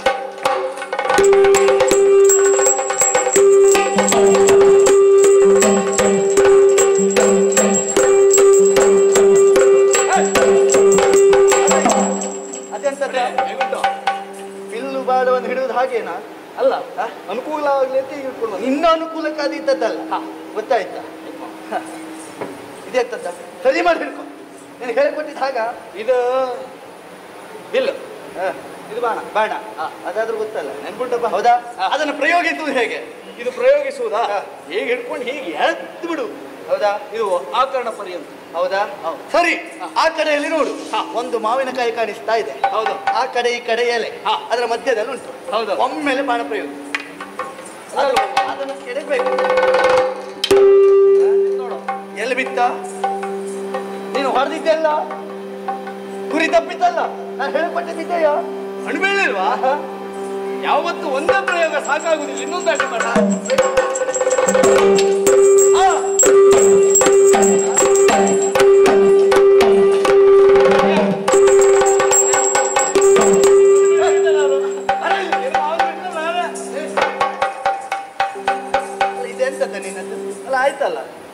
ಬಾಣವನ್ನು ಬಿಟ್ಟು ಅದಕ್ಕೆ ಕೆಳಗಿದ್ದು ಸತ್ಯ. ಅದು ಆ ರೀತಿ ಹೋಗ್ಬೋದು ಜಾಪ ಜಾಪ. ಜಾಪ? ಈ ಜಾಪ ಎಲ್ಲ ಬರುವುದಿಲ್ಲ ಇದೆಲ್ಲ ಯಾಕೆ ಕಲಿಯುತ್ತಿದೆ. ಮುಂದೊಂದು ಸಂದರ್ಭ. ಎಲ್ಲಿಯಾದ್ರೂ ನಿನ್ನಗೆ ಪ್ರಾಣ ರಕ್ಷಣೆಗಾಗಿ ಇರಲಿ ಅಂತ. ನಾಡನ್ನು ಉಳಿಸಬೇಕಾದದ್ದು ನೀನು. ನಮ್ಮದೆಲ್ಲ ಮುಗಿದು ಹೋಯ್ತು ಹೌದಾ? ಹೌದು. ಅವ. ವಿರೋಧಿಗಳ ಆಕ್ರಮಣ ಆದ್ರೆ ಏನ್ ಮಾಡುವಂತ ಅಂತ ಕೇಳುವುದಾ. ಆ ಕುರಿತಾಗಿ ಯೋಚನೆ ಮಾಡುವುದೇ ಬೇಡ.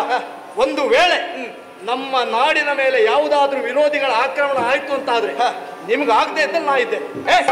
ನನಗಾಗದಿದ್ದು ನೀ ಅಂತ ಇರುವುದು? ಬಂದವರು ನೀನೇ ನೋಡಿಕೊಳ್ಬೇಕು ನಿಮ್ಮೊಟ್ಟಿಗೆ ಬರ್ತೇನೆ.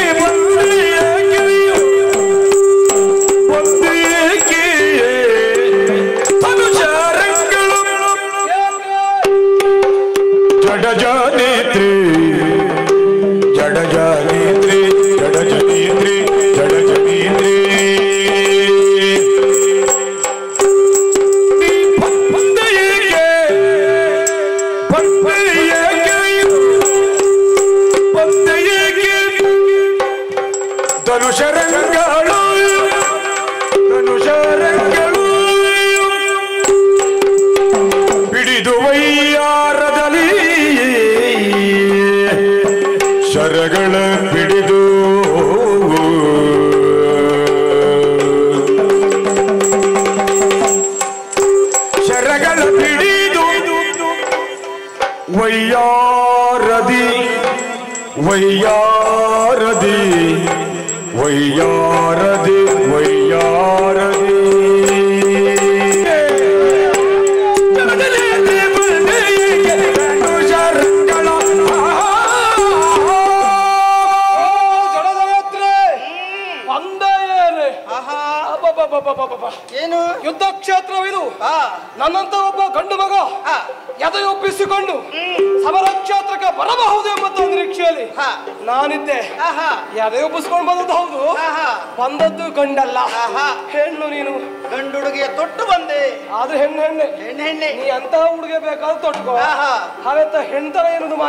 ಮಾಯವಾಗುದಿಲ್ವಲ್ಲ ಹೆಣ್ಣು ಗಂಡಾಗುವುದಕ್ಕೆ ಸಾಧ್ಯತೆ ಇಲ್ಲ. ಆಗುವುದಕ್ಕೆ ಸಾಧ್ಯ ಇಲ್ಲ. ಗಂಡು ಬೇಕಾದ ಸಂದರ್ಭೋಚಿತವಾಗಿ ಹೆಣ್ಣನ್ನೇ ನಾಚಿಸುವ ಹಾಗೆ ವೇಷ ಮಾಡಬಲ್ಲರು. ಹೆಣ್ಣಾದಾಳ. ಆದ್ರೆ ಹೆಣ್ಣು ಮಕ್ಕಳು ಮಾತ್ರ ಎಂತ ವೇಷ ಮಾಡ್ಕೊಂಡು ಸ್ವರ ಬಿಟ್ಟಲ್ಲಿ ಹೋಯ್ತು ದೇವರಣೆ. ಹೌದಾ. ಹಾಗೆಲ್ಲ ಉಂಟು ಓ. ಜಡ ಜನ ಹತ್ರ ಯಾರೇ ಬರ್ಬೇಕಾಯ್ತು ಧನುಷ ರಂಗಳ ಇದನ್ನ ಯಾರು ಹಿಡಿಬೇಕು ನಮ್ಮಂತ ಗಂಡು ಮಕ್ಕಳು ಹಿಡಿಬೇಕು ಓಹೋ ಗಂಡು ಮಕ್ಕಳನ್ನ ಹಿಡಿದ್ರೆ. ಅವರ ವ್ಯಕ್ತಿತ್ವಕ್ಕೆ ಆಹಾ. ಅವರ ಸಾಮರ್ಥ್ಯಕ್ಕೆ ಆಹಾ. ಅದು ಶೋಭೆ ಆಹಾ. ಕಾಗ ಎಂದು ಧ್ವಜಸ್ತಂಭದ ಮೇಲೆ ಕುಳಿತಲ್ಲಿಗೆ. ಅದನ್ನ ಗರುಡ ಅಂತ ಯಾರು ಪೂಜೆ ಮಾಡುವುದಿಲ್ಲ ಇಲ್ವೇ ಇಲ್ಲ ಹಾಗೆ ಕಾಗೆಯೇ. ಗರುಡ ಗರುಡವೇ ಓಹೋ. ಹಾಗಂತ ನಿಮ್ಗೆ ಅಂತ ಹಿಡ್ಕೊಳಕ್ ಸಿಗುವುದಿಲ್ಲ ಭಾವಿಸ್ಕೊಳ್ಬೇಡ. ಉಂಟು ಯಾವುದು ಕೇಳೋ. ಅಡುಗೆ ಮನೆಯಲ್ಲಿ. ಸೌಟನ್ನು ಹಿಡಿದುಕೊಂಡು. ವಿಧ ವಿಧವಾದಂತಹ ಭಕ್ಷ ಮಾಡಿ. ಬಂದಂತ ಅತಿಥಿಗಳಿಗೆ ಉಣ ಮಾಡಿಸುವುದು ನಿಮ್ಮ ಕೆಲಸ. ಅದನ್ನ ಬಿಟ್ಟು ನನ್ನಂತವ್ರ ಮುಂದೆ ಬಂದ್ರೆ ಕಾದಾನದಲ್ಲಿ ನಿನ್ನ ಸರ್ವನಾಶ. ಅಷ್ಟೇ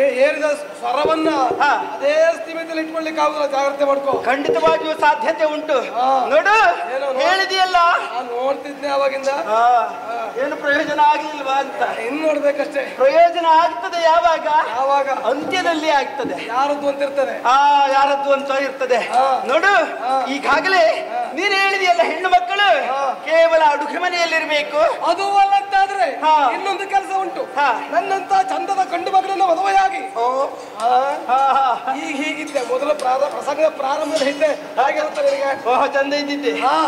ಅಂತ ಹುಡುಗನನ್ನು ನೋಡಿ. ಮದುವೆಯಾಗಿ ಆಗಿ? ಭಾಗ್ಯ ಇದ್ದರೆ ಇದ್ರೆ? ಒಂದು ಮಗುವನ್ನ ಪಡೆದು ಹೊಟ್ಟಲಲ್ಲಿಟ್ಟು ಹಾ ಬೇಕು ಬೇಕು. ಹೆಣ್ಣಾದವಳಿಗೆ ಇಷ್ಟೇ ಅಂತ ಬರ್ದಿದ್ದಾರೆ. ಹಾಗಂತ ಅಲ್ವೇ? ಆ ಮಾನಕ್ಕೆ ಪ್ರಾಶಸ್ತ್ಯವನ್ನು ಕೊಡ್ಲೇಬೇಕು ಮಾನನೀಯಾದವಳು. ಹಾಗಂತ ಹೀಗೊಂದು ಮಾಡಬಾರದು ಎನ್ನುವುದು ಎಲ್ಲೂ ಉಲ್ಲೇಖ ಇಲ್ಲ ತಾನೆ? ಹೆಣ್ಣಾದವಳು ಕಾಲ ಬದಲಾಗಿದೆ. ಬಹಳ ಮುಂದುವರೆದಿದ್ದಾಳೆ ಹೆಣ್ಣಾದವಳು.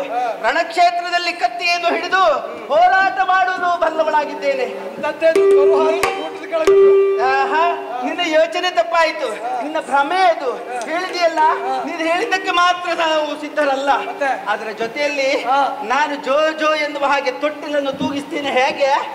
ಆಡುವಂತಹ ದುರದಲ್ಲಿ ನಿನ್ನನ್ನು ಅಪಜಯಗೊಳಿಸಿ ಅಂದ್ರೆ ನಿನ್ನನ್ನು ಈ ರಣಧಾರುಣಿಯಲ್ಲಿ ಮಲಗಿಸಿ. ಸೋಲಿಸಿ ಮಲಗಿಸಿ. ಮಲಗಿಸಿ ಈ ಅಂಬನ್ನು ಬಿಡದೆ ಬಿಡದೆ ಬಿಡದೆ ಬಿಡದೆ ಅಂಬನ್ನು ಎಸೆಯುವುದರಿಂದ ಅಂಬರದಿಂದ ಕುಂಬಿನಿಯವರಿಗೆ ಕುಂಬಿನಿಯಿಂದ ಅಂಬರದವರೆಗೆ ಜೋಗಳ ಹಾಡುತ್ತೇನೆ ಶಿಶುವಾಗಿಸಿ ಮಲಗಿಸ್ತೀಯ? ಮಲಗಿಸ್ತೇನೆ. ಶಿಶು ಯಾರು? ನೀನೇ ಶಿಶು. ಮಲಗಿಸಿದ ಯಾರು? ನಾನು ನಾನು. ನೀನ್ ತೂಗುದಾ? ನೀನು ನೀನ್ ಮಲಗಿಸಿ ತೂಗುದಾದ್ರೆ ಒಂದು ಹತ್ತಿಪ್ಪತ್ತಾರೆ ನಾನು ಹೋಗ್ತೀನಿ ಹೌದಾ?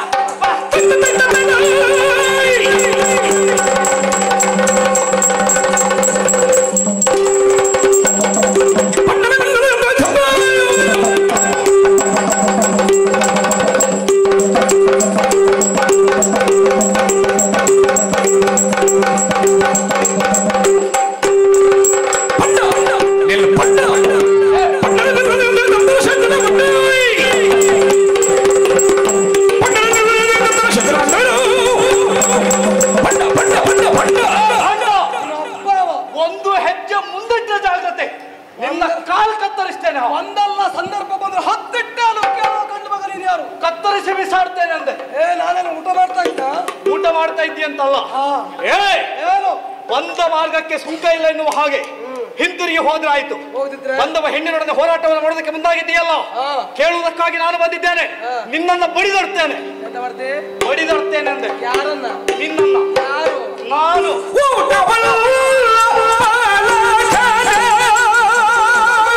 ಊಟ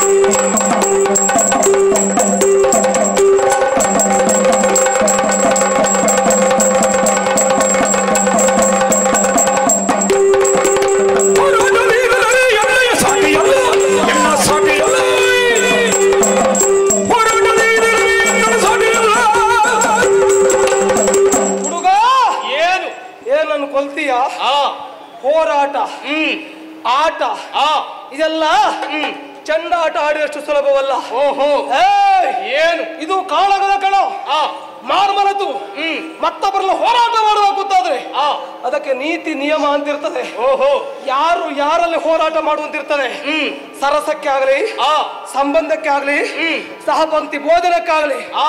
ಸಮಾನರನ್ನ. ಆಯ್ಕೆ ಮಾಡಿಕೊಳ್ಳುವುದು ಶಿಷ್ಟಾಚಾರ. ಹೌದು. ನಾವು ಶಿಷ್ಟಾಚಾರ ಸಂಪ್ರದಾಯವನ್ನ ಹ್ಮ್. ಯಾವ ಕಾಲಕ್ಕೂ ಮೀರುವವರಲ್ಲ! ಏನು? ಹೋರಾಟ ಅಂದ್ರೆ ಅಮ್ಮ ಮಾಡಿಟ್ಟ ಅಡುಗೆಯನ್ನ ಬಾಟ್ಲು ತುಂಬಾ ಪಡಿಸಿಕೊಂಡು ಆ. ಸರಿ. ಊಟ ಮಾಡಿದಷ್ಟು ಸುಲಭ ತಿಳ್ಕೊಂಡಿಯಾ? ಅದು ಅಲ್ಲ. ನಿನ್ನ ಓರಗ ಜೊತೆ ಸೇರಿಕೊಂಡು ಹ್ಮ್. ಚಂಡಾಟವೋ? ಆ. ಚೀನಿ ಕೋಲೋ? ಹ್ಮ್. ಬುಗುರಿಯೋ ಆ. ಅದೆಲ್ಲ ಇತ್ತೀಚೆಗೆ ಪ್ರತೀತಿ ಇರುವ ಚೆಂಡು ದಾಂಡಿನ ಆಟವ ಆ. ಇದೆಲ್ಲ ಆಡುವ. ಆಟದಷ್ಟು ಹೋರಾಟವಲ್ಲ ಕಲಿಗಳಲ್ಲಿ ಹೋರಾಟ.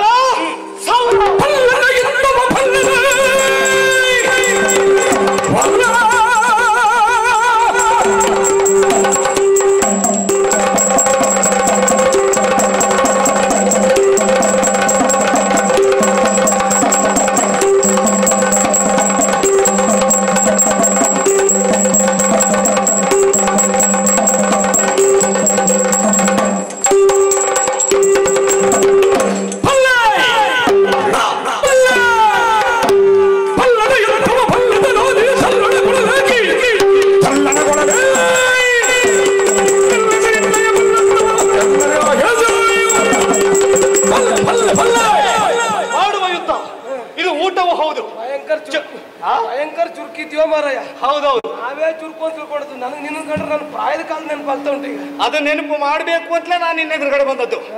ಏ ಏನೋ? ಒಂದು ನೆನ್ಪಿಟ್ಕೋ. ಏನೋ? ಈ ಹೋರಾಟ ಊಟವೂ ಹೌದು ಚಂಡಾಟವೂ ಹೌದು. ಅದು ಹೇಗೆ? ಊಟ ಹೇಗೆ ಕೇಳು ಚಂಡಾಟ ಹೇಗೆ ಕೇಳು. ಹೇಗದು? ನಿನ್ನ ತಲೆಯನ್ನ ಕತ್ತರಿಸಿ. ನಿನ್ನ ತಲೆ ಹಿಡ್ಕೊಂಡು ಅದನ್ನೇ ಚಂಡಾಗಿಸಿ. ಹಾ ಚಂಡಾಟ ಆಡ್ತೇನೆ. ಇನ್ನು ಊಟ. ಆಟದ ವ್ಯವಸ್ಥೆ ಆಯ್ತು ಇನ್ನು ಊಟದ ವ್ಯವಸ್ಥೆ ಕಡೆಗಿರುವುದು ಊಟ ನಮಗಲ್ಲ. ಆಟ ಮುಗ್ದ ಊಟ ಬೇಕೇ? ಊಟ ನಮಗಲ್ಲ. ಮತ್ತೆಂತದ್ದು? ಬೇರೆಯವರಿಗೆ. ನಿನ್ನ ಈ ದೇಹವನ್ನ ಇಲ್ಲ. ಕತ್ತ ಕತ್ತರಿಸಿ ತುಂಡು ತುಂಡು ಮಾಡುವುದರ ಮೂಲಕವಾಗಿ ಆ ಶಾಕಿನಿ ಡಾಕಿನಿಯರಿಗೆ ರಣದೂಟವನ್ನು ಬಡಿಸ್ತೇನೆ. ಇಂತಹ ಸಣ್ಣ ಸಣ್ಣ ಪಾಯಿಯಲ್ಲಿ ಅಂತಹ ಅಂತ ಸಣ್ಣ ನಾಲಿಗೆಯಿಂದ. ಎಂತಹ ನುಡಿ ಮುತ್ತುಗಳನ್ನು. ಉದುರಿಸಿ ಬಿಟ್ಟಿಯೋ ಮಗು ಆಟದ ವ್ಯವಸ್ಥೆ ಆಯ್ತು. ಊಟದ ವ್ಯವಸ್ಥೆ ಆಯ್ತು. ಚಂಡಾಟದ ವ್ಯವಸ್ಥೆ ಆಯ್ತು. ಇಂಥ ದೊಡ್ಡ ದೊಡ್ಡ ಮಾತನ್ನ ಉರುಳಿಸುವ ನಿನ್ನ ಅಪ್ಪ ಯಾರು? ನಿನ್ನಲ್ಲಿ ಹೇಳಬೇಕಾದಂತ ಅಗತ್ಯತೆ ಇಲ್ಲ ನನಗೆ. ಅಂದ್ರೆ ಅಪ್ಪ ಇಲ್ಲದೆ ಉಟ್ಕೊಂಡವನ ನೀನು? ಹಾಗೆ ಯೋಚನೆ ಮಾಡುದು ಬೇಡ ನಿನ್ನ ಹತ್ರ ಹೇಳುದು ಬೇಡ ಅಂತ ಹೇಳುದಿಲ್ಲ ನಾನು. ನೀನ ಅಮ್ಮ? ಅಮ್ಮ ಇದ್ದಾಳೆ. ಹೆಸರಂತದ್ದು? ಅದು ಹೇಳುವ ಅಗತ್ಯ ಇಲ್ಲ. ಬಿಡು. ಏನು? ನನಗಾದ ಅಗತ್ಯ ಇಲ್ಲ. ಆ. ಗೊತ್ತಿದ್ಯಾ ಅಂತ ಕೇಳೋಣ ಅಂತ ಕೇಳಿದ್ದು. ನೆನಪಿಲ್ದೆ ಹೋದಕ್ಕೆ ನಾನು ಹೊಣೆ ಅಲ್ಲ. ಓಹೋ. ಇಷ್ಟೆಲ್ಲ ಸಾಮರ್ಥ್ಯವನ್ನು ತೋರಿಸುವ. ಹ್ಮ್. ನಿನ್ನ ಗುರು ಯಾರು? ಅದು ಹೇಳುವ ಅಗತ್ಯ ಇಲ್ಲ. ನನ್ನ ಮಗನೇ.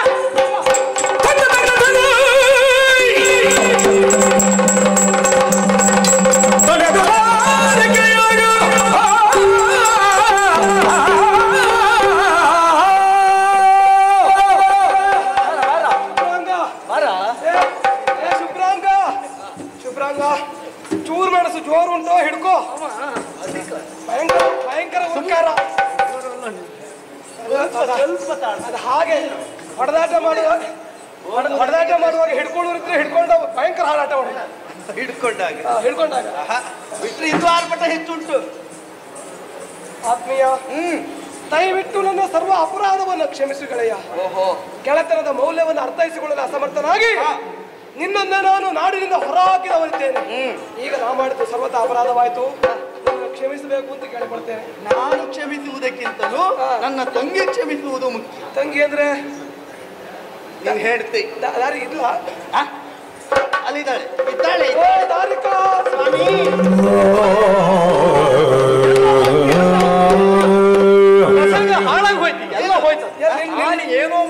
ಪ್ರಸಂಗ ಮೇಲೆ ಹಾಕಬೇಕು ಅಂತ ನಾನು? ಪ್ರವೇಶ ಆದ್ಮೇಲೆ ಹಾಳಾಯ್ತು ಮೊದಲೇ ಹಾಳಾಗಿತ್ತ? ಅಲ್ಲ ಹಾಗಲ್ಲ ಈಗ ಹಾಳಾಯ್ತು. ಇಷ್ಟೊತ್ತವರೆ ಸರಿ ಇತ್ತು ಅಂತ ಹೇಳಿ. ಇಷ್ಟೊತ್ತವರೆ ನಾವು ಮಾತಾಡ್ಲಿಲ್ಲ ನೋಡು. ಇಲ್ಲ ಅಲ್ಲ ಈಗ ಹಾಳಾಯ್ತು ಅಂತ. ಈಗ ಯಾಕೆ ಹಾಳಾಯ್ತು? ಅದು ಈಗ ಅಮ್ಮ ಬಂದ್ರೆ ನಾನು ಒಪ್ಪಿಕೊಂಡೇ ಇಲ್ವಾ? ನಾನು ನಿನಗೊಂದು ಪೆಟ್ಟು ಕೊಟ್ಟದ್ದು ಅಂತ ಎಂತ ಅಮ್ಮ ನೀನು? ಹೋಗಿ ಹೋಗಿ ಅವನನ್ನು ಒಪ್ಪಿಕೊಳ್ಳುವುದಾ ಮಗನೇ ನಮ್ಮ ವಿರೋಧಿಯನ್ನ ನೀನು ಕೆಲವಷ್ಟು ದಿನದಿಂದ ಅಡುಗೆ ಮನೆ ಬಂದ್ಕೊಂಡು ರಗಳೆ ಮಾಡ್ತಾ ಇದ್ದೆ ಅಲ್ವಾ? ಹೌದು. ನನಗೆ ಅಪ್ಪ ಬೇಕು ಅಪ್ಪ ಬೇಕು ಅಂತ. ಹೌದಮ್ಮ. ಅಪ್ಪ. ಅಪ್ಪ ಸಿಗದೆ ಒದ್ದಾಡ್ತಾ ಇದ್ದೆ ನಾನು. ಅಪ್ಪ ಇಲ್ಲಿ ಸಿಕ್ ಬಿದ್ಕೊಂಡು ಒದ್ದಾಡ್ತಿದ್ದ. ಅಂದ್ರೆ ನಿನ್ನ ಜನ್ಮಕ್ಕೆ ದಾತಾರ ನಿನ್ನ ತಂದೆ ಅವರೇ ಹೋಗಿ ನಮಸ್ಕಾರ ಮಾಡು.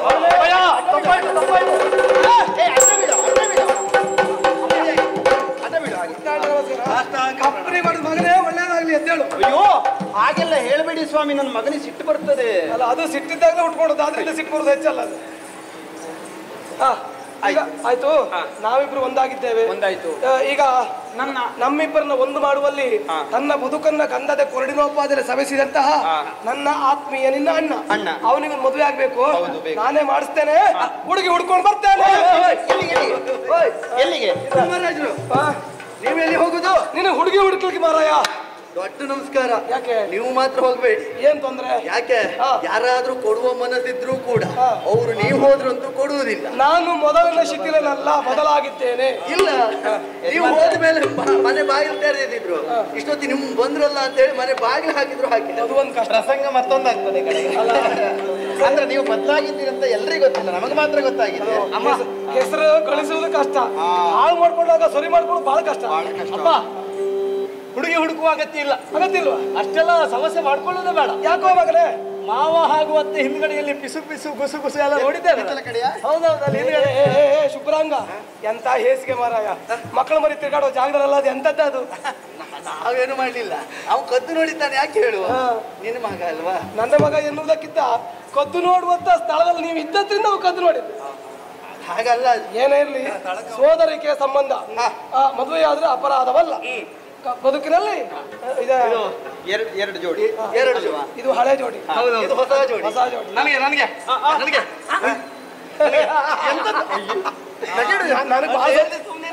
ಇಲ್ಲ ಅದು ನನ್ನ ಮಗ ಹೇಳಿ ಹೇಳ್ತಾರೆ ನನ್ ವಿಶ್ವಾಸ ಉಂಟು.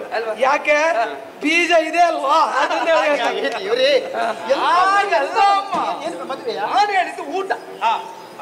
ಹೊಟ್ಟೆ ತೊಳ್ಕೊಂಡೇ ಬಂದಿದ್ದ ಅಲ್ಲ ಲೀಟರ್ ಸರಿ ತಿಂದ. ಮತ್ತೆ ಹೊತ್ತು ಹೋಗಿ ತಿಂತಾನೆ. ಏನೇ ಇರಲಿ ಮಕ್ಕಳ ಆರೋಗ್ಯ ಒತ್ತಿ ಆಗಬೇಕು ಎನ್ನುವುದು ಆಶಯ.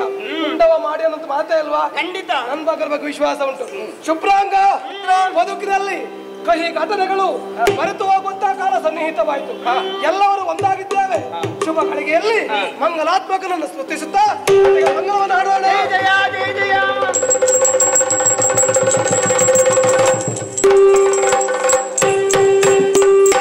ಕರೆದರು ಧ್ವನಿ ಕೇಳರೆ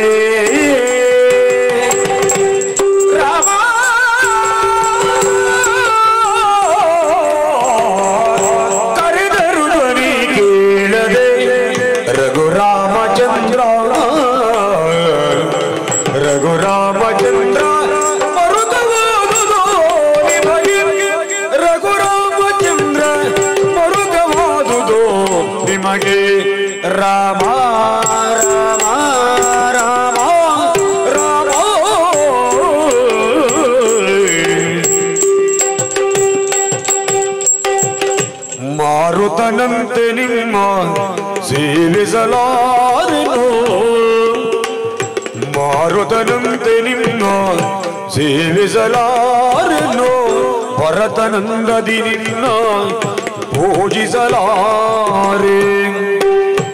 ಭರತನಂದದಿ ನಿನ್ನ ಪೂಜಿಸಲಾರೆ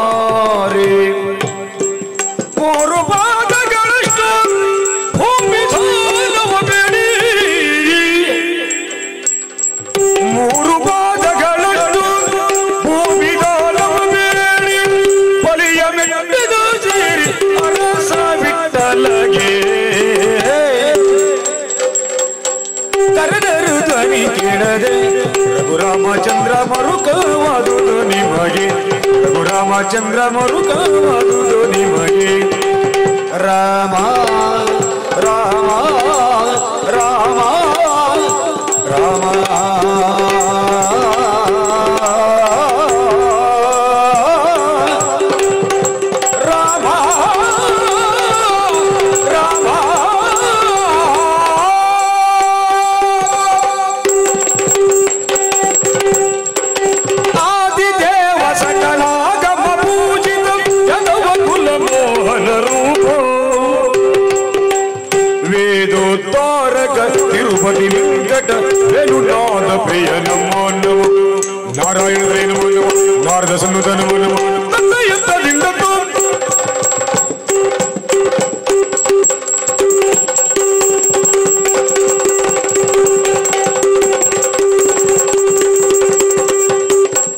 कृष्णा वासुदेवाय देवकी नंदनाय च श्री श्रीगोविन्दाय नमो नमः।